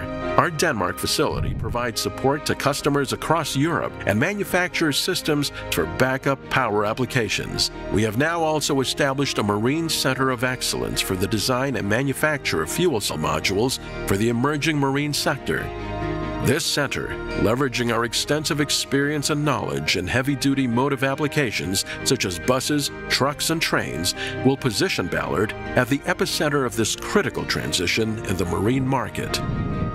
As the world moves toward a future of zero emission mobility, Ballard is striving toward sustainability across the entire life cycle of our products. We are committed to environmental leadership, establishing the goal of becoming carbon neutral by 2030.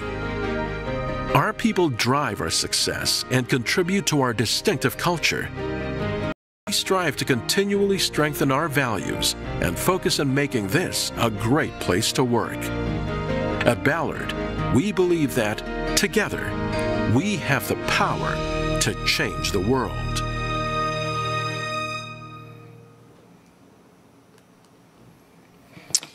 I Hope you enjoyed the video.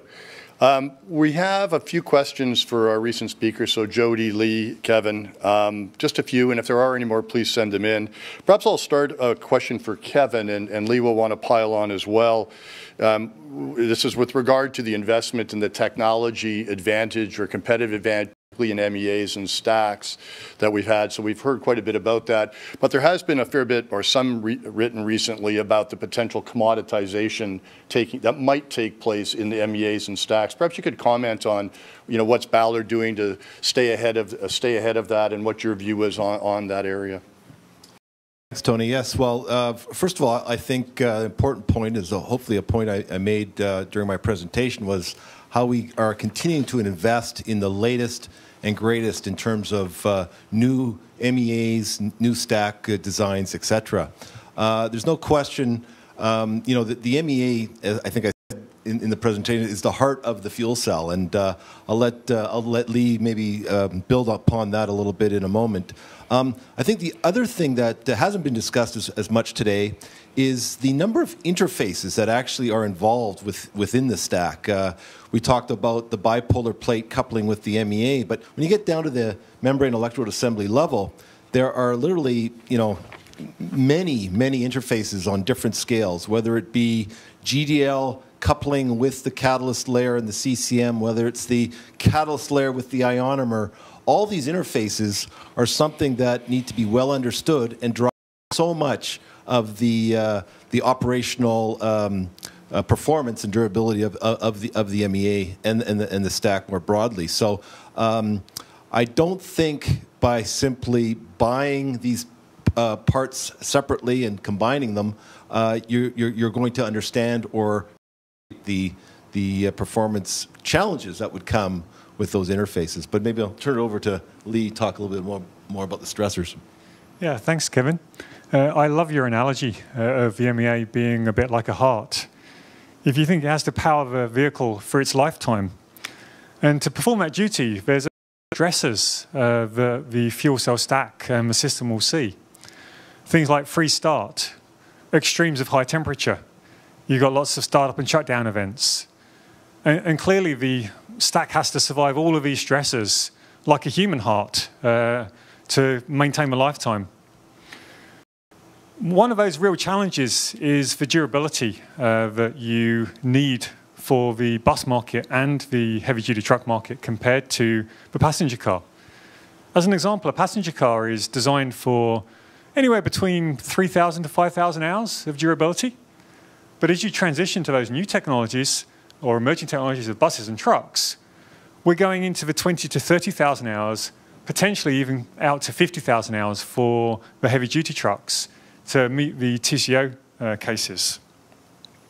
And Ballard is uniquely positioned, I think, in the industry because of its history of operating buses for over 12 years uh, and the, the amount of data mining it's been able to do, collecting information from the field on the stresses with the environment and using that data mining to then create complex models uh, using AI to help structure the new generation of MEAs uh, as well as stacks.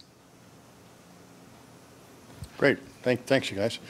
Um, question for I'll start with Jyoti, and we've referred to it a few times today, which is the investment that was made to uh, get a six-fold increase in MEA capacity. And I think on a slide, Jyoti, we talk roughly 6 million MEAs uh, per year now, uh, I guess beginning next year. One of the questions that's come in is that where we are today, how quickly will we you know, ramp up to use that capacity, and what would be the incremental investment that we talk about going to 10 million? What kind of incremental investment to go you know, up from 6 to 10? Thanks, Tony. Um, great question. Our current capacity, which should be in place fully um, by Q1 2021, um, and we're going to, based on our current knowledge of, of the requirements coming in, we should be good with that till 2023. But we will need to start planning before than that. And in order to take that um, 6 million to 10, 10 million plus, the investment is going to be fraction of what regional investment was. So it's going to be roughly around 1.5 million to to take it to to take it to 10 million MEAs annually. Great, thanks. Lee, did you? Yeah, please. Yeah, just to add to what Jyoti said, uh, the limiting process that we have is the final uh, sealing process. And as you saw in the video, there's a robot, the capability to add a second machine uh, still access from that robot using a common in-feed and out-feed system that have been designed already for double the capacity. Uh, and that investment would be very modest, as Jyoti said. Great, thanks. Just a couple more questions. Maybe Jyoti, for you. Uh, you know, obviously, uh, COVID-19 has impacted all of us in many ways. And one of the questions was just around the manufacturing facilities and as well supply chain. Just how has COVID-19 impacted the company and, or, or how is it expected to impact us going forward? Thanks, Tony. Um, thank you for the question. COVID-19 has been challenging for all of us. And uh, of course, Ballard was no exception to that. Uh, however, our team has done a great job um, in ensuring that our operations continued through it out. We, have, we did not shut it down. Uh, our supply chain team great job ensuring we were able to get materials out of our suppliers before any shutdowns happened into, into those countries where we were getting our materials from. There was impact earlier, but modest impact, not, not where it impacted any of our customer deliverables at this moment. So um, we have been we, we have been doing well so far. Great, thanks, Jyoti. So just one last question that's come in, unless I see another one's popped up. No, just one last question, and it's actually about uh, about well, actually maybe two questions here. Um, one is about hydrogen and safety, and of course, you know, there's the legacy of uh, story on how explosive hydrogen is. Just one of the questions just is really about education and what the hydrogen I'll say the ecosystem is doing to better educate the market about about hydrogen and hydrogen safety. I'll just throw it open to any of you who want to comment on that. Or, yeah. sure. Um, so I, I think uh, you know while Ballard's uh, products aren't dependent on any specific supply of hydrogen, uh, you know it is uh, uh, as we talked about today uh, part of the ecosystem, and certainly. Um, we're involved in a, number of different um, committees and, and, and so on to provide our expertise in terms of fuel cell safety. You know, our safety record at Ballard uh, over certainly my tenure, 26 years, is, is, uh, is 100%. And we certainly um, we certainly want to provide more and more education with respect to um, that learning. Uh, so, you know, I can't name specifically all the different uh, uh, committees that we're on at the moment, but uh, we, are certainly active in the area. Great, thanks. Thank you, Kevin. I think that, so I don't have any more questions at the moment. Uh, obviously, if anybody has any, send them in and we'll make sure we get back to you later. So I just want to thank uh, each of the speakers and we'll move on to the next section now if we could. Great. So we're going to turn now to the topic of environmental, social, and governance issues, or ESG. And as Randy mentioned at the outset, uh, you know, I think Randy said underreported. We certainly think it's a, a, an evolving important area. Uh, both for investors, but also for Ballard. You know, this is something that we've embraced. Uh, we heard a little bit about EH&S earlier. So today uh, we have joining us to speak to our, our, our ESG initiatives is Jan Lashley. Uh, Jan has uh, been with Ballard for 17 years and is currently our Vice President of Human Resources and was appointed in that role in March 2019. So Jan has responsibility for a number of areas, including talent acquisition, compensation and benefits, leadership development, employee engagement, immigration, and expat management. So Jan, over to you. Thank you, Tony. I'm really pleased to be talking with you today about Ballard's ESG commitment and our people. As Tony mentioned, I started at Ballard around 17 years ago. And what attracted me to join Ballard and what continues to motivate and engage me is being part of a purpose organization with power to change the world.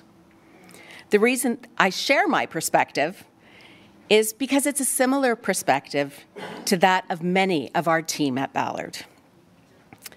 And I think that this is one of the things that contributes to Ballard being an amazing organization and a great work. We published our first ESG report in April. We have momentum within the organization related to environmental, social, and government issues. And our team is also very excited about our ESG commitments. We understand the focus on ESG is important for investors, and it's also critically important to our board, our executive, and our whole team at Ballard. When it comes to the environment, our goal is to be carbon neutral by 2030. We're looking at areas that you would be expecting uh, that we would look at, including minimizing waste streams, being energy efficient and reducing consumption. Our energy team has identified 38 opportunities for continued energy savings, reducing raw materials in the design of our products, continuing to advance fuel cell refurbishing and recycling, we have a life cycle analysis team looking at our product life cycle. Our Mission Carbon Zero team is focused on our environmental commitments. The team was formed about a year ago, and it's comprised of 30 people across all the functions in our organization. They volunteered to work together on the goal of being carbon neutral by 2030. The team is a passionate group of individuals who have brought innovative ideas and enthusiasm. We're also being supported by external expert consultants who've helped us to establish a baseline to measure against and to build focused actions aimed at advancing our carbon zero mission. We're actively working on actions aimed at the three scope areas as outlined on the slide. Our social commitment, our people. Our corporate culture is founded in our vision. We deliver fuel cell power for a sustainable planet. Our focus on innovation and safety, along with our corporate values, are core to what we do and how we work. Our values are incorporated into everything we do, and it's important that we are advancing our vision consistent with our values. Our cultural values provide focus on key areas, including listen and deliver. This is related to driving customer success. Quality always, in our work, in our products, in our services. Inspiring excellence, our achievement focus. Row together, this is about team and collaboration. And own it, this is related to our accountability. Our employee value proposition highlights the promise we make to people.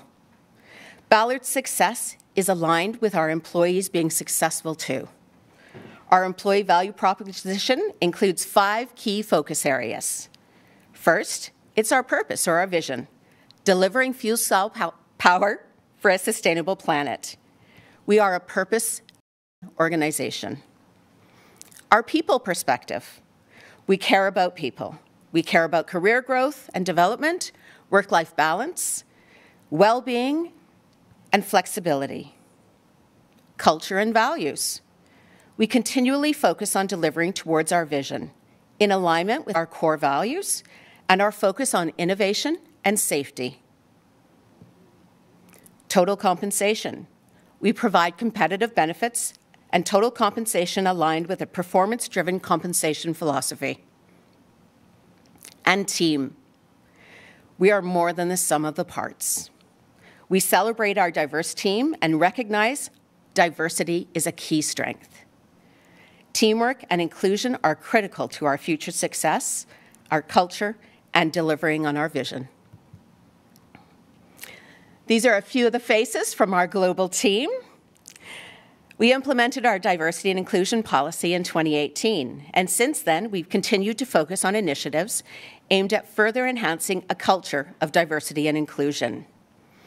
D&I best practices have been incorporated into key people programs, including talent attraction, promotions, performance management, training and development, with particular focus on expanding our perspective on psychological safety and its importance to inclusion.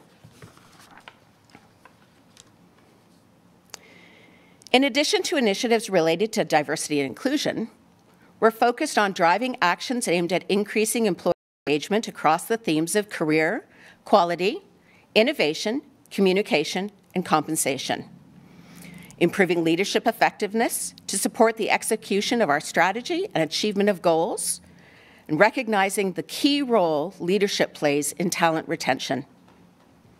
Continuing to work on team effectiveness with expanded focus on increasing self-awareness and team building. Our training curriculum is aimed at reducing and eliminating gaps related to technical competencies, leadership, and soft, soft skill capabilities. We have an amazing mentoring program for our leaders and our future leaders. We've been running a mentoring program for about a few years now, and we have excellent participation across the organization. It's aimed at increasing capabilities from a business, technical, and leadership perspective. And well-being. Our focus on well-being expanded this year in response to the pandemic. We've provided increased focus on well-being initiatives with training and resources to help our team and leaders deal with the impact of the pandemic, particularly as it relates, re relates to stress, mental health, and our newly expanded world of remote work. We've been growing, and we're currently at about 90, 900 people. The past two years, our team has increased by about 35%, and we're anticipating continued growth of about 25% over the next couple of years. We're also expanding our people metrics and continue to assess our programs and practices for barriers that could detract from our focus on diversity and inclusion. Employee engagement. It's absolutely tied to organizational success. We know that people drive our success and contribute to our distinctive Ballard culture. A key part of our people strategy is continue to strengthen our employee value proposition and focus on Ballard being a great place to work. One way we track our performance and progress is with our annual employee survey.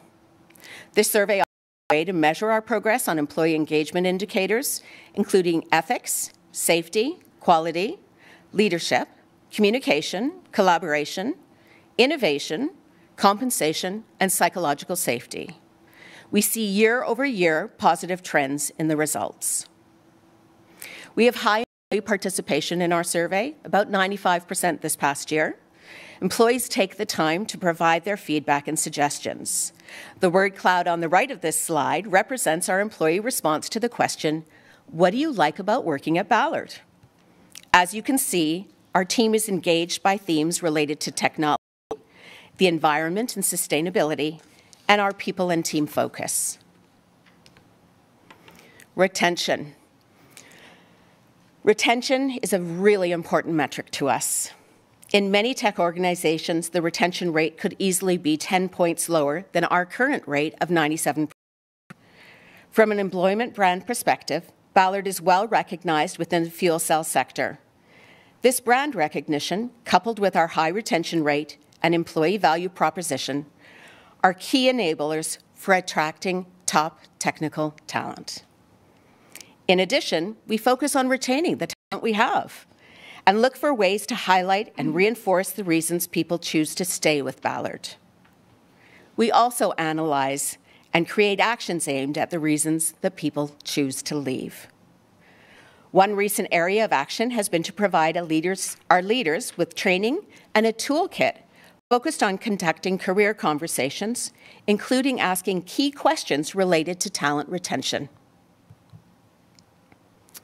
Our governance commitment. From both a management and board perspective, we monitor developments and trends related to governance, and we adopt new governance initiatives proactively. We operate with a perspective on board governance best practices, including diversity and having highly quali qualified board members with varied and complementary backgrounds and skills who demonstrate integrity in their board governance. Our board is comprised of three standing committees the Audit Committee, the People, Corporate Governance and Compensation Committee, and the Commercial Committee. The committee members bring significant board governance experience to their responsibilities and provide excellent oversight, views, and recommendations to supplement our management's viewpoints. Our Ballard team. We deliver fuel cell power for a sustainable planet. Ballard has incredible technology because we have a team of incredible, innovative, and passionate people. Thank you. Great. Thanks very much, Jen. So this uh, brings us to the last presentation of the day. It's been a long day, and I greatly appreciate everybody's uh, attention. And for again, a reminder for those who haven't been able to uh, listen to the entire presentation, or even if you have, the video and slides will be posted and available uh, in the next couple of so as, as the chief financial officer of the company, again, I've been with the company a little over 10 years. I feel a bit like a rookie having listened to some of the tenure of some of my colleagues. I wanted to provide a bit of a vision for what we think this company could look like from a financial point of view over the next 10 years. Now, I do want to stress before I start through the numbers a couple of things. Uh, number one is this is a vision. It's not a forecast or an outlook, but I think we want to give you a sense of what we think the opportunity could look like, particularly on the revenue side. And the other one is just there's, there's some references in some of the slides to our 2020 or the 2020 revenue outlook. I just want to make a note that that is the analyst analyst consensus for 2020. Uh, many of you know we did withdraw our revenue outlook for the year uh, back in Q1 as a result of COVID. So just wanted to make that point on that, any numbers you see. So as we think about the revenue profile of the company over the next decade, really I want to go back to what Rob and, and Randy and talked about, which is this, what we call the scaffolding effect of revenue in our, in our key four markets, particularly bus, truck, rail, and marine. So as we think about the revenue profile uh, from 2020, it's very heavily tilted right today towards bus, and it's been that way for many years. We've talked about truck Kevin's talked about, you know, an introduction probably in 2021, 2022. We'll start to see some increased truck revenue outside of China where we're already quite active, followed by train and marine uh, over the course of the decade. And that's not to mention some other opportunities, and I'll touch on some of those. So this is how we think about it. And so as we think about how do we look at the, the numbers behind it, in the near term, we have our, you know, our order book, our pipeline. We talked earlier on the call, our last call rather, about a 50% increase in our sales pipeline this year. Uh, we're quite bullish and over the next couple of years. We also have a number of new programs, Kevin talked about the TS opportunities, and obviously with MAHLE coming on as a, a, partner, that can help even further accelerate some opportunities. So in the near term, we have pretty good visibility. But as we think about the sort of 2024, 2025 to 2030, a couple of ways we think about, I'd like to, well, think about it, look at it. One is, what can we learn from the solar industry?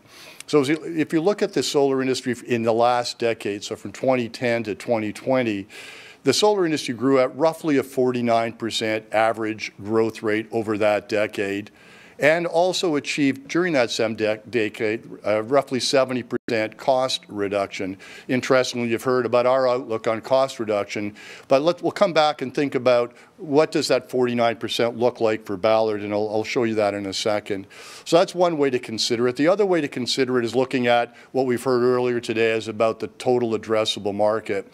So again, this slide You'll recall uh, Rob and, and Nicholas and others have talked about the $130 billion total addressable market in just the four key heavy-duty markets that we're focused on. Again, bus, truck, rail, and marine. That number is $130 billion of annual fuel, annual engine opportunity by 2030.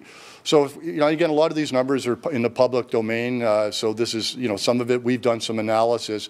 But even if we took a relatively conservative assumption of a 20% fuel cell penetration in these markets, which are the best suited for fuel cells, so take a 20% fuel cell penetration 20% Ballard market share. And again, today in some of our markets, we've talked about enjoying 80% plus. Even looking at using that, uh, that solely at that $130 billion with that type of uh, market penetration, that could show us roughly a $5.2 billion market for revenue by 2030. And again, that excludes things like the off-road uh, opportunity. Uh, Rob mentioned, and Nicholas, so I think it was $30 billion TAM alone in, in off-road. Doesn't include material handling, pass car, and other market opportunities. So this is just to sort of scope out what we think this could look like. Interestingly, this is about a 46% CAGR from, we'll say, the jump-off point of the analyst consensus of about 115 for this year. So the sanity check for us is, you know, does this make any sense? Is it possible? So again, with that 46% CAGR, you know, admittedly things last year or two have been a little, the growth hasn't quite been anywhere near that, but we do expect that to ramp up as is shown on the slide, and we think that's quite achievable, and again, very consistent with the solar industry. So that's kind of how we think about the opportunity on the revenue side.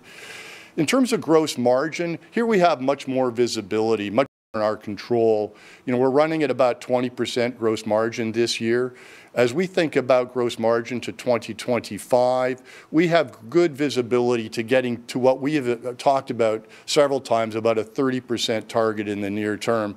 And the two things that are going to drive that, one is the cost reduction program about the 70% roughly cost reduction, that we will outpace the average selling price reduction that's going to be required over the next few years. About half of that, so we'll call it about five points of gross margin improvement. And the other half is just simply getting better leverage off of the investment we've made in our capacity. So that can get us to 30%. We feel quite confident with that number. The question is what happens in the back half of the decade? Here again, you know, where that leads us, we, you know, that we don't have a forecast, but we think confidently we should be able to get in excess of 30% as we start to move into new higher margin markets, get better overhead absorption, area we haven't talked at all about, which is the after sales market, the customer service revenue. Right now, we have a significant investment in that area, but we're not currently generating a tremendous amount of revenue. The longer we have product in the field, you'll hear us talking going forward about that as an important revenue and margin source operating expenses, the other thing that we have in our control today, our, our OPEX today is roughly about 50, $55 million per year. And that's about 35% of our revenue, which is relatively high at this level. But we have good visibility even to invest in OPEX over the next number of years. We could see our operating cost leverage coming down below 10% by 2030. So when you roll together the types of revenue profile, gross margin targets, as well as our OpEx leverage, we could see a significant ramp up in our profitability over the coming years. We're still, as I'm sure all of you know, EBITDA negative, and we will probably be that way for a couple of years until we hit that break-even revenue level.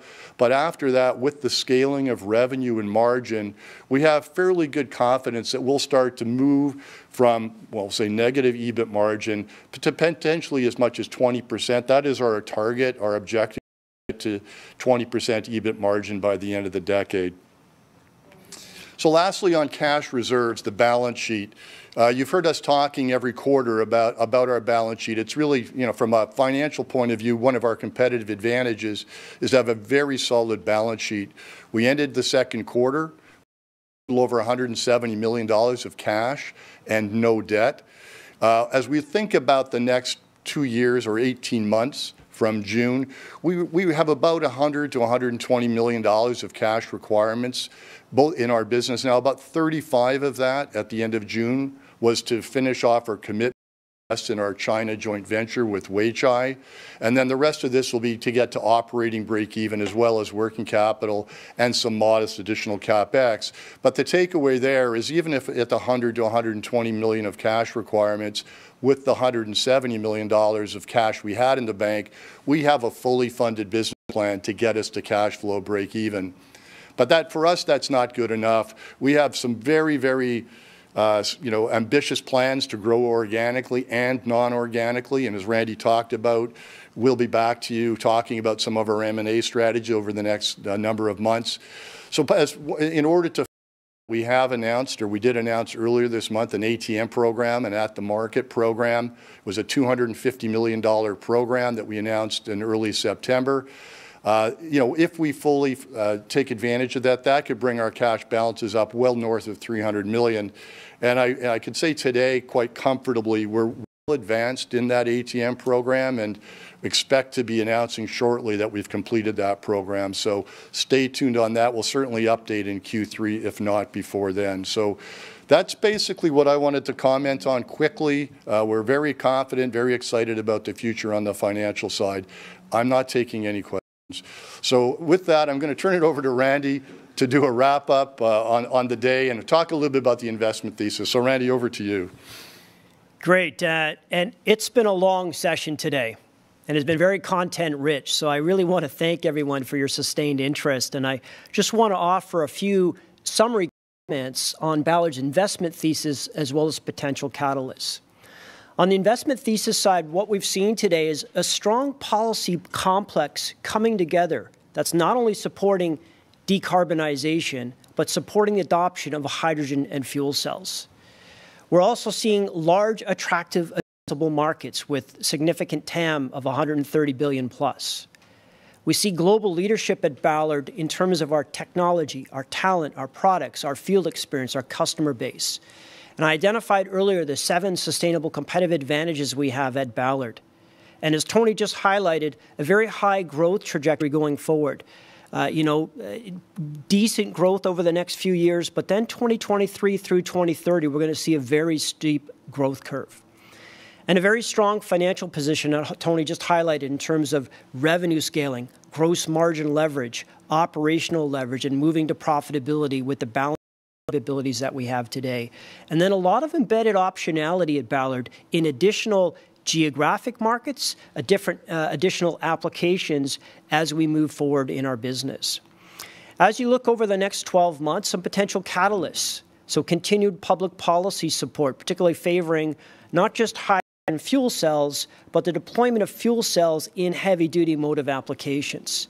Uh, the completion of our advanced manufacturing program that you heard about today uh, is scheduled to be completed in Q1 2021 continued progress on what I think is probably the industry's leading product cost reduction program for fuel technology.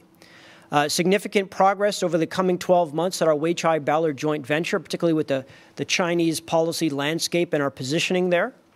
And progress with our new collaboration with MAHLE that we're very excited about. Further product development activity that you'll uh, hear about in the coming 12 months. And then a growth in order book and our sales pipeline as some of the sales activities start to uh, really move through our, our, uh, our pipeline. And finally, uh, M&A transactions. We believe that over the next 12 months, you're going to see a lot of consolidation and a lot of big bets being made in the hydrogen fuel cell industry, and be a key part of that as well. Finally, I would like to comment that 2020 has been an unusual and a challenging year.